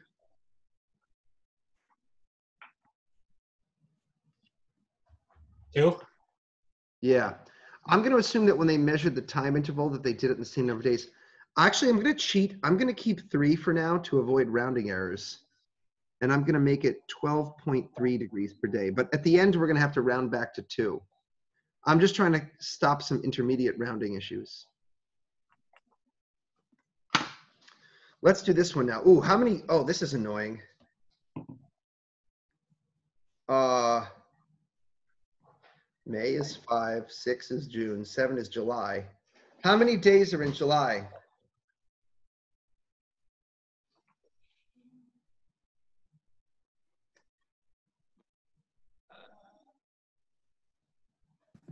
Thirty-one. So how many days would it be between uh, 7:30 and 8:30? Five. Hmm, I don't know if I like that. 30 to 31, right? That's one day. 31 to 1. That's two days. Four. Yeah, three days is one to two. Does everyone see how that works? From the 30th to the 31 is one day. Do you see what I'm doing there? All right. Hopefully I've convinced you.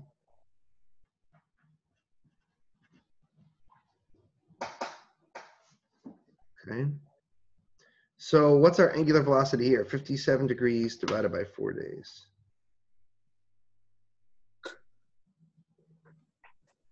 Fourteen point two five, or do you want to go, do you want to do three six? Yeah, keeps, always keep them the same Z's to, to keep it, you know, consistent. Fourteen point three. Don't forget to put your units on of degrees per day, please. All right, now we've got to take our average angular velocity. So we have to average 12.3 degrees per day and 14.3 degrees per day. The idea is that one of our spots was a little bit above the equator, the other's a little bit below. If we take the average, that should get us pretty close to the equator. So 14.3. Oh, it's going to be 13.3, isn't it? Divide by two. Duh, easy. So our average is 13.3 degrees. Oh, Let's flip over to the next page. We're going to skip spot C because we all have lives to live, all right? And I think two sunspots gets you the right idea. So the average angular velocity was 13.3 degrees per day. Now, hear me out on this logic here. Imagine that I have a full three-dimensional sun.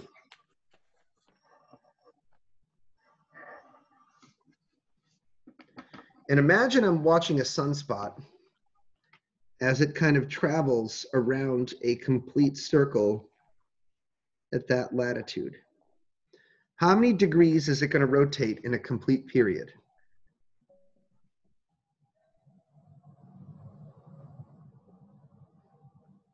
How many degrees to go around the sun? 360. Good.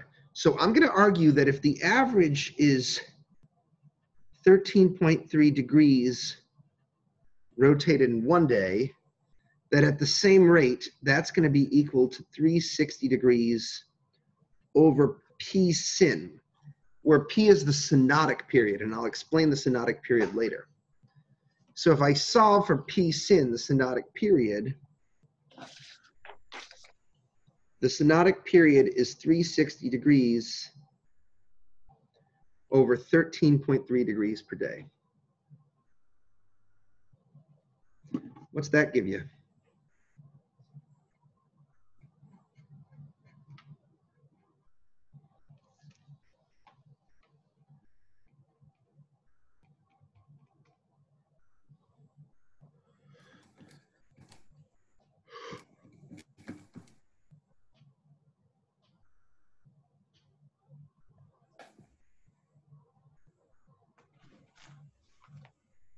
About 27 days. Let's make keep three sig figs for now. The synodic rotation period is 27. I got 27.1 days. Is that what you got? Whoever was talking to me? Yes. Michaela? Mhm. Okay, cool. Um, now watch this maneuver. You might wonder, why is it a synodic period? The reason is, is because you were on a moving Earth. And Earth was rotating during those 10 or six days that you were tracking the spot. So in some sense, it's kind of like you're tracking the synodic period, like it was Mercury. And you can use the same formula to calculate the sidereal period. From chapter S1, that formula was basically 36, this is the version of it in days, 365.25 times the synodic over 365.25 plus the synodic period. And that'll give us our answer in days, but we got to use the parentheses. So we'll do 365.25 times 27.1 divided by open parentheses 365.25 plus 27.1 close parentheses equals. And now we'll round it back to two sig figs.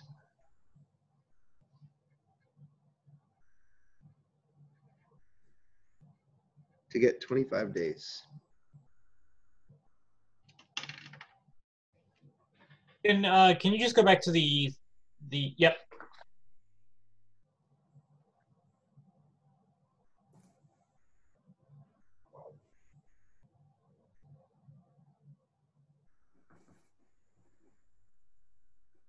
Thank you. How did our answer compare to today's lecture?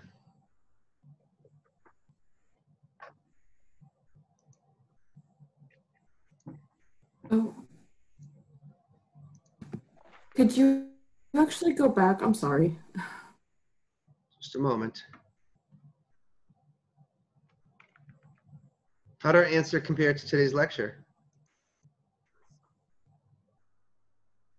Same thing, right? Yeah. Nice. Uh, what do you need, uh, Tess? Just the last part of the paper. Uh, as long as the phone will share it, I will share it.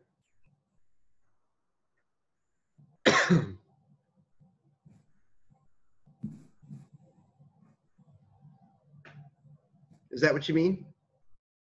Uh, no, the equation. That's what I, It's the number of days in a sidereal year times the synodic period divided by the sum of the days per year. What's okay, thank you. Basically, you learned it earlier in years as synodic period over synodic period plus one year. That's how you learned it earlier. Here, we're doing it in days instead of in years.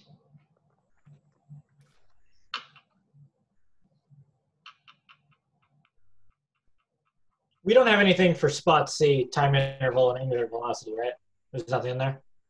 Nah, I decided we would do two spots because that already took us up to 355. See what I'm saying? True. With the technical glitches and all. Also, I think two spots is better because if you bias two to the north and one to the south, it's an uneven number and it might skew your direction north or south.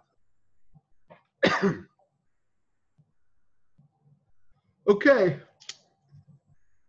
Well, I want to apologize for a kind of, uh, wait, I got some chats here I got to check out. Zach, this is, we skipped lab seven. We're going to do lab seven later this week. I thought I had made that clear to everyone, but maybe not.